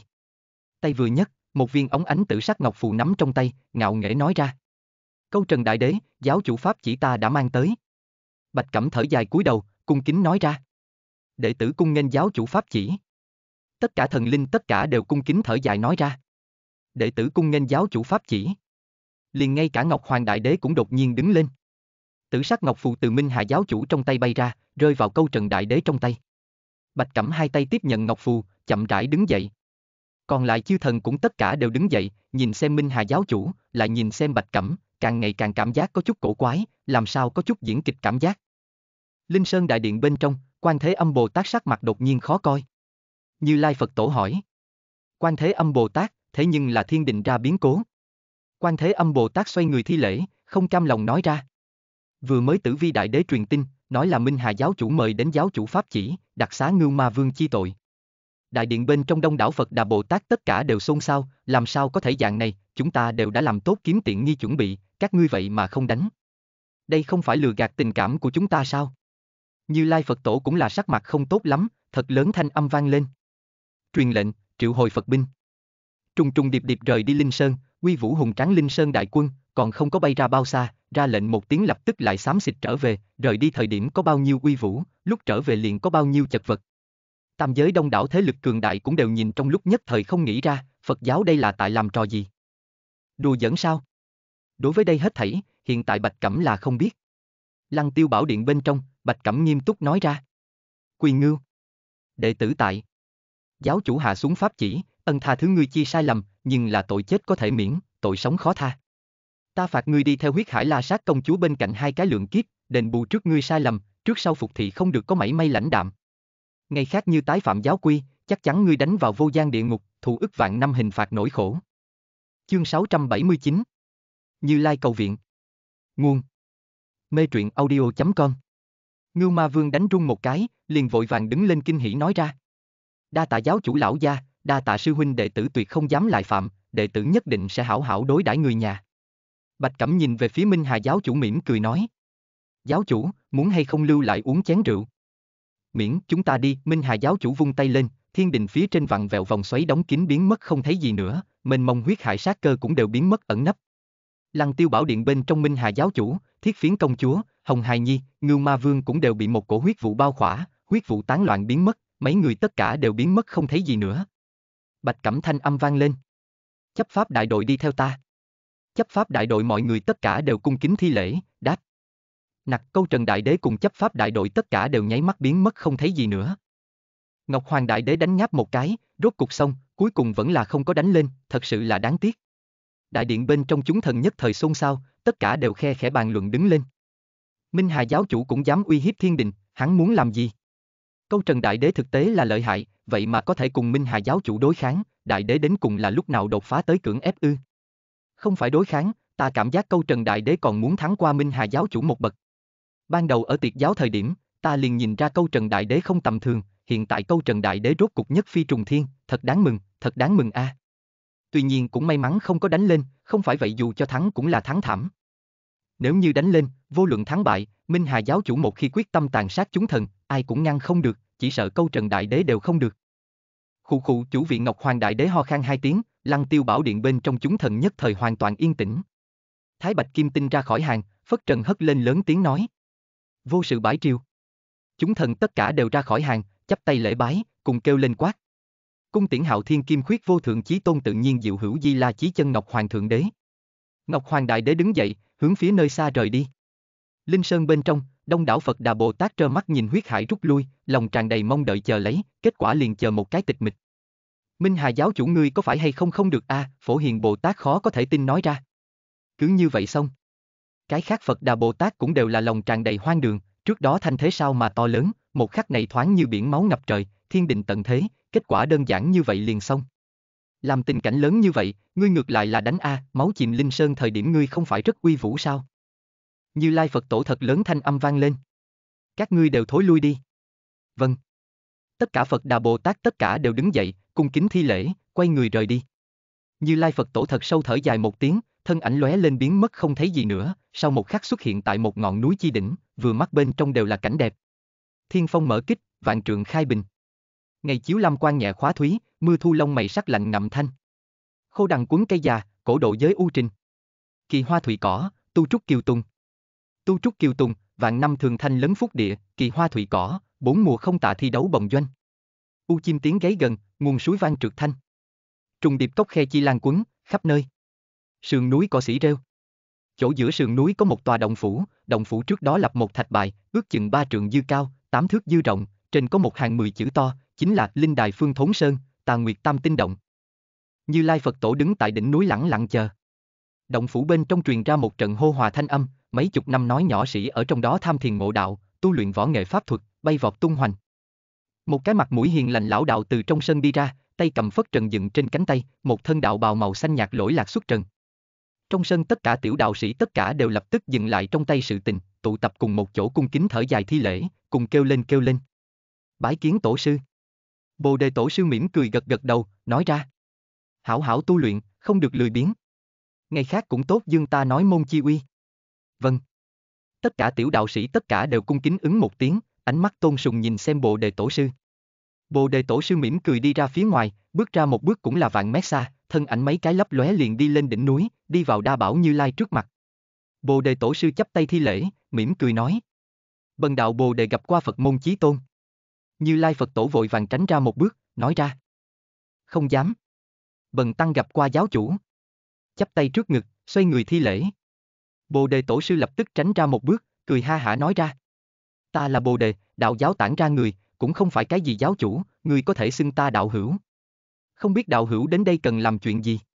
Như Lai Phật Tổ hạ thấp tư thái nói ra. Đến đây tìm đạo hữu xin giúp đỡ. Đạo hữu có gì ưu phiền? Thiên đạo đại thế, Phật giáo khi hưng, thất thánh định phương Tây. Sau đó phương Tây học hỏi kinh nghiệm tiến hành, đầu tiên là bạch cẩm nhúng tay, học hỏi kinh nghiệm người bên trong mâu thuẫn trùng điệp, trừ bát giới sa ngộ tịnh không cần nhiều lời, tôn ngộ không đường tam tạng lẫn nhau tổn thương. Lại là huyết hải chìm linh sơn, Phật giáo nội tình bị hao tổn, lại là yêu tộc cùng Phật giáo minh ước bị hao tổn, yêu đình căm thù Phật giáo. Đệ tử muốn biết, cái này nên như thế nào đại hưng? Phật giáo còn chưa hưng khởi, đã là bày địch đảo mắt. Nhưng ở trong thiên đình, tài thần đẩy ra tam giới ngân hàng, thống nhất định lượng tam giới tiền tài. Bạch Cẩm đẩy ra tam giới thương thành, xúc tiến tam giới hàng hóa lưu thông, vô luận là tiên thần hay là phổ thông bách gia tính đều hưởng thụ hắn mang tới tiện lợi. Lúc này thiên đình khí vận dâng lên, mà Phật giáo lại tổn thất nội tình, cái này đại hưng từ đâu nói đến. Vô lượng thiên tôn.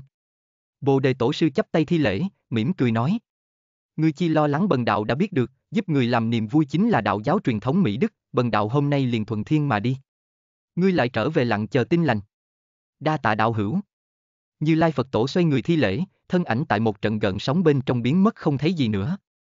Phía tây vì Hoa Sơn, thiếu âm nắm quyền, vạn vật sinh hoa, đồn rằng Hoa Sơn, hắn cao năm ngàn trượng, trẻ thành tứ phương, xa mà nhìn đến, lại như hoa hình, lại danh hoa núi.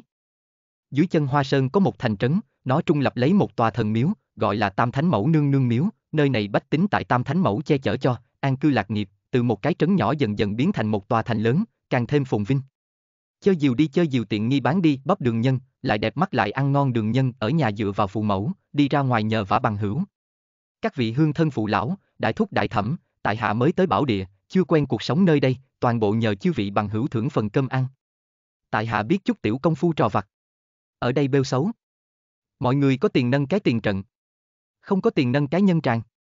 Oanh một cái đạo hỏa diễm phun ra, chung quanh tiếng khen không quyết. Hôm nay chính là Tam Thánh Mẫu Nương Nương hội chùa, thành trấn bên trong nhà có tiền, quyên tiền mời đến gánh hát, vở kịch ba ngày, chung quanh thành trấn thương nhân cũng đều nhao nhao tụ tập mà đến, náo nhiệt nhất bất quá.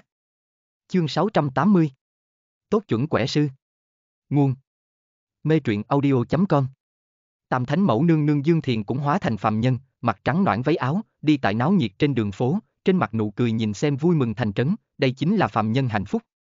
Thành trấn bên trong địa phương náo nhiệt nhất, cũng là Tam Thánh Mẫu Nương Nương miếu, miếu thờ trên không khói nhẹ mịt mờ dâng lên, tín đồ hương hỏa không quyết, tràn đầy đàn hương chi khí.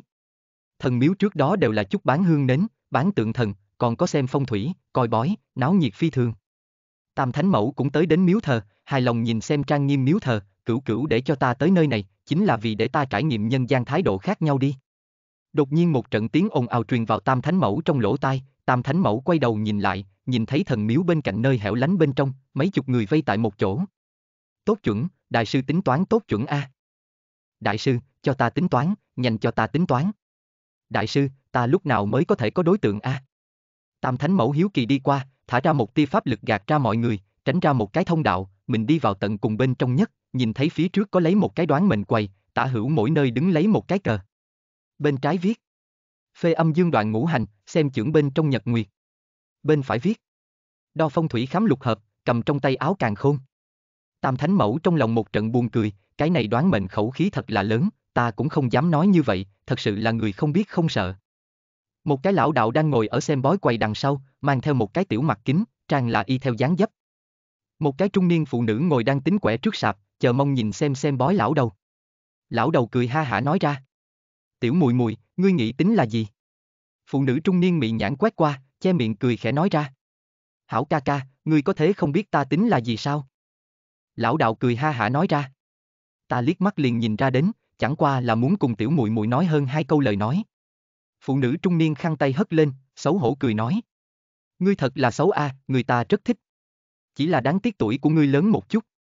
Vậy nhưng thật sự là đáng tiếc, đưa tay cho ta, bần đạo cho ngươi tính toán con nối giỏi. Phụ nữ trung niên xấu hổ đem tay đưa cho lão đạo. Lão đạo đưa tay nắm chặt phụ nhân tay, cẩn thận tìm tòi một lát, cười ha hả nói ra. Một vị có tử không thể hai ba. Phụ nhân thu tay lại, kích động nói ra. Ý của ngươi là nói ta sẽ có một đứa bé. Nam hài hay là nữ hài? Hắn lúc nào đến? Lão đạo vuốt trâu mỉm cười nói. Thiên cơ bất khả lộ, xin trả tiền quẻ đi. Phụ nhân gỡ xuống trên đầu trăm vàng để lên bàn, đứng dậy rời đi, không ngừng suy nghĩ người đạo trưởng này mà nói, một vị, có tử không thể hai ba, cái này không phải liền là nói, ta có một đứa bé sao? Trên mặt vui vẻ ra mặt, thật sự là quá tốt. Lập tức lại một đại hán ngồi lên, dò xét nhìn xem lão đạo. Lão đạo cười ha hả hỏi. Tráng sĩ muốn đo cái gì? Nghe nói ngươi xem bói rất chuẩn, ta lại là không tin, đến, ngươi nhìn ta có huynh đệ mấy người. Lão đạo đánh giá đại hán một lát, mỉm cười nói. Đạo viên tam kết nghĩa cô độc một người. Đại hán đột nhiên đứng lên, cả kinh kêu lên. Ngươi, làm sao ngươi biết ta là huynh đệ bốn cái? Lão đạo cười ha hả nói ra. Tự nhiên là bần đạo tính ra đến. Người chung quanh cũng đều nghị luận ầm ĩ, tốt chuẩn, thật sự là quá chuẩn. Ta biết hắn, hắn gọi Tống lão tam, huynh đệ bốn người hắn đứng hàng lão tam. Tam Thánh Mẫu cũng kinh ngạc nhìn lão đạo, chẳng lẽ hắn thật đúng là cái kỳ nhân. Nhưng là ở trên người hắn cũng không có phát giác được mảy may pháp lực ba động a, đạo trưởng, ta muốn cho ta phụ mẫu toán một quẻ. Cha tại mẫu trước vong. A phụ thân ta lại muốn tại mẫu thân trước đó chết. Thế nhưng là rõ ràng là mẫu thân của ta thân thể tương đối kém a, chẳng lẽ phụ thân ta sẽ xuất hiện cái gì ngoài ý muốn? Còn mời đạo trưởng cáo tri cái gì? Thiên cơ bất khả lộ. Đạo trưởng, ta có thể coi là nhân duyên. Quá cư không thể có vợ. Ha ha ta liền biết ta sẽ có thê tử, ta liền biết ta sẽ không đánh cả một đời quan côn, còn mời đạo trưởng cáo tri thê tử của ta hiện tại nơi nào. Thiên cơ bất khả lộ, nhanh dao treo kim. Theo lão đạo xem bói càng ngày càng chuẩn, thanh danh của hắn cũng càng truyền càng vang dội, dân chúng chung quanh càng tụ càng nhiều. Chậm rãi Tam Thánh Mẫu cũng suy nghĩ ra được một trận không thích hợp, những lời này chợt nghe xong có chút đạo lý, nhưng là cẩn thận một suy nghĩ, tất cả đều có nghĩa khác. Đầu tiên là cái kia hỏi con nối giỏi phụ nữ, lão đạo sĩ nói. Một vị có tử không thể hai ba. Cái kia phụ nữ hiểu thành, một vị, có tử không thể hai ba, ý là chỉ có một đứa bé, có hài tử nhưng sẽ không nhiều. Nhưng là cũng tương tự có thể hiểu thành. Một vị có tử, không thể, hai ba, sẽ không là một đứa bé, có hai cái hoặc ba đứa hài tử. Còn có thể hiểu thành. Một vị có tử, không thể hai ba, vị này phụ nữ có hài tử, không phải hai ba cái, so hai ba cái muốn nhiều. Còn có cái kia toán huynh đệ, lão đạo nói. Đạo viên tâm kết nghĩa cô độc một người. Đại hán kia hiểu thành đào viên tam kết nghĩa, muốn cô độc một người đào viên tam kết nghĩa, liền sẽ thêm ra một người, là huynh đệ bốn cái. Nhưng là cũng có thể hiểu thành, đào viên tam kết nghĩa, cô độc, một người tuy nhiên có đào viên tam kết nghĩa sự tình, nhưng ngươi lại là cô độc một người. Còn có thể hiểu thành, đào viên tam kết nghĩa, cô độc, một người đào viên tam kết nghĩa, thiếu một người, là hai huynh đệ cái. Bao quát phía sau cha tại mẫu trước vong, quá cư không thể có vợ. Phụ mẫu song song không thể khắc thương tổn một vị. Vân vân tất cả đều là có nhiều loại ý, vô luận là kết quả gì, lão đạo sĩ này đều sẽ đứng ở thế bất bại. Tam Thánh Mẫu suy nghĩ ra được cái này thủ đoạn nhỏ về sau, trong lòng nhất thời giận dữ, tốt một cái giang hồ phiến tử, lại dám gạt đến ta thần miếu trước đó đến, liền không sợ ngẩng đầu tam xích có thần minh sao. Lại một cái xem bói người, phi thường hài lòng rời đi. Tam Thánh Mẫu thêm chút suy tư, trực tiếp tiến lên ngồi tại vị trí trước, xem ta như thế nào vạch trần ngươi. Lão đạo cười ha hả nói ra. Không biết vị tiểu thư này muốn tính là gì? Ngươi không phải danh xưng âm dương đoạn ngũ hành, xem trưởng bên trong nhật nguyệt. Đo phong thủy khám lục hợp, cầm trong tay áo càng không sao? Làm sao lại không biết ta có thể coi là cái gì? Lão giả sững sờ, đột nhiên cười ha hả nói ra. Ta nhìn cô nương là kẻ đến không thiện a. Tam Thánh Mẫu nhìn gần lão đạo, ngữ khí bất thiện nói ra. Chỉ là không quen nhìn có người đánh lấy đạo giáo danh hào giả danh lừa bịp. Cô nương lời này bắt đầu nói từ đâu? Lão đạo thật sự là đạo giáo đệ tử, cũng chưa từng giả danh lừa bịp. Cha tại mẫu trước, vong. Cha tại, mẫu trước vong. Còn muốn ta bao nhiêu cái gì sao? Lão đạo trầm ngâm một chút bật cười nói ra. Nguyên lai là gặp được đồng hành a. Ai cùng ngươi cái này lừa đảo là đồng hành? Ta là tới vạch trần ngươi. Cho bản cô nương đoán một quẻ, quẻ nếu không chuẩn, bản cô nương liền nện ngươi sạp hàng, không cho phép ngươi trong cái này giả danh lừa bịp. Chuyện gì xảy ra? Cái cô nương này nói thế nào người đạo trưởng này là lừa đảo? Quy tiểu cô nương, đừng tưởng rằng dung mạo ngươi xinh đẹp, liền có thể nói xấu đại sư, làm người phải biết phân tất. Chương 681, Lão đạo xem bói tam thánh mẫu. Nguồn. Mê truyện audio.com Cha tại mẫu trước, vong. Cha tại, mẫu trước vong. Diệu A, vô luận là kết quả gì, lão đạo sĩ này đều lợi cho thế bất bại, liền xem như phụ mẫu đều tại, hắn cũng có thể nói tính toán là tương lai, thực tế là quá gian hoạt. Kinh cái cô nương này một nhắc nhở, ta cũng cảm giác được không thích hợp, còn có câu nói này. Quá cư, không thể có vợ. Quá cư không thể, có vợ. Vô luận có hay không thê tử, lão đạo sĩ này nói đều có lý. Chẳng lẽ hắn thật là lừa đảo? Đánh chết cái này gạt người lão gia hỏa. Mọi người chung quanh nhất thời tất cả đều xôn xao, nhìn về phía lão đạo ánh mắt dần dần không đúng, từ kính sợ biến thành hoài nghi. Thậm chí còn có một hai cái thanh niên, mà quyền sát trưởng nóng lòng muốn thử, căm thù nhìn xem lão đạo. Lão đạo phi thường bất đắc dĩ nói ra. Ta thật không phải lừa đảo.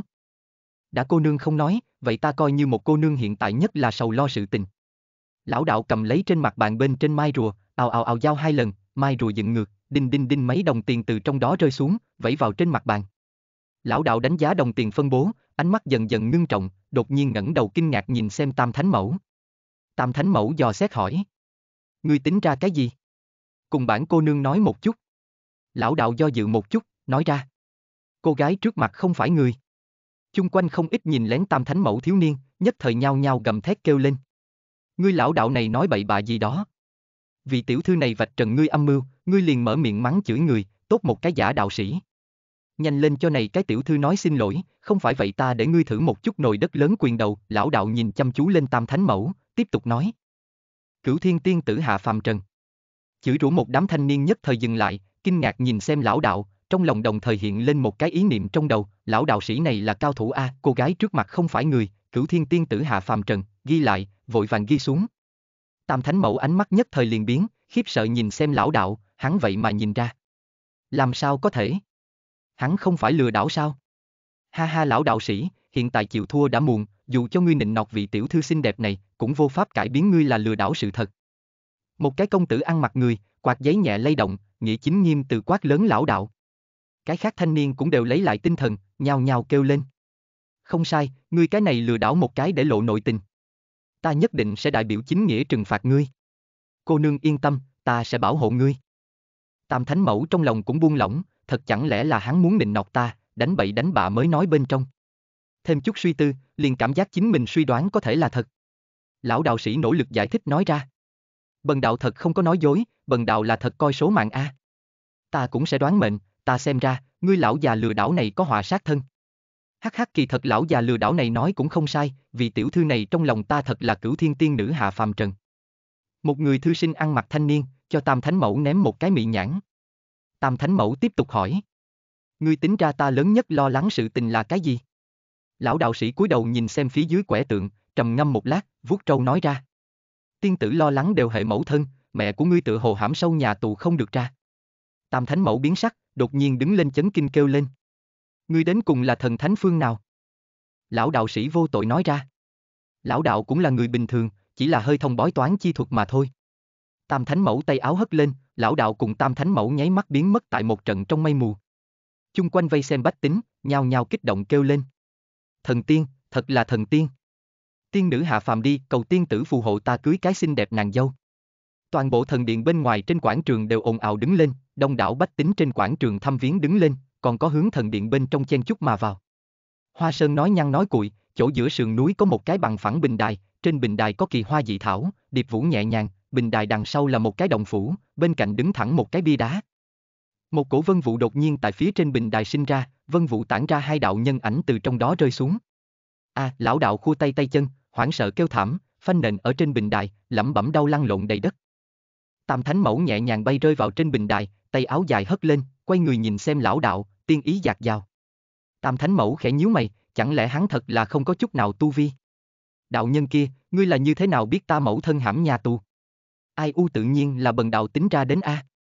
Lão đạo sĩ dãy dụa đứng dậy. Có thể đau chết lão đạo. Hừ còn không nói thật. Ngươi chỉ là khu khu một phàm nhân, như thế nào tính được tiên thần chi sự tình? Tam Thánh Mẫu gương mặt xinh đẹp hàm sát. Lão đạo sĩ ngồi trên đồng cỏ, xoa eo, vẻ mặt đau khổ nói ra. Không dám giấu tiên tử, bần đạo mặc dù là phạm nhân, nhưng là cả cuộc đời này tinh nhiên bói toán sự tình, tự hỏi sau ngày xưa văn vương cũng không kém bao nhiêu, đối tiên thần chi sự tình cũng có thế có biết một hai. Chu Văn Vương Tam Thánh Mẫu sắc mặt biến mấy biến, lúc trước phong thần chi chiến bên trong, Chu Văn Vương dựa vào một tay hậu thiên bát quái, có thể nói là chấn kinh tam giới thần Phật, như hắn thật sự là Chu Văn Vương như vậy kỳ nhân, có thể tính ra tiên thần ngược lại là cũng không đủ là lạ. Ai u thật sự là đau chết bần đạo, bộ xương già này kém chút dày vò tan ra thành từng mảnh. Tam Thánh Mẫu nhìn không được hỏi. Đạo trưởng khả năng tính ra mẫu thân của ta khi nào có thể ra. Lão đạo sĩ vào một hồi eo, nói ra. Cái trước quẻ tượng cũng không có biểu hiện. Tuy nhiên ta có thể lại cho tiên tử lên một quẻ, bói toán cứu mẹ chi pháp. Đa tạ đạo trưởng. Không biết tiên tử nơi này nhưng có bó đuốc. Tam Thánh Mẫu chỉ tay một cái, quanh một đạo liệt diễm tại lão đạo trước mặt giấy lên, lão đạo dọa đến nhìn không được hướng về sau ngửa một chút, một bộ lòng còn sợ hãi dáng vẻ, gượng cười nói ra. Tiên tử tốt thần thông. Lão đạo run rẩy từ trong ngực lấy ra một cái mai rùa, ném vào trong đống lửa. Quanh hỏa diễm bùng cháy mạnh, tạch tạch tạch thanh âm từ trong đó truyền ra, sau một lát lão đạo ở bên cạnh tìm tới một cái gậy gỗ, đem mai rùa từ hỏa nha bên trong lốc bốc ra, đặt ở trước mặt quan sát tỉ mỉ, mai rùa phía trên đốt ra từng vết nứt. Phốc, lão đạo đột nhiên ngửa mặt một ngụm máu tươi phun ra, một cổ mùi cháy khét đạo từ thể nội dâng lên. Tam Thánh Mẫu liền vội vàng hỏi. Ngươi làm sao? Lập tức đưa tay phóng thích một cổ thần lực, đem lão đạo bao phủ tại thần lực phía dưới. Nhưng là lão đạo hay là không thấy chút nào chuyển biến tốt đẹp, trên thân thậm chí bốc lên từng tia từng sợi khói xanh. Lão đạo hai tay nắm lấy ở ngực, thống khổ kêu lên. Là trời! Muốn cứu tiên tử mẫu thân nhất định phải cải thiên hoán địa. Quẻ tượng! Quẻ tượng biểu hiện, chỉ có tiên tử có thể cứu ngươi mẫu thân, không vào hố lửa, há có thể dập lửa. Hôm nào người chính là sư môn trưởng bối của ngươi.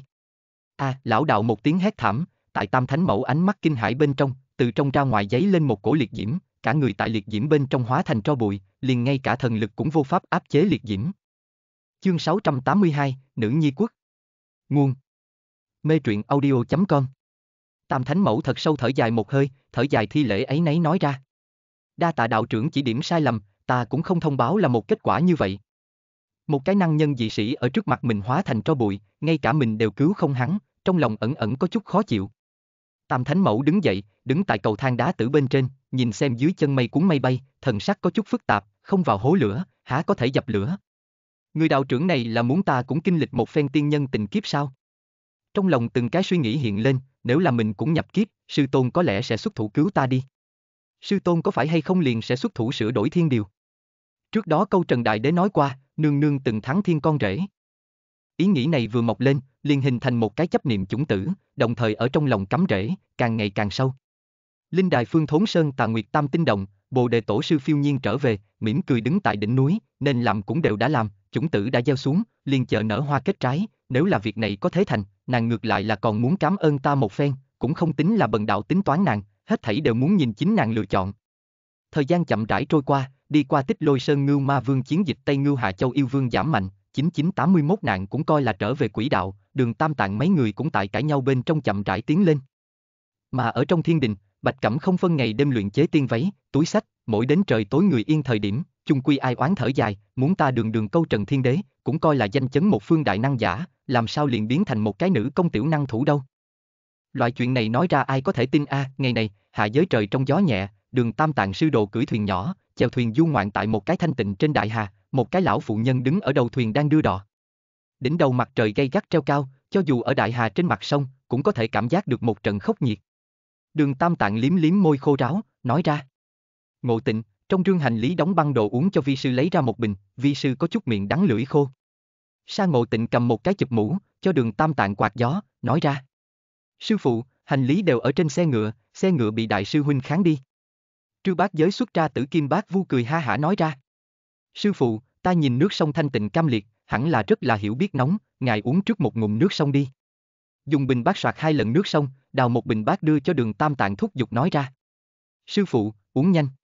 Đường tam tạng bưng qua bình bát, đầy uống hai đại miệng, chà chà miệng vừa cười vừa nói. Đúng là hảo thủy, ngộ năng ngộ tịnh, các ngươi cũng uống một chút. Đem bình bát đưa cho trư bát giới. Trư bát giới tiếp nhận bình bát ưng ực ưng ực uống hai miệng lớn, sau đó đưa cho sa ngộ tịnh kêu lên. Sa sư đệ, ngươi muốn sao? Đa tạ nhị sư huynh, ta còn không khác. Trư bát giới đem bình bát thu hồi, thăm dò về trong ngực. Ngộ năng, ngươi làm sao mang theo trong người bình bát? Đệ tử lo lắng sư phụ ngài khát nước, cái này uống nước ăn cơm đồ vật, ta lão trư đều là mang theo trong người, tốt hiểu biết sư phụ miệng lưỡi chi gấp. Đường Tam Tạng cảm động nói ra. Ngộ năng, ngươi đối vi sư thật tốt. Sư phụ, đây đều là đệ tử phải làm. Đang khi nói chuyện, thuyền đã cập bờ, đi thuyền lão phụ nhân vừa cười vừa nói. Mấy vị trưởng lão, mời xuống thuyền đi. Đường Tam Tạng đứng dậy, từ trong ngực lấy ra một khối nén bạc đưa cho lão phụ nhân, ôn hòa nói ra. Đa tạ nhà đò, đây là đi thuyền thù lao. Lão phụ nhân tiếp nhận nén bạc, cười ha hả nói ra. Đa tạ trưởng lão. Đường tam tạng tại trư bát giới cùng sa ngộ tịnh nâng đỡ xuống thuyền, hiện tại loại này phàm tục tiền tài có thể nói là tuyệt không thiếu, cũng không cần nàng trả tiền thừa, còn lại thưởng nàng, bần tăng cũng là hào phóng như vậy. Đường tam tạng cùng trư bát giới Sa ngộ tịnh lên bờ đi chưa được mấy bước, liền thấy phía trước ven đường ngừng lại một cổ lơ lửng xe ngựa, tôn ngộ không chính tựa ở bên cạnh xe ngựa, 45 độ nhìn lên bầu trời, trang thâm trầm. Đường Tam Tạng đi đến tôn ngộ không bên người cũng tò mò nhìn lên bầu trời, hỏi. Ngộ không, ngươi nhìn cái gì đấy? Tôn ngộ không u buồn nói ra. Thiên địa có đại mỹ mà không nói, bốn mùa có minh pháp mà không nghị, vạn vật có thành tựu lý mà không nói. Có thể hay không nói tiếng người? Ta lão tôn đang xuất thần. Ngươi cái này đầu khỉ lại tại lười biếng, muốn lên đường. Tôn ngộ không nhảy lên tại không trung lật ngã nhào một cái, xếp bằng ở xe ngựa đỉnh chóp, vùng tay lên kêu lên. Đi tới.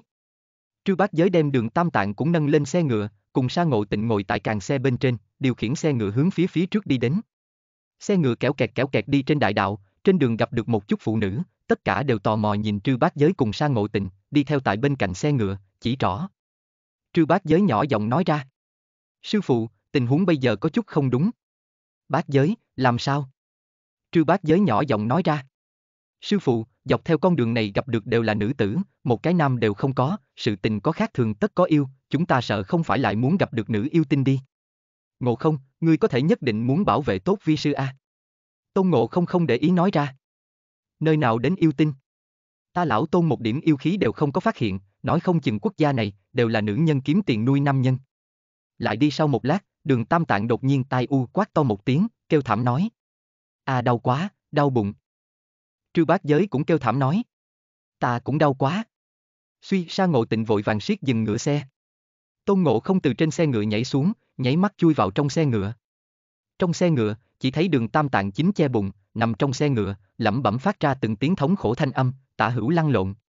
Tôn Ngộ không đánh giá đường tam tạng, tay trái tay phải lẫn nhau cào, nói ra. Tiểu hòa thượng, ta lão tôn nhưng vô dụng khẩn cô chú chú ngươi, ngươi nhưng chớ có vu hãm ta lão tôn.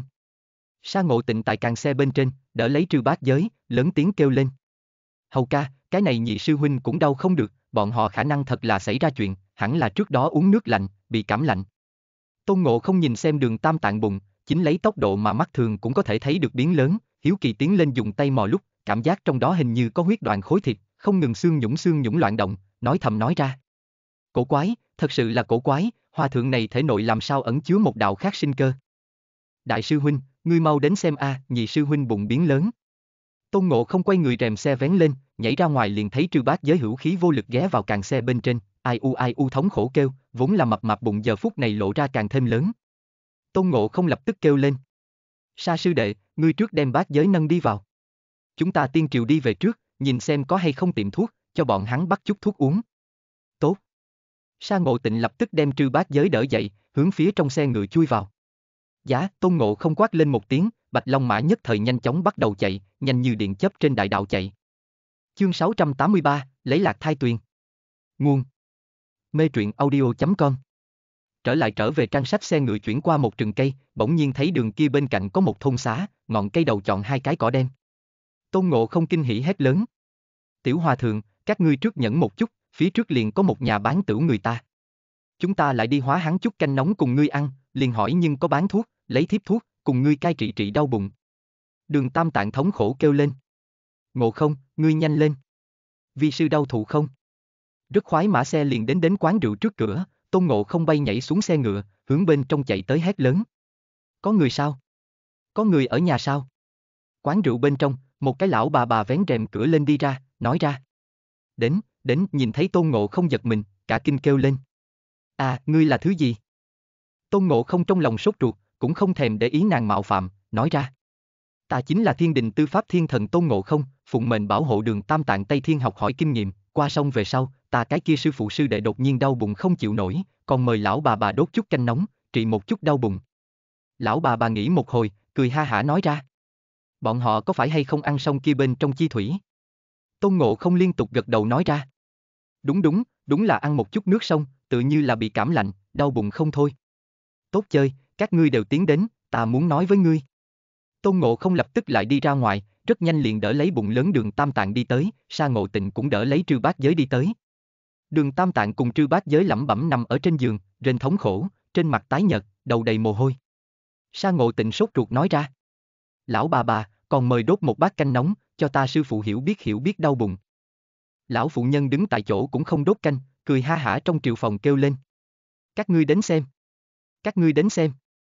Nơi đó trong phòng rất nhanh lại đi ra ba cái rưỡi lão từ nương phụ nhân, nhìn thấy nằm trên giường đường tam tạng trư bát giới cũng đều cười hì hì đứng lên, chỉ rõ.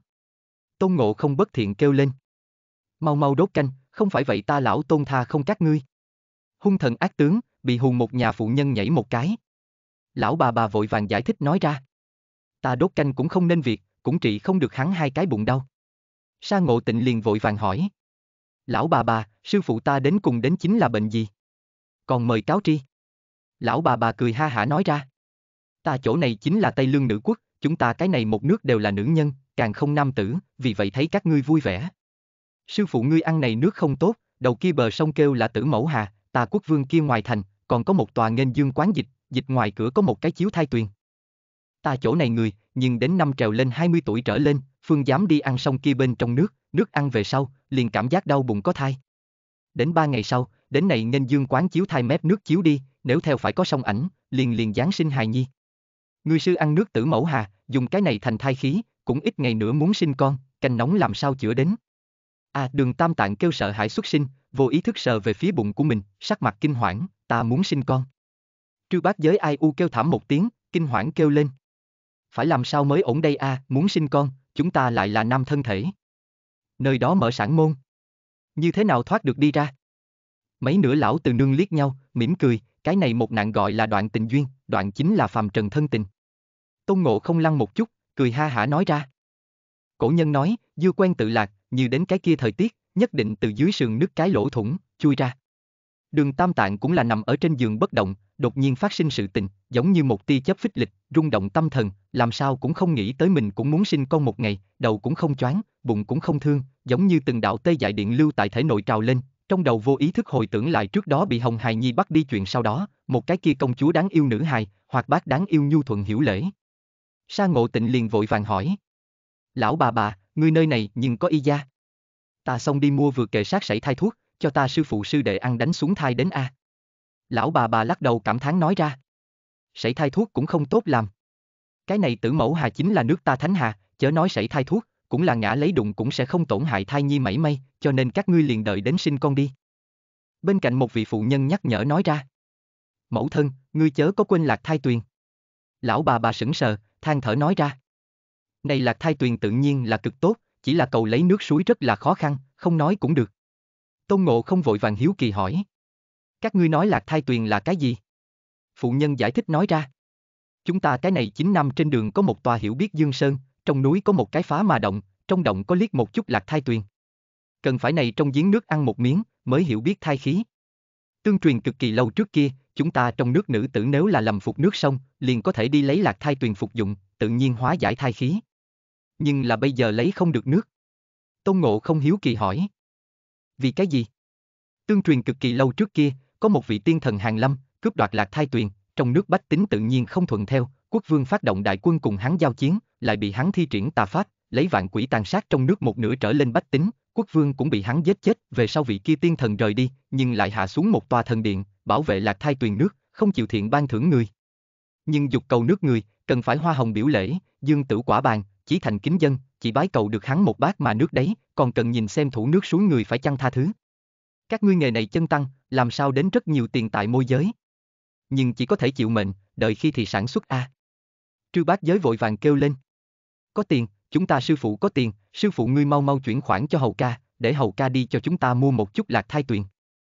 Đường tam tạng trên đầu hiển hiện mồ hôi lạnh, sắc mặt biến lại biến, lại là không nói một lời. Tôn ngộ không mắt lộ hung quang, vào đầu bức tai hắc hắc quái khiếu mà nói.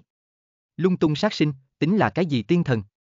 Ta xem là cái yêu ma a, sa sư đệ, ngươi bảo vệ tốt tiểu hòa thượng cùng bát giới, ta lão tôn đi chiếu cố cái này cái gọi là tiên thần. Sa ngộ tịnh liên tục gật đầu nói ra. Đại sư huynh, ngài cứ yên tâm đi thôi. Sư phụ liền giao cho ta. Tôn ngộ không hướng ra ngoài chạy tới, chạy ra cửa phòng, dưới chân mây bay xông thẳng lên trời. Lão bà bà cả kinh kêu lên. Gia gia nha hắn vậy mà lại bay. Mấy cái kia phụ nhân cũng đều là vừa mừng vừa sợ, vội vàng xuất ra trái cây bánh ngọt hảo hảo chiêu đãi đường tam tạng sư đồ, miệng nói Bồ Tát Phật Đà. Đường tam tạng nằm ở trên giường, đột nhiên hỏi. Lão bà bà, bần tăng muốn hỏi ngài một vấn đề, có phải là uống nước sông sinh hạ hài tử đều là nữ hài? Lão bà bà sững sờ, kỳ quái, hắn hỏi cái này vấn đề làm cái gì? Vẫn thành thật trả lời nói ra. Đúng vậy, nữ nhi quốc uống nước sông sinh hạ hài tử đều là nữ hài. Chương 684, đường Tam Tạng muốn hài tử. Nguồn Mê truyện audio.com Trở lại trở về trang sách đường Tam Tạng biểu lộ có chút kỳ quái, giống như cười mà không phải cười, như khóc mà không phải khóc, ngu ngơ xuất thần. Trư bác giới kêu thảm nói ra. Sư phụ, ngài cũng đừng quản nam hài nữ hài, sắp đau chết ta lão trư, hầu ca làm sao vẫn chưa về a? Sa ngộ tịnh từ bên cạnh bưng một bát nước nóng tới, lo lắng nói ra. Nhị sư huynh, uống nhiều một chút nước nóng. Một bên khác, tôn ngộ không hướng phía phương nam bay đi, hỏa nhãn kim tinh lấp lánh, vừa đi hai ba mươi dặm, quả nhiên tại trong một chỗ núi rừng, phát hiện một vệt thần quang lấp lánh, không có chút nào yêu khí. Tôn ngộ không nhất thời hạ xuống đám mây, rơi vào một tòa thần điện trước đó, thần điện nguy nga, chu tường tử ngói, nhiều lần thần quang du tẩu như điện, đại môn trước đó hai tòa sư tử đá pho tượng ngồi xếp bằng, uy vũ bá khí, mang theo thần vận, phản phất lúc nào cũng có thể đánh giết mà ra. Tôn Ngộ không ngẩng đầu nhìn đại điện bản hiệu, ánh mắt lấp lóe một chút, hơi kinh ngạc thì thầm. Võ uy thần binh điện, đây không phải thiên đình câu trần thần cung hạ thiên binh thần điện tên sao?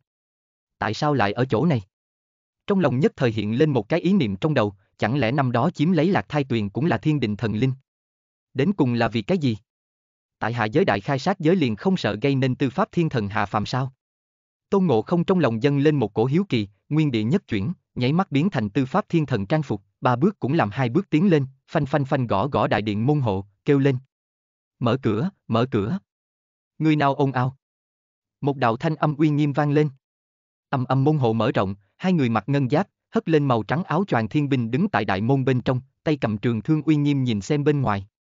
Hai cái uy vũ thiên binh vừa nhìn thấy tôn ngộ không, nhất thời sắc mặt đại biến, vội vàng ông quyền thở dài cung kính nói ra. Tiểu thần bái kiến tư pháp thiên thần. Vậy mà thật là thiên định thiên binh, không phải yêu quái giả trang, tôn ngộ không cũng có chút không thể tưởng tượng nổi, chắp hai tay sau lưng ngẩng đầu ưỡn ngực, hướng phía bên trong đi đến. Tiến vào bên trong đại điện, tôn ngộ không liếc mắt liền thấy một tòa giếng nước tọa lạc tại trong sân, bên cạnh đứng thẳng một cái bia đá, bên trên viết ba chữ to, lạc thai tuyền. Hai cái thiên binh nhắm mắt theo đuôi đi theo tôn ngộ không hướng phía bên trong đi đến. Một vị thiên binh thấp thỏm hỏi. Không biết thượng thần đến đây, có gì phân phó? Tư pháp thiên thần uy chấn tam giới cũng không phải mình cái này nho nhỏ thiên binh có thể so sánh, liền xem như chúng ta phạm sai lầm, cũng không tới phiên tư pháp thiên thần tự mình đến đuổi bắt a. tôn ngộ không hắc hắc cười quái dị một tiếng, quát chói tai kêu lên. Thân là thiên binh, vì sao tại thế gian quấy phá? Chiếm cứ linh tuyền thu lấy thù lao, các ngươi tốt to đến lá gan. Liền không sợ kim cô trước mắt sao?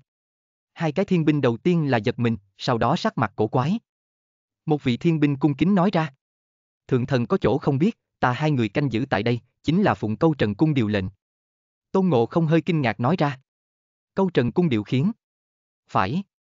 Phòng thủ lạc thai tuyền là câu trần đế cung ban bố một cái nhiệm vụ, mỗi trăm năm đổi hai vị thiên binh hạ giới phòng thủ, tùy tiện không được đem nước suối cho nữ nhi quốc bách tính.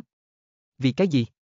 Cái này lạc thai tuyền hẳn là đối câu trận cung không có một chút tác dụng nào a, chẳng lẽ câu trận đại đế sẽ còn ham muốn điểm kia thế gian tài vụ hay sao? Những này tiểu thần liền không biết, chúng ta cũng là phụng mệnh làm việc. Hai cái thiên binh cung kính đứng ở tôn ngộ không trước mặt. Tôn ngộ không nhìn xem lạc thai tuyền, ánh mắt lấp lóe hai lần, có gì đó quái lạ, lão bà bà kia nói khẳng định không phải thật sự, chẳng lẽ nàng muốn lừa gạt ta lão tôn? Hắc hắc nói ra. Nếu như ta lão tôn muốn lấy dùng cái này lạc thai tuyền đâu? Một vị thiên binh cung kính nói, tự nhiên có thể. Tôn ngộ không nhảy lên nhảy đến lạc thai tuyền trước đó, đưa tay nhổ một sợi lông, thổi một hơi nói ra. Biến. Lông tơ nhất thời biến thành một cái bầu nước, múc một bát nước trôi trời mà đi. Hai cái thiên binh lúc này mới cung kính đứng dậy. Một vị thiên binh thở dài ra một hơi, cảm thán nói ra. Chúng ta trong cái này vậy mà cũng có thể đụng vào tư pháp thiên thần, đây là cái gì vận khí a? Này kia là tôn ngộ không, hắn tại bảo vệ đường Tam Tạng Tây Thiên học hỏi kinh nghiệm, đi ngang qua chúng ta nơi này không kỳ quái. Hắn cũng là tề thiên đại thánh. Ta vẫn là lần thứ nhất nhìn thấy.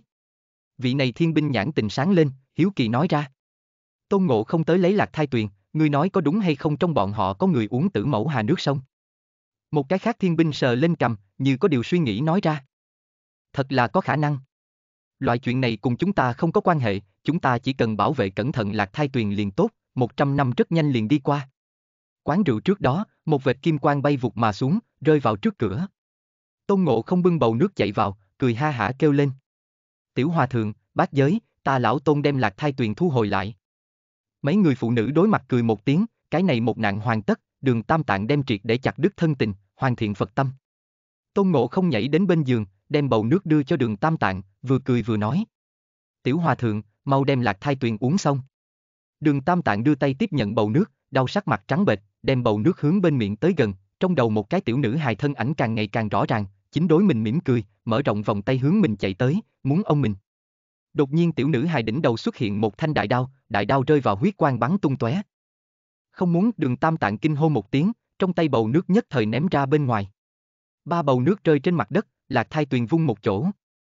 Trong phòng mọi người tất cả đều lăn, đây là tình huống như thế nào?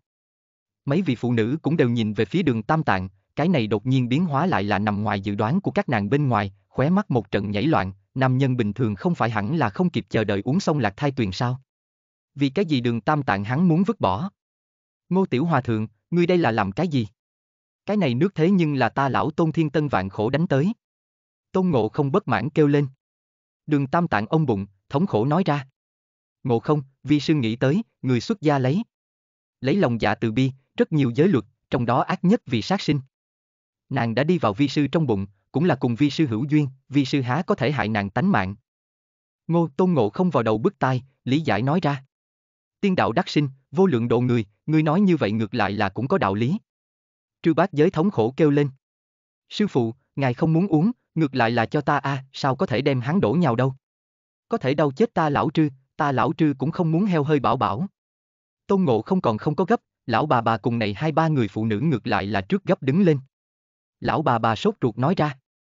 Trưởng lão, ngài cần phải nghĩ lại a, nam nhân sinh con cổ kim không nghe thấy, nếu là ra chuyện bất trắc, vậy nhưng như thế nào cho phải? Đúng vậy a, trưởng lão ngài hay là đem hài tử đánh xuống đi. Trưởng lão, nếu là xuất hiện nguy hiểm nên làm thế nào cho phải? Tôn Ngộ không liên tục phất tay, xua đuổi kêu lên. Đi đi đi đi một bên chơi, chỉ là một cái đỡ đẻ, ta lão Tôn có là bản sự. Tiểu hòa thượng ngươi yên tâm, ta lão Tôn cái này đi thiên đình, đem y thần mời xuống tới. Chương 685, Trương Trọng Cảnh Nguồn Mê truyện audio.com Trở lại trở về trang sách đường tam tạng hữu khí vô lực nói ra. Ngộ không, đa tạ ngươi. Ai u hầu ca, ngài đi trước giúp ta đem lạc thai tuyền thu hồi lại a, ta cũng không muốn sinh con. Đường tam tạng trong lòng hơi động, nam nhân sinh con, có thể nói là mở tam giới bắt đầu, loại chuyện này làm sao chỉ có thể để cho mình một người làm, dù nói thế nào cũng muốn kéo một người cùng ta cùng một chỗ gánh chịu. Đường tam tạng nhất thời nghiêm túc nói ra. Phật môn bát giới, một giới sát sinh, hai giới trộm cắp, ba giới dâm, bốn giới vọng ngữ, năm giới uống rượu, lục giới lấy hương hoa, thất giới ngồi nằm cao rộng trải giường, bát giới không phải lúc ăn.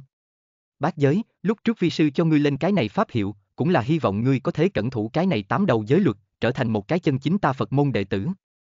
Nhưng là hiện tại ngươi lại muốn giết sinh hại mệnh, vẫn là mình nữ nhi, vi sư rất là đau lòng a. Cử động như vậy không khác ma đầu, ta Phật môn chứa không nổi ngươi như vậy tàn nhẫn ngươi. Ai u sư phụ của ta ai?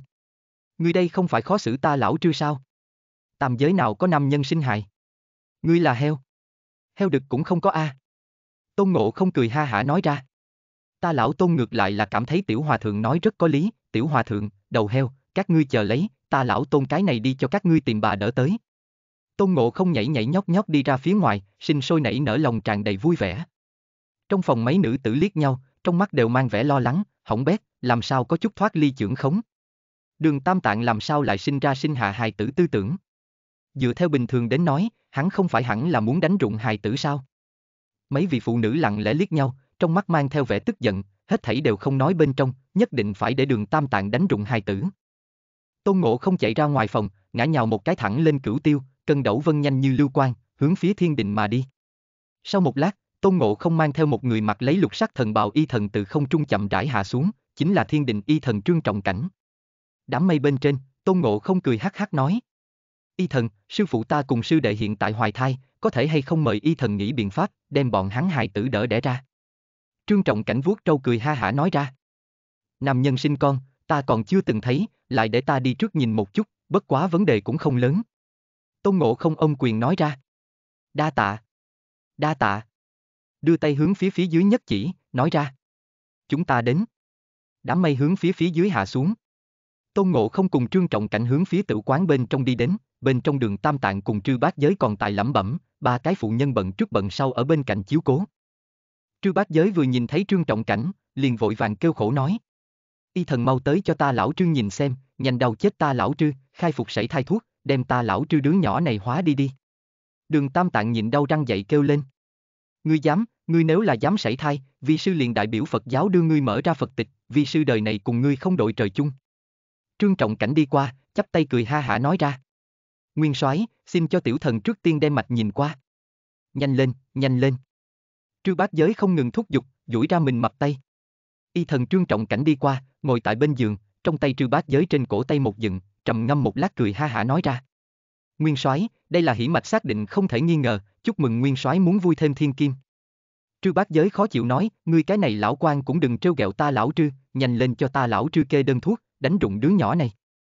Đường Tam Tạng ở bên cạnh lập tức kêu lên. Không được, đứa nhỏ này đánh không được, giết thân tử, không bằng cầm thú, thần y ngươi tuyệt đối đừng nghe hắn. Tôn Ngộ không cũng cười hắc hắc nói.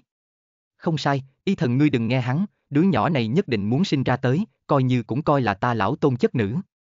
Cái này, trương trọng cảnh có chút chần chờ không chừng. Trư bác giới thống khổ kêu lên. Bị ôn hầu tử, muốn hại tử chính ngươi sinh đi, có thể đau chết ta. Trương trọng cảnh nói ra. Nguyên soái, Thánh Tăng, hãy cho ta trước cho các ngươi mở một bộ an thai thuốc, làm dịu Nguyên soái cùng Thánh Tăng thống khổ, về phần muốn hay không thừa sinh hạ đứa bé này, Nguyên soái cùng Thánh Tăng có thể chậm rãi thương thảo. Trư bác giới thúc giục kêu lên. Nhanh đi, nhanh đi nấu thuốc. Đường Tam Tạng cũng đầy mặt thống khổ nói ra. Làm phiền thần y. Trương Trọng Cảnh nhìn về phía mấy vị phụ nhân, mang theo nụ cười hòa ái nói ra. Có thể hay không đem hậu viện cấp cho bần đạo dùng một lát. Một vị phụ nhân vội vàng nịnh nọt nói ra. Thiên thần xin mời đi theo ta, ta nguyện ý là trời thần nấu nước. Thân thể để ở bên cạnh, chìa tay ra, dẫn trương trọng cảnh hướng phía đằng sau đi đến. À, Tôn Ngộ không trong lòng khẽ di một tiếng, nhìn từ trên xuống dưới phụ nhân kia, trong mắt bên trong hỏa quang lóe lên, cổ quái, mấy cái này phụ nhân hảo hảo cổ quái, bọn họ tại tiên thần trước mặt lại còn có thể tiến thối có theo. Những năm gần đây phương Tây một đường, Tôn Ngộ không cũng đã gặp không ít phạm nhân, đừng nói chỉ là một giới người bình thường, liền xem như một nước chi chủ, có chút quốc chủ tại tiên thần trước mặt cũng sẽ tiến thối thất thủ. Nhưng là nàng vậy mà lại còn có thể bảo trì hữu lễ có tiết, tuy nhiên thái độ nhìn như rất tôn trọng tiên thần, nhưng là tôn ngộ không lớn nhất lại có thể ẩn ẩn cảm giác được bọn họ tự hồ cũng không kính sợ. Tuy nhiên hỏa nhãn kim tinh cũng không có nhìn ra cái gì dị thường, nhưng tôn ngộ không vẫn là tin tưởng mình cảm giác, người này tuyệt đối có chút vấn đề. Hiện tại tôn ngộ không cũng không phải trước kia mù quáng tự tin tôn ngộ không, hỏa nhãn kim tinh không nhìn ra lại như thế nào. Cái này Tây Du trên đường đi không nhìn ra yêu quái quá nhiều, tam giới nước rất sâu, hỏa nhãn kim tinh cũng không phải vạn năng. Tôn Ngộ không lại lặng lẽ nhìn về phía còn lại mấy vị phụ nữ, nhìn thấy mấy vị phụ nữ chính dựa vào bên tường đứng thẳng, tuy nhiên nhìn như rất cung kính, nhưng là ánh mắt rất là bình tĩnh, cũng không có nhìn thấy tiên thần cái chủng loại kia cuồng nhiệt, cũng không có tiếng lên khẩn cầu thăng quan phát tài gia đình tốt đẹp các loại sự tình, quả nhiên các nàng đối tiên thần cũng không kính sợ, hoặc là nói chúng ta những người này còn không đáng đến bọn hắn kính sợ. Tôn Ngộ không tuy nhiên bình thường biểu hiện xúc động hiếu chiến, nhưng ta động lên não tử đến, cũng là hầu tinh hầu tinh, các nàng muốn gạt ta, còn sớm hai vạn năm đâu. Sau một lát, y thần trương trọng cảnh bưng hai bát dược thủy đi tới, đi vào bên giường vừa cười vừa nói. Thánh Tăng, Nguyên soái thuốc dưỡng thai đã nấu xong, mời dùng. Cái kia phụ nữ lặng lẽ hồi quy nguyên vị, đối mấy vị khác phụ nữ gật gật đầu, cái khác nữ tử tất cả đều lộ ra nụ cười, thêm lạc thai tuyền nước suối thuốc dưỡng thai, hẳn là có thể đem hài tử đánh xuống, ban đầu là ai ra tao chủ ý, muốn làm cái này tử mẫu hà nước sông một nạn, quả thực là ở không đi gây sự, may mà chúng ta thông minh. Đường Tam Tạng cùng trư bát giới tất cả đều hướng phía chén thuốc đưa tay mà đi, thực tế là quá đau. Tôn Ngộ không lập tức kêu lên. Chờ một chút, trương trọng cảnh nhất thời thủ hạ một hồi, kỳ quái nhìn về phía Tôn Ngộ không hỏi. Đại Thánh còn có cái gì chỗ không ổn? Tôn Ngộ không nhảy bước lên trước, tiếp nhận hai bát dược thủy đặt ở cái mũi trước mặt nghe, tự hồ không có lên kỳ quái. Chương 686, Thần Y Giáng Lâm Nguồn Mê truyện audio.com Trư bát giới sốt ruột kêu lên. Hầu ca ai ngươi lại muốn làm cái gì? Nhanh lên đem thuốc cho ta, nhanh đầu chết ta lão trư. Tôn ngộ không cười hắc hắc nói. Thuốc này nước quá bỏng, ta lão tôn giúp các ngươi thổi thổi. Ai u hai tay buông lỏng, hai cái chén thuốc đồng thời hướng xuống mặt rơi đi, phanh đập xuống đất, dược thủy vung một chỗ, hai cái bát cũng đều vỡ vụn. Tôn ngộ không vội vàng thổi tay, nói ra. Thật nóng thật nóng thật sự là bỏng chết ta lão tôn. Trư bát giới lăn một chút, khí chính là mắt nổi đom đóm, nhất thời chửi ầm lên. Bị ôn hầu tử, đáng chết bật mã ôn, ngươi chính là muốn đau chết ta lão trư, ta và ngươi liều. Đường Tam Tạng cũng thống khổ kêu lên. Ngộ không, ngươi làm sao đem dược thủy làm không? Cái này có thể gọi vi sư như thế nào cho phải? Mấy vị kia phụ nữ cũng là sắc mặt cứng đờ, mắt thấy là phải đại công cáo thành, tôn ngộ không lại tại thêm cái gì loạn. Cái này con khỉ ngang ngược thật sự là thiếu quản giáo. Trương Trọng Cảnh cười nói. Không sao, không sao, bần đạo có thể lại đi luyện chế hai bát chính là. Tôn Ngộ không hắc hắc nói ra. Trương Thần Y, nấu thuốc quá chậm, nghe nói các ngươi thiên định y quan đều sẽ lấy phù thủy chữa bệnh, có cái gì an thai phù loại hình, cho tiểu hòa thượng cùng cái này đầu heo ăn vào. Trương Trọng Cảnh gật đầu nói. Đây là có, chỉ là cũng không có dược tài hiệu quả tốt. Trư bác giới vội vàng kêu lên. Liền dùng cái này, liền dùng cái này, mau đưa phù triện cho ta. Trương Trọng Cảnh nói ra. Há mồm. Đường Tam Tạng cùng trư bác giới tất cả đều hé miệng. Trương Trọng Cảnh tiện tay vung lên, hai viên phù triện bay ra, tại không trung bốc cháy lên liệt diễm, hóa thành hai cái quan cầu xông vào đường Tam Tạng cùng trư bát giới trong miệng. Đường Tam Tạng cùng trư bát giới lập tức ngậm miệng, thống khổ tiếng kêu thảm thiết nhất thời biến mất, hai người nằm ở trên giường mồ hôi đầm đìa. Qua một hồi về sau, đường Tam Tạng che lấy bụng lớn, kinh ngạc nói ra. Vậy mà thật không đau. Trư bác giới xoay người mà lên, tiến lên bắt lấy trương trọng cảnh tay áo kêu lên. Trương thần y, nhanh lên đem nạo thai thuốc mở cho ta. Đường Tam Tạng lập tức xoay người ngồi dậy, gầm thét kêu lên. bác giới, ngươi dám. Ngươi dám đánh thai, vi sư liền cùng ngươi đoạn tuyệt quan hệ thầy trò. Trương Trọng Cảnh lắc đầu nói ra. Nguyên soái vừa mới bắt mạch thời điểm tiểu thần liền phát hiện, cái này thai nhi có một loại lực lượng bảo hộ, sảy thai thuốc đối nàng cũng không có tác dụng. Lão bà bà cũng đột nhiên nói ra. Nếu muốn đánh rơi thai nhi, nhất định phải đi phương Nam hiểu biết Dương Sơn tìm kiếm lạc thai tuyền. Trương Trọng Cảnh hiếu kỳ hỏi. Lạc thai tuyền là cái gì? Tử mẫu hà cùng lạc thai tuyền sự tình, chờ một chút ta lão tôn lại cùng ngươi nói. Trương thần y, tiểu hòa thượng cùng đầu heo hài tử, có thể sinh ra tới sao? Ngươi cái này bị ôn hầu tử, ta lão trư lại không có sản môn, nơi nào sinh hài tử. Trư bát giới lại là chửi ầm lên. Xem ở tiểu chất nữ phân thượng, tôn ngộ không cũng không tính cùng trư bát giới so đo, chỉ là mong đợi nhìn xem trương trọng cảnh. Trương trọng cảnh vuốt trâu cười ha hả nói ra. Có thể tại phần bụng mở động, đem hài tử an ổn lấy ra. Loại này động giao công việc, tốt nhất vẫn là đi tìm hoa đà, hắn tương đối am hiểu. Hoa đà thần y tôn ngộ không ôm quyền chấp tay cười hắc hắc nói. Làm phiền thần y chăm sóc một đoạn thời gian, ta lão tôn cái này đi tìm hoa đà. Trương Trọng Cảnh vừa cười vừa nói. Có ta ở đây, đại thánh cứ việc yên tâm. Tôn ngộ không nhảy ra phòng ốc, nhất phi trùng thiên. Trư bác giới chớp mắt, vội vàng kêu lên. Sư phụ, ta lão trư ra ngoài dạo chơi, miễn cho sản xuất thời điểm quá đau.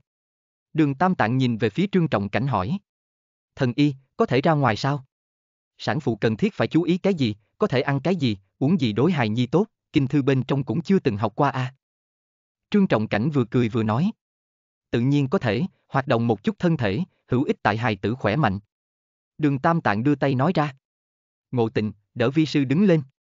Sư phụ, ngài chậm một chút. Sa ngộ tịnh liền vội vàng tiến lên đỡ lấy đường Tam Tạng xuống giường. Trư bát giới đã nhảy xuống giường, hướng phía bên ngoài bước nhanh tới, đi ra cửa phòng về sau dưới chân mây bay liền hướng phương Nam mà đi. Đường Tam Tạng trong lòng dâng lên một cổ cảm giác không ổn, vội vàng đi ra cửa phòng, lớn tiếng kêu lên.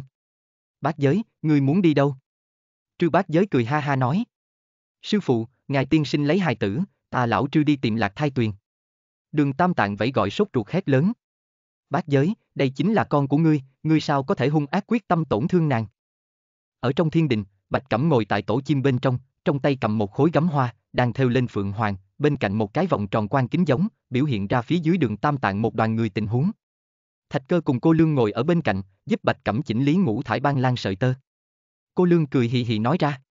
Đường đường lượng kiếp nhân vật chính, vậy mà mang thai, thật sự là thật thê thảm, so năm đó Khương Tử Nha còn muốn thảm rất nhiều. Thạch cơ hiếu kỳ hỏi. Sư huynh, ngài là dự định để đường tam tạng bọn họ đem hài tử sinh ra tới sao? Bạch Cẩm cảm thán nói ra.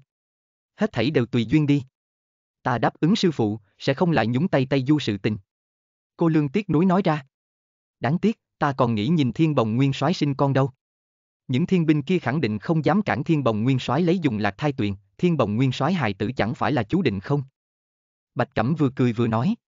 Người đây cũng không biết, nghe nói lạc thai tuyền vị trí là không cố định, thường xuyên sẽ trốn vào hư không bên trong, một khi chuyển di rất khó tìm kiếm.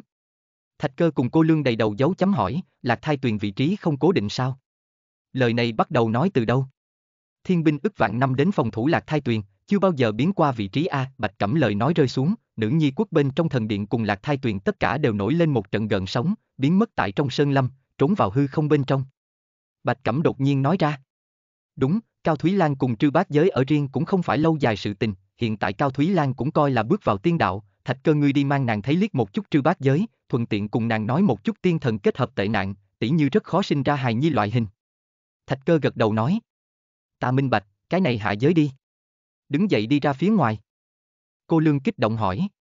Ta đây ta đây sư huynh, ta có thể làm cái gì? Ngươi a, ngươi đi chấp pháp đại đội để na tra tam thái tử, hạ giới trấn thủ nữ nhi quốc, nơi đó tương đối là nữ oa nương nương địa bàn, há lại cho người khác làm càng. Cô Lương vừa nhảy lên thân thể, hai tay ông quyền kêu lên. Tuân lệnh, hứng thú bừng bừng hướng ra ngoài chạy tới. Bạch Cẩm cảm thán nói ra. Hổ ngạc, ngươi nói ta có phải hay không quá thiện lương, nói không nên lời tay liền không xuất thủ, ta thật sự là quá thủ tính dùng. Bên cạnh ghé vào hồ nước bên cạnh hỗn độn hung thú hổ ngạc lật một cái liếc mắt, ta tin ngươi cái quỷ, thuần khiết. Cái này toàn bộ thế giới đều không có ngươi lớn nhất đen. Hạ giới nữ nhi quốc một đóa mây trắng chậm rãi hạ xuống, mây trắng phía trên tôn ngộ không nhớ tới chân đứng thẳng, đứng bên cạnh một cái gậy gò lão giả, cổng một cái cái hầm thuốc. Mây trắng đáp xuống tử quán trước đó, tôn ngộ không cùng hoa đã đi vào tử quán bên trong.